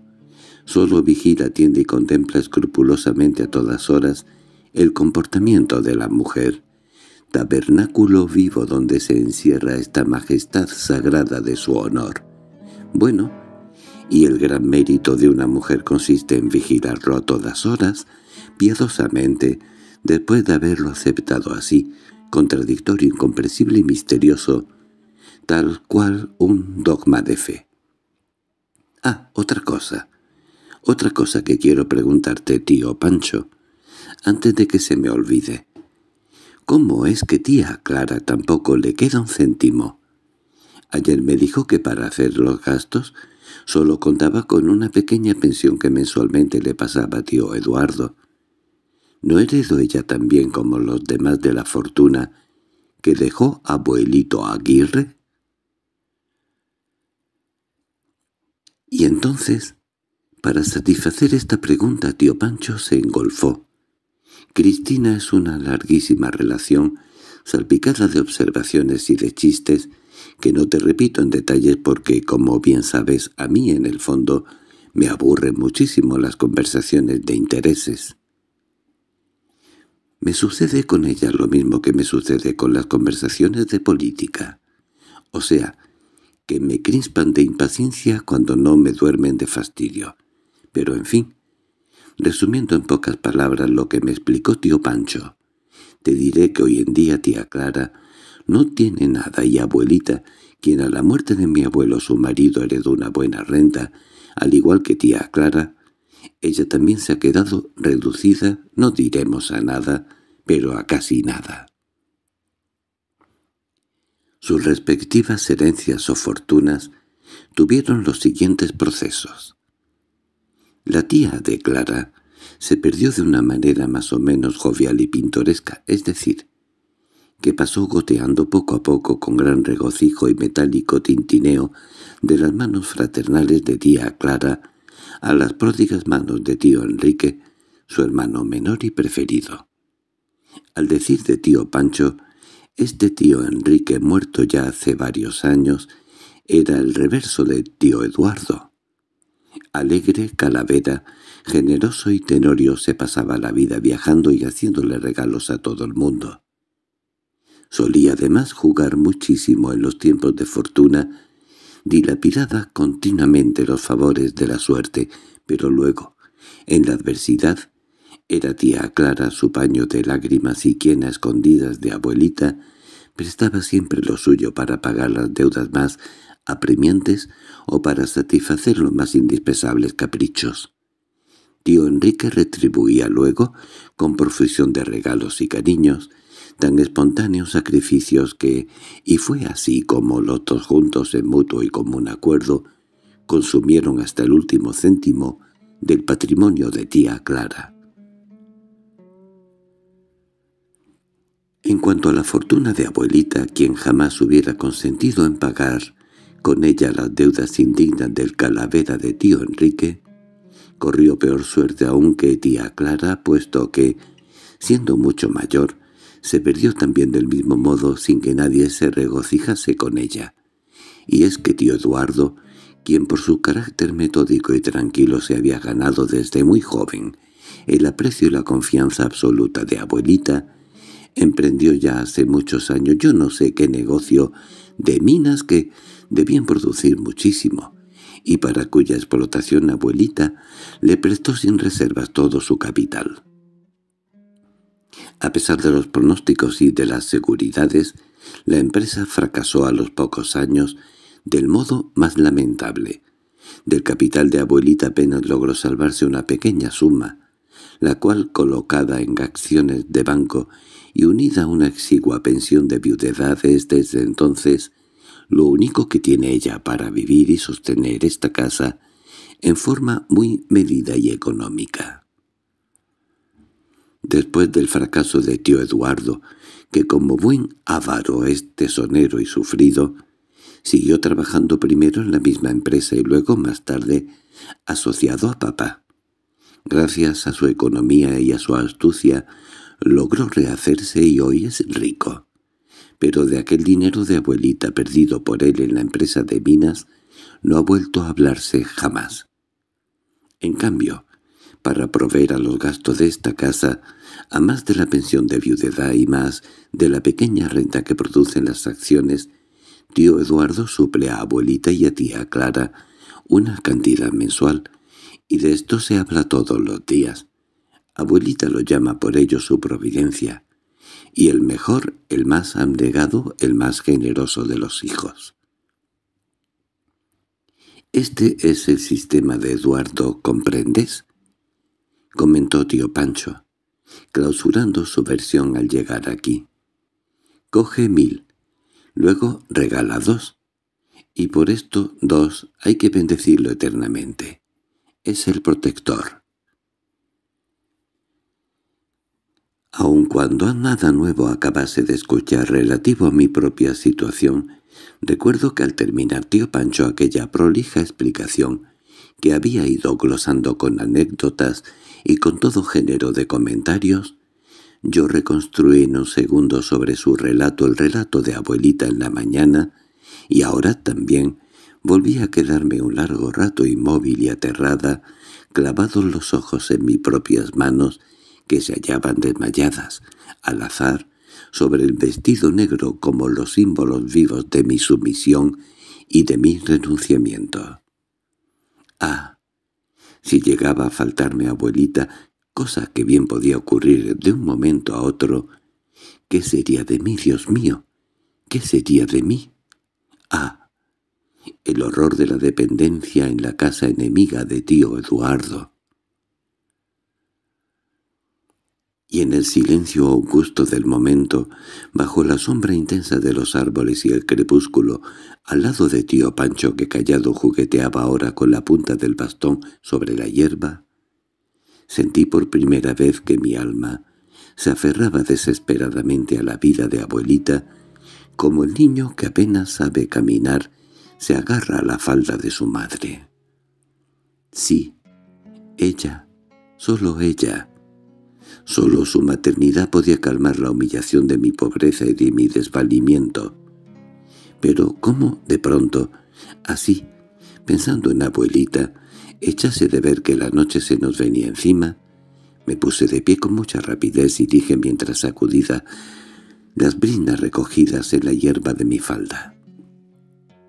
«Acuérdate, acuérdate, tío Pancho, que abuelita me espera». Le ofrecí volver temprano, y allá estará la pobre en el salón. Me parece que la veo con el vestido de tafetán y la cadena de oro, sentada en el sofá frente a las visitas, amable, sonriente, nerviosa, mirando a cada instante hacia la puerta, a ver si entro yo. —Sí —dijo tío Pancho, levantándose del suelo con mucha dificultad. Eugenia está muy vanidosa de ti. Vienes a ser hoy para su amor propio algo así como lo que debió ser en su juventud un sombrero nuevo traído de Europa. Quiere mostrarte a todos, pero puesto en ella, es decir, en su casa. Pobre abuelita, al fin y al cabo me quiere mucho. Te prefieres sin comparación a todos los demás nietos. Y lo mismo Clara. A pesar de los años que han pasado sin ti, ya ves. Y es que este es otro precepto del corazón y de los sentimientos. Preferir siempre a los nietos y sobrinos nacidos en las mujeres de familia aunque vivan en Pekín y no los hayan visto nunca. Oyendo estas palabras, volví a sentir más intensamente todavía el calor maternal que era en mi vida la vida de abuelita cuyas manos piadosas iban a mutilarme cruelmente, a podar celosas con ternura y con cuidado las alas impacientes de mi independencia.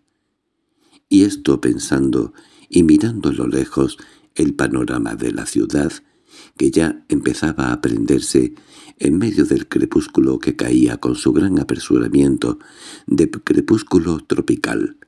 Tío Pancho y yo anduvimos un rato en silencio.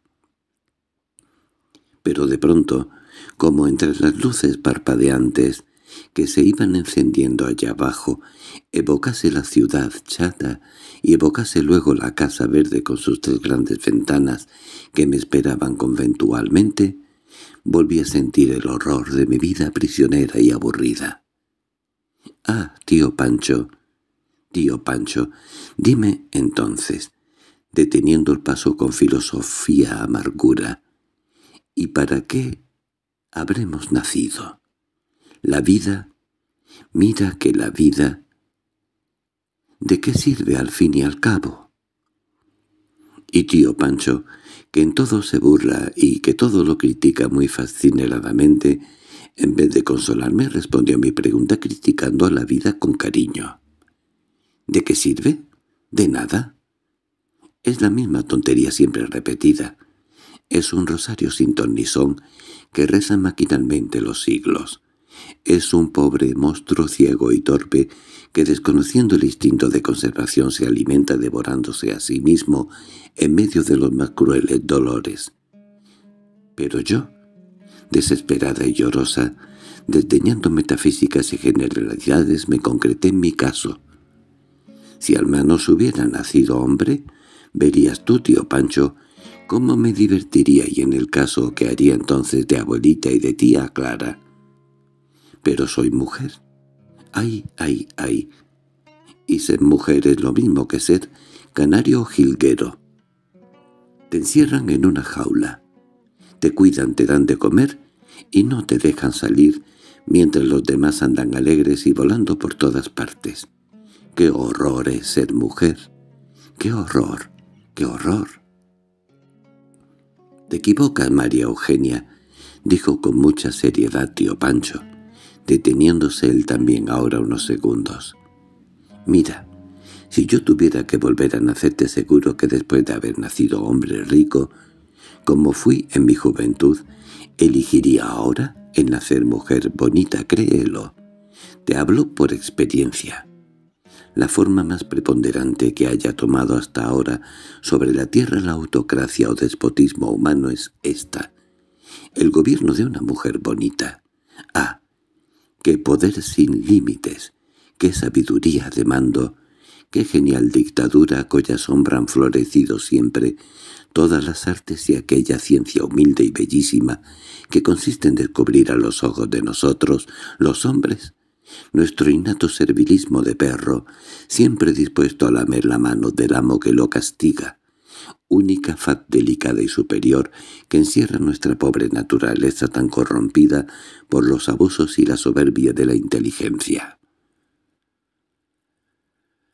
Pero semejante opinión cristina me pareció tan paradójica que lejos de calmarme me exacerbó más y más. Eso todo son romances, versos y mentiras. Las infelices mujeres no somos más que unas víctimas, unas parias, unas esclavas, unas desheredadas. ¡Ah, qué iniquidad! Yo quisiera meterme de sufragista con las Punks Urs, a incendiar congresos de hombres y a rajar con un cuchillo los cuadros célebres de los museos, a ver si acababan por fin tantos abusos y luego de suspirar profundamente caminando siempre por la angosta vereda, volví a exclamar con voz de queja. «Mira que vivir siempre en tutela. Mira que pasar el día entero encerrada entre cuatro tapias sin poder siquiera tocar el piano. ¿Qué razón tienen las sufragistas? Ah, no lo sabía yo bien. Por eso una vez que asistí en París a una conferencia feminista, no atendía nada de lo que dijeron. Si fuera hoy no perdería ni una sílaba. Pero bueno, es que también, con aquellos pies y aquellos zapatos... Mira, tío Pancho, figúrate que a la vieja que daba la conferencia se le veían los dos pies cruzados en el suelo, claro, bajo la mesa y eran de lo que no te puedes imaginar. ¡Qué ordinariez! Zapatos claveteados y medias gruesas, así, tío Pancho, de algodón. ¡Ay! Me chocaron tanto aquellos pies que del mismo horror que me causaron no pude quitarle los binóculos durante toda la conferencia. No, lo que es a mí, ni con la elocuencia de Castelar, me convence una mujer semejante. Por lo visto, María Eugenia, aspiras a que te prediquen el feminismo con los pies. Tienes razón. A mí también me parece mucho más elocuente que el que predica generalmente con palabras. Y es que no hay nada más convincente que la elocuencia callada de las cosas y unas medias de 120 francos pueden llevar a dominar magistralmente las leyes de la dialéctica y de la oratoria. Pero como tampoco me gustase el sesgo demasiado frívolo que daba ahora tío Pancho a mis palabras, respondí muy picada. «No, no, no, no es eso, tío Pancho. No me creas tan superficial. A mí después de todo no me importan nada las medias número 100 ni los tacones Luis XV. A lo único que aspiro hoy por hoy es a gozar de mi propia personalidad, es decir, a ser independiente como un hombre y a que no me mande nadie. Por lo tanto, de ahora en adelante mi divisa será esta. ¡Viva el sufragismo! No digas disparates, María Eugenia. Independiente como un hombre. Cuando el sino del hombre civilizado es exactamente el mismo que el de su dulce servidor el burro, o sea, trabajar a todas horas con paciencia y obedecer siempre, siempre. No a las sufragistas naturalmente, sino a las mujeres bien calzadas como estás tú ahora. Y así, caminando mi espalda por la angosta vereda tío Pancho, siguió desarrollando muy obstinadamente su disparatadas tesis acerca de la preponderancia actual de la mujer. La desarrolló en un largo discurso, pero yo, dado mi mal humor, solo lo escuché, pedazos de aquella especie de sermón perí. La igualdad de los sexos, hija mía, venía diciendo mientras yo miraba titilar a mis pies las mil luces de Caracas que brillaban ya como ascuas en la oscuridad. La igualdad de los sexos, lo mismo que cualquier otra igualdad, es absurda, porque es contraria a las leyes de la naturaleza que detesta la democracia y abomina la justicia. Fíjate, mira a nuestro alrededor. Todo está hecho de jerarquías y de aristocracias. Los seres más fuertes viven a expensas de los más débiles, y en toda la naturaleza impera una gran armonía basada en la opresión, el crimen y el robo. La resignación completa de las víctimas es la piedra fundamental sobre la cual se edifica esa inmensa paz y armonía. El espíritu democrático, o sea, el afán de hacer justicia y de repartir derechos, es un sueño pueril que sólo existe en teoría dentro del pobre cerebro humano. La naturaleza, pues, está ordenada en jerarquías. Los animales más fuertes devoran a los más débiles, viven a sus expensas e imperan sobre ellos. El ser humano está a la cabeza de todas las jerarquías y es la suprema expresión del tipo aristocrático en la naturaleza. Ahora bien, en dicho ser humano, según los grados de civilización de las sociedades, se disputan el predominio o mando los dos sexos, el hombre y la mujer. Siguiendo la ley de jerarquías, ¿cuál de los dos está llamando a imperar sobre el otro y por consiguiente sobre toda la naturaleza? He aquí el problema. Resolverlo al favor suyo, dejándole siempre al hombre toda su vanidosa apariencia de mando, es la prueba de mayor inteligencia que puede dar una mujer, y es además, para la sociedad, en donde ella actúe señal evidente de alta civilización y alta cultura, mientras que, por el contrario, las sociedades en donde real y verdaderamente predomina el hombre son siempre sociedades primitivas, bárbaras e incultas. ¿Por qué? dirás tú. Pues por la simple razón de que el hombre, a pesar de haberse revestido pomposa y teatralmente desde los tiempos primitivos, con las coronas, los cetros y todos los demás atributos de mando, en el fondo no está constituido para mandar, sino para obedecer.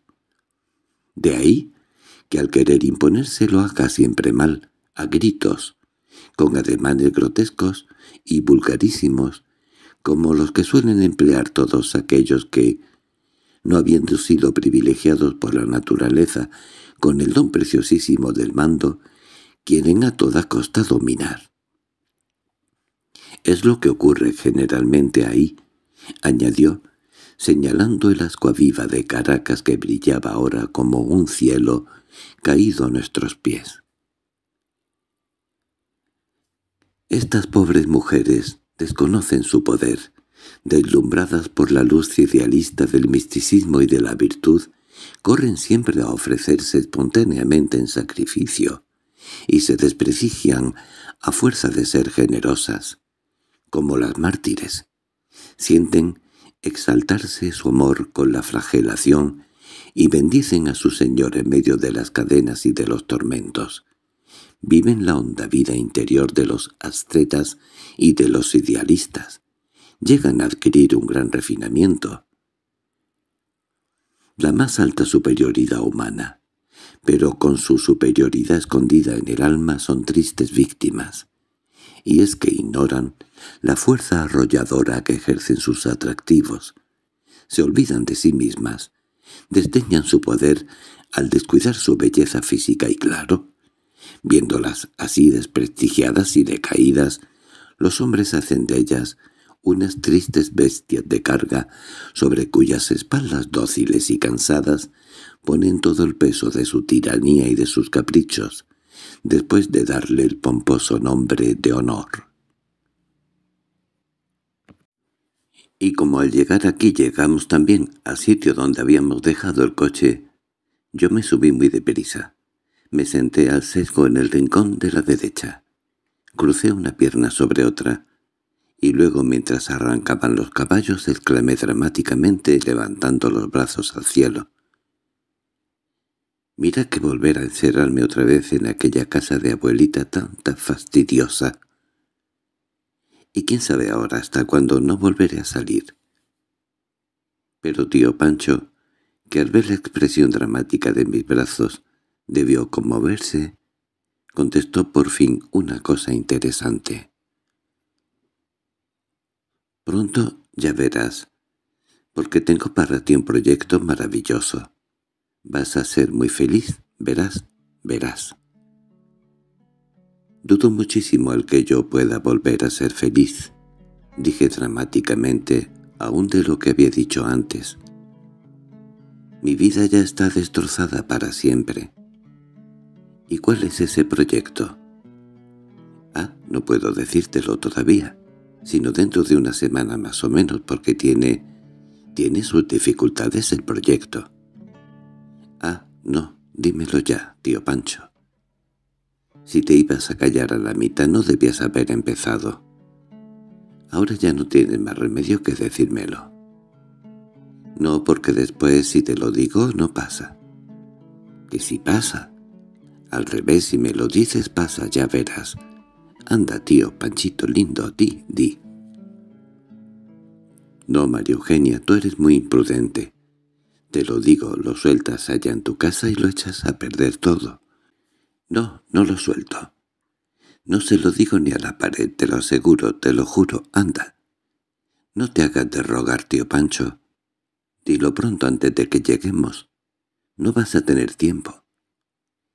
Bueno, te advierto que de este coche no me bajo sin saberlo. Y entonces, Cristina con todos los requisitos, los extremos y la calma que suele emplearse en semejantes ocasiones, Tío Pancho dijo espaciando muchísimo las palabras. «Bueno, oye, es que tengo un novio. Pero qué maravilla de novio». Y para más ponderar sorbió un instante el aire con los dientes y los labios muy juntos. ¡Qué perfección! Mira. Buscando otro con la linterna de Diógenes, no lo encuentras mejor en todo Caracas. Que digo en Caracas, ni en todo Sudamérica, ni en Europa, ni en ninguna parte. Yo contesté al momento una cosa que me pareció muy elegante y muy de rigor. —Psst. ¿Y era eso? Pues mira, a lo mejor tu trabajo, tu busca, tu linterna y todo resulta tiempo perdido. Porque yo soy muy delicada con los hombres, tío Pancho. Me desagrada uno por cualquier detalle, así sea la más mínima tontería y se acabó. Que no me lo nombren más. Mira, mira, María Eugenia, me parece demasiado destén y demasiado tono desde ahora. Y tío Pancho se quedó callado unos segundos durante los cuales se oyó solemnemente el trotar de los caballos. Luego añadió. «Bien, yo pensaba describírtelo, pero ya que tan delicada eres, será quizá más prudente que no te diga yo nada al fin de que él te sorprenda. No, no, descríbelo, retrátalo, píntalo. Nada se pierde con eso, veamos la gran maravilla. Y entonces tío Pancho se dio a detallarme su inesperado descubrimiento, su riquísima perla masculina.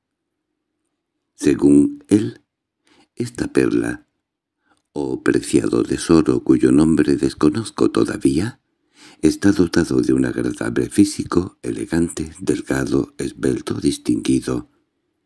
Moralmente es intelectual y refinado, es decir, que habiendo tenido mucho éxito en los estudios es al mismo tiempo un hombre de mundo que sabe ponerse una corbata y tener unas uñas limpias. En la Universidad de Caracas se graduó de abogado y de médico.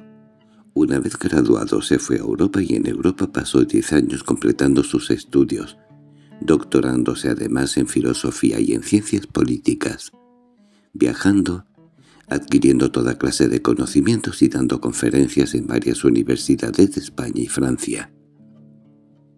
Últimamente Luego de regresar a Venezuela ha escrito un libro de sociología e historia americana, el cual al decir de tío Pancho es admirable.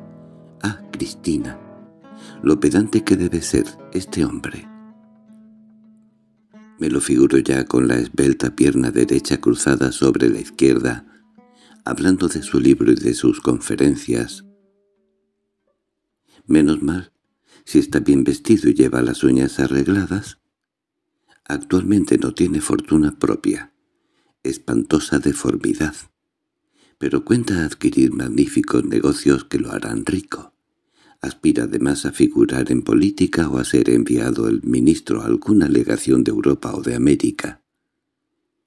Como carácter es alegre, fino, galante, amplio de ideas y de un trato encantador. En fin, Cristina, que salvo el defecto garrafal y momentáneo de la falta de dinero, es un estuche, una joya y un tesoro. Valgan las palabras de tío Pancho. Yo si quieres que te sea sincera, no tengo mucha fe en dicha descripción y dichos elogios porque he notado que los hombres carecen en absoluto de sentido crítico cuando se trata de juzgar entre ellos. Llaman maravilla lo que en realidad es una cosa trivial sin interés, sin originalidad, sin nada. Por lo tanto, muy prudentemente me abstengo de todo juicio, y solo digo con Santo Tomás, ver para creer. Y hasta aquí lo concerniente a mi futuro novio, quien no obstante ser parte principal del proyecto o plan tramado por tío Pancho, no es más que una sola parte. Falta referirte ahora a la segunda parte o etapa del programa enunciada también aquella tarde en el coche, y la cual se relaciona con el ambiente, sociedad, o lugar donde debo conocer a ese príncipe azul que me ha descubierto tío Pancho. Como verás, dicha segunda parte es a mi juicio mucho más interesante que la primera, y creo que ha de ser también el resultado más inmediato, práctico y positivo. Es lo siguiente. Hay en Caracas una señora casada de treinta y treinta y cinco años, preciosa, elegante, distinguidísima, parienta lejana y en mega íntima de tío Pancho y de papá, cuyo nombre es Mercedes Galindo, a quien desde el día de mi llegada desea ardientemente conocerme. Ah, esta señora, que también es amiga del novio en cuestión, le encanta arreglar matrimonios, y por consiguiente se ha puesto de acuerdo con tío Pancho para arreglar el mío llevándome a su casa, invitándome continuamente a comer y haciéndome en general un marco o ambiente que resulte más sugestivo y apropiado al caso. ¡Ah, Cristina! ¡Qué admirable y qué bendita ocasión para ponerme al fin todos mis vestidos antes de que vayan a pasarse de moda! Ocurre que para la realización inmediata del proyecto existe un gran obstáculo, una inmensa dificultad que es preciso vender a toda costa, y es ello, el que abuelita y Mercedes Galindo no se tratan actualmente con un disgusto que tuvieron allá, in hilo tempore. Mi abuelo Aguirre y el señor Galindo, padre de Mercedes. Tío Pancho dice que antes que nada es indispensable llegar diplomáticamente a un acuerdo o reconciliación entre abuelita y Mercedes. Mercedes está completamente dispuesta a ello. Falta convencer a abuelita, de ahí la habilidad, tacto y prudencia, que es menester observar, y a lo cual aludía tío Pancho cuando me anunció el proyecto.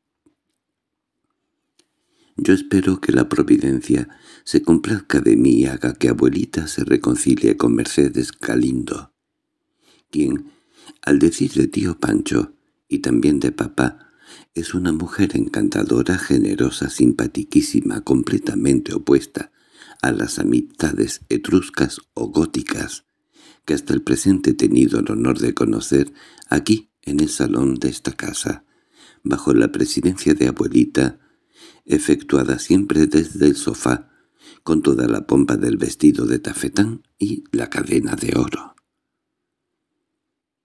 Cuando llegó el coche a la puerta, Tío Pancho, como bien anuncié yo, no había terminado aún de explicarme los requisitos y puntos finales de su descomunal proyecto. Detenido ya el coche, tuvimos que permanecer en él un buen rato más, cuchicheando a la sordina, con gran apresuramiento y discreción, hasta que al fin él volvió a repetirme por última vez los más interesantes informes y apremiantes recomendaciones. Mercedes te quiere muchísimo. No por recuerdo ni amistad de familia, no vayas a creer, sino porque le he dicho lo muy bonita que tú eres y eso le basta a ella para quererte. Está impacientísima, loca por conocerte. Ya tiene el plan, la comida de presentación, menú, etc. Y te ha dedicado además varios regalos. Pero prudencia, ¿eh? Mucha prudencia. Aquí ni una palabra de nada. Mira que María Antonia, la mujer de Eduardo, abomina a Mercedes, y si se entera e intriga con éxito y le echa a perder todo. La maniobra debe ser hábil y muy rápida. Yo me encargo. —Ah, tío Pancho —le reproché entonces al despedirme—, y no podrías haberme contado todo desde hace más de hora y media, cuando subíamos a los mecedores, en lugar de crisparme los nervios con tus observaciones filosóficas? Pero tío Pancho, que cuando no sabe qué contestar se las da de fatalista, dijo, «Estaba escrito». Y así terminó, Cristina. Aquella memorable conferencia, celebrada en coche el infausto día en que por primera vez tuve noticias de mi absoluta ruina. El inesperado proyecto de tío Pancho, erizado como estaba de interés de dificultades y de esperanzas, cual un plan de fuga para un cautivo, me encendió de golpe en el espíritu el fuego de una impaciente alegría. Y fue tan grande esta alegría que unos segundos después de haberme despedido de tío Pancho, al penetrar feliz en el salón de abuelita, estuve amabilísima con todas las visitas etruscas. Las saludé sonriente, les hablé bellezas de Caracas y las despedí hasta el portón con suma cordialidad. Luego, cuando nos dirigimos al comedor, me apresuré a ofrecer el brazo a abuelita para atravesar el comedor y el patio. Una vez en la mesa sentada frente al plato de sopa, contesté en voz alta e inteligible al bendito y alabado que murmuró tía Clara. Hablé todo el tiempo con acierto y alegría. Comí con muchísimo apetito, y una hora más tarde, ya en calma, radiante y sonriendo bajo las sábanas, recuerdo que me dormí de embajadora en una corte europea, con un admirable collar de perlas al cuello y haciendo una profunda reverencia de las que llamaban en el colegio de doce tiempos. ¿Te acuerdas? Aquellas en que se contaba una, dos, tres, cuatro, cinco y seis durante la primera etapa de la reverencia y luego siete, ocho, nueve, diez, once y doce durante la segunda.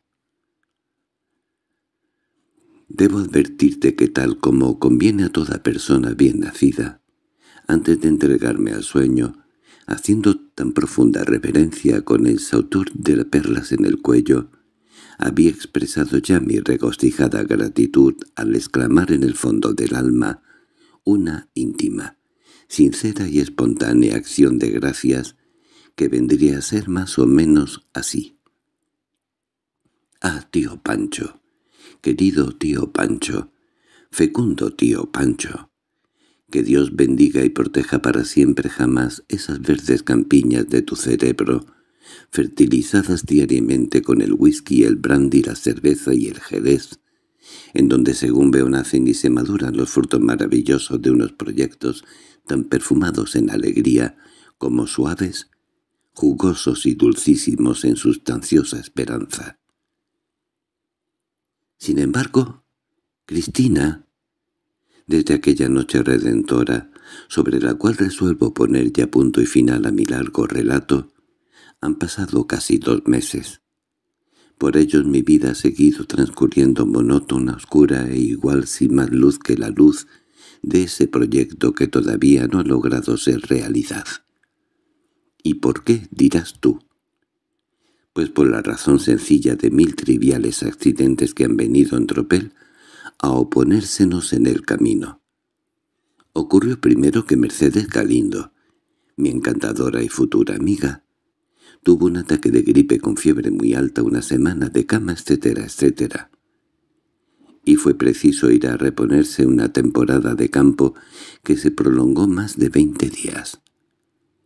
Luego fue abuelita quien enfermó a su vez y de nuevo tuvimos que esperar a que pasase el tiempo de la enfermedad y el tiempo de la convalecencia. Actualmente, las cosas se encuentran ya en plena normalidad y tío Pancho solo aguarda una ocasión oportuna para expresar a abuelita, en nombre de Mercedes, su deseo de firmar las paces olvidando todo género de antiguos presentimientos. Como comprenderás, para esta reconciliación en que tío Pancho será el mediador, yo debo ser el pretexto y Mercedes, con su tacto, su atractivo y su exquisito don de gentes, se encargará luego de coronar las paces, conquistando sin reservas la simpatía de abuelita. La reconciliación se intentará, pues esta misma semana, y como es natural, obtenida la venia, Mercedes vendrá inmediatamente a visitar a abuelita. El candidato en cuestión cuyo nombre ignoré mucho tiempo, se llama Gabriel Olmedo, y tiene más de treinta años, según creo haberte declarado a ti, y según me consta haber declarado tío Pancho. No tengo ninguna fe en los atractivos cualidades y ventajas de esta persona. Dudo mucho que llegue a gustarme. Lo presiento egoísta, pedante y vanidoso, pero en fin, Cristina, hay que tentar la vida atendiendo siempre a cualquiera de sus llamamientos. Lo peor es la prisión, la inmovilidad y la inercia. Y ahora creo que por fin ha llegado ya el momento de terminar esta carta dialogada y singular, donde te envío los más íntimos detalles de mi propia presente. Ella, que, al revivir en mi pluma me ha ido enseñando a probar la honda complejidad de las cosas insignificantes, es el resultado de mi gran cariño por ti, y es también el resumen de esta ansiedad misteriosa que me inquieta y me agobia. Recíbela, pues, en ese espíritu, léela con indulgencia, y si la encuentras ridícula, desentonada o absurda, no te burles de ella, Cristina. Acuérdate que me la dictó mi cariño, en unos días de sensibilidad y de fastidio. Ah, si vieras lo que intriga a tía Clara esta vida de encierro, que por escribir de algo continuamente aquí en mi cuarto, desde hace ya muchos días, entre mis libros y mi carta, aguardando el proyecto de tío Pancho, sin sentirlo casi, ha ido poco a poco transmitiendo y transcurriendo el tiempo. Porque a más de escribir encerrada y a solas, es también aquí, en este cuarto, donde me aíslo para poder leer. Y en mi soledad, como el asceta en su celda, he aprendido ya a querer la vida interior e intensa del espíritu. He descubierto que existe en Caracas una biblioteca circulante en la cual mediante un pequeño depósito pueden tomarse todo género de libros, y mi rabioso afán de lectura tiene en ella libertad y campo abierto donde saciar su hambre.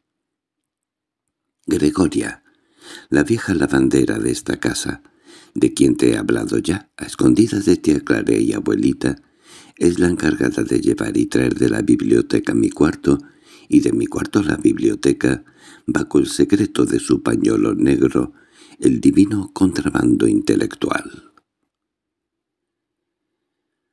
Gracias a tan liberal como discreto apoyo, leo cuanto quiero todo, todo cuanto se me ocurre sin prohibiciones, índices ni censura.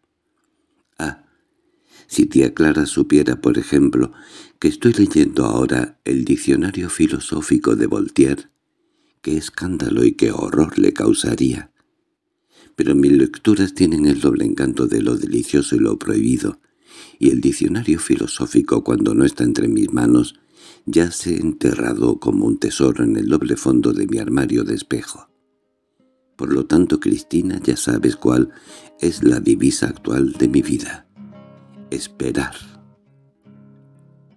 Sí, esperar como Penélope, tejiendo y destejiendo pensamientos, estos que te envío a ti y otros que voy devanando en la madeja escondida de mis libros. Y como nada más me queda ya por decirte, te pido ahora que me escribas y me cuentes tú también todo lo que en estos meses ha pasado por tu vida, que quiero compararla con la mía. Cuéntame tus proyectos, háblame de tus cambios, descríbeme tus viajes, y así juntas, como en otros tiempos, refrescaremos nuestros viejos recuerdos. A veces me preocupo pensando si en realidad, después de tanta unión y tantísimo cariño, no volveré a verte nunca. ¿Quién lo sabe? Por suerte inventaron la escritura, y en ella va y viene algo de esto que tanto queremos en las personas queridas. Esto que es alma y ese espíritu, que así como dicen que no muere nunca, tampoco se ausenta del todo, porque cuando quiere, no quiere ausentarse.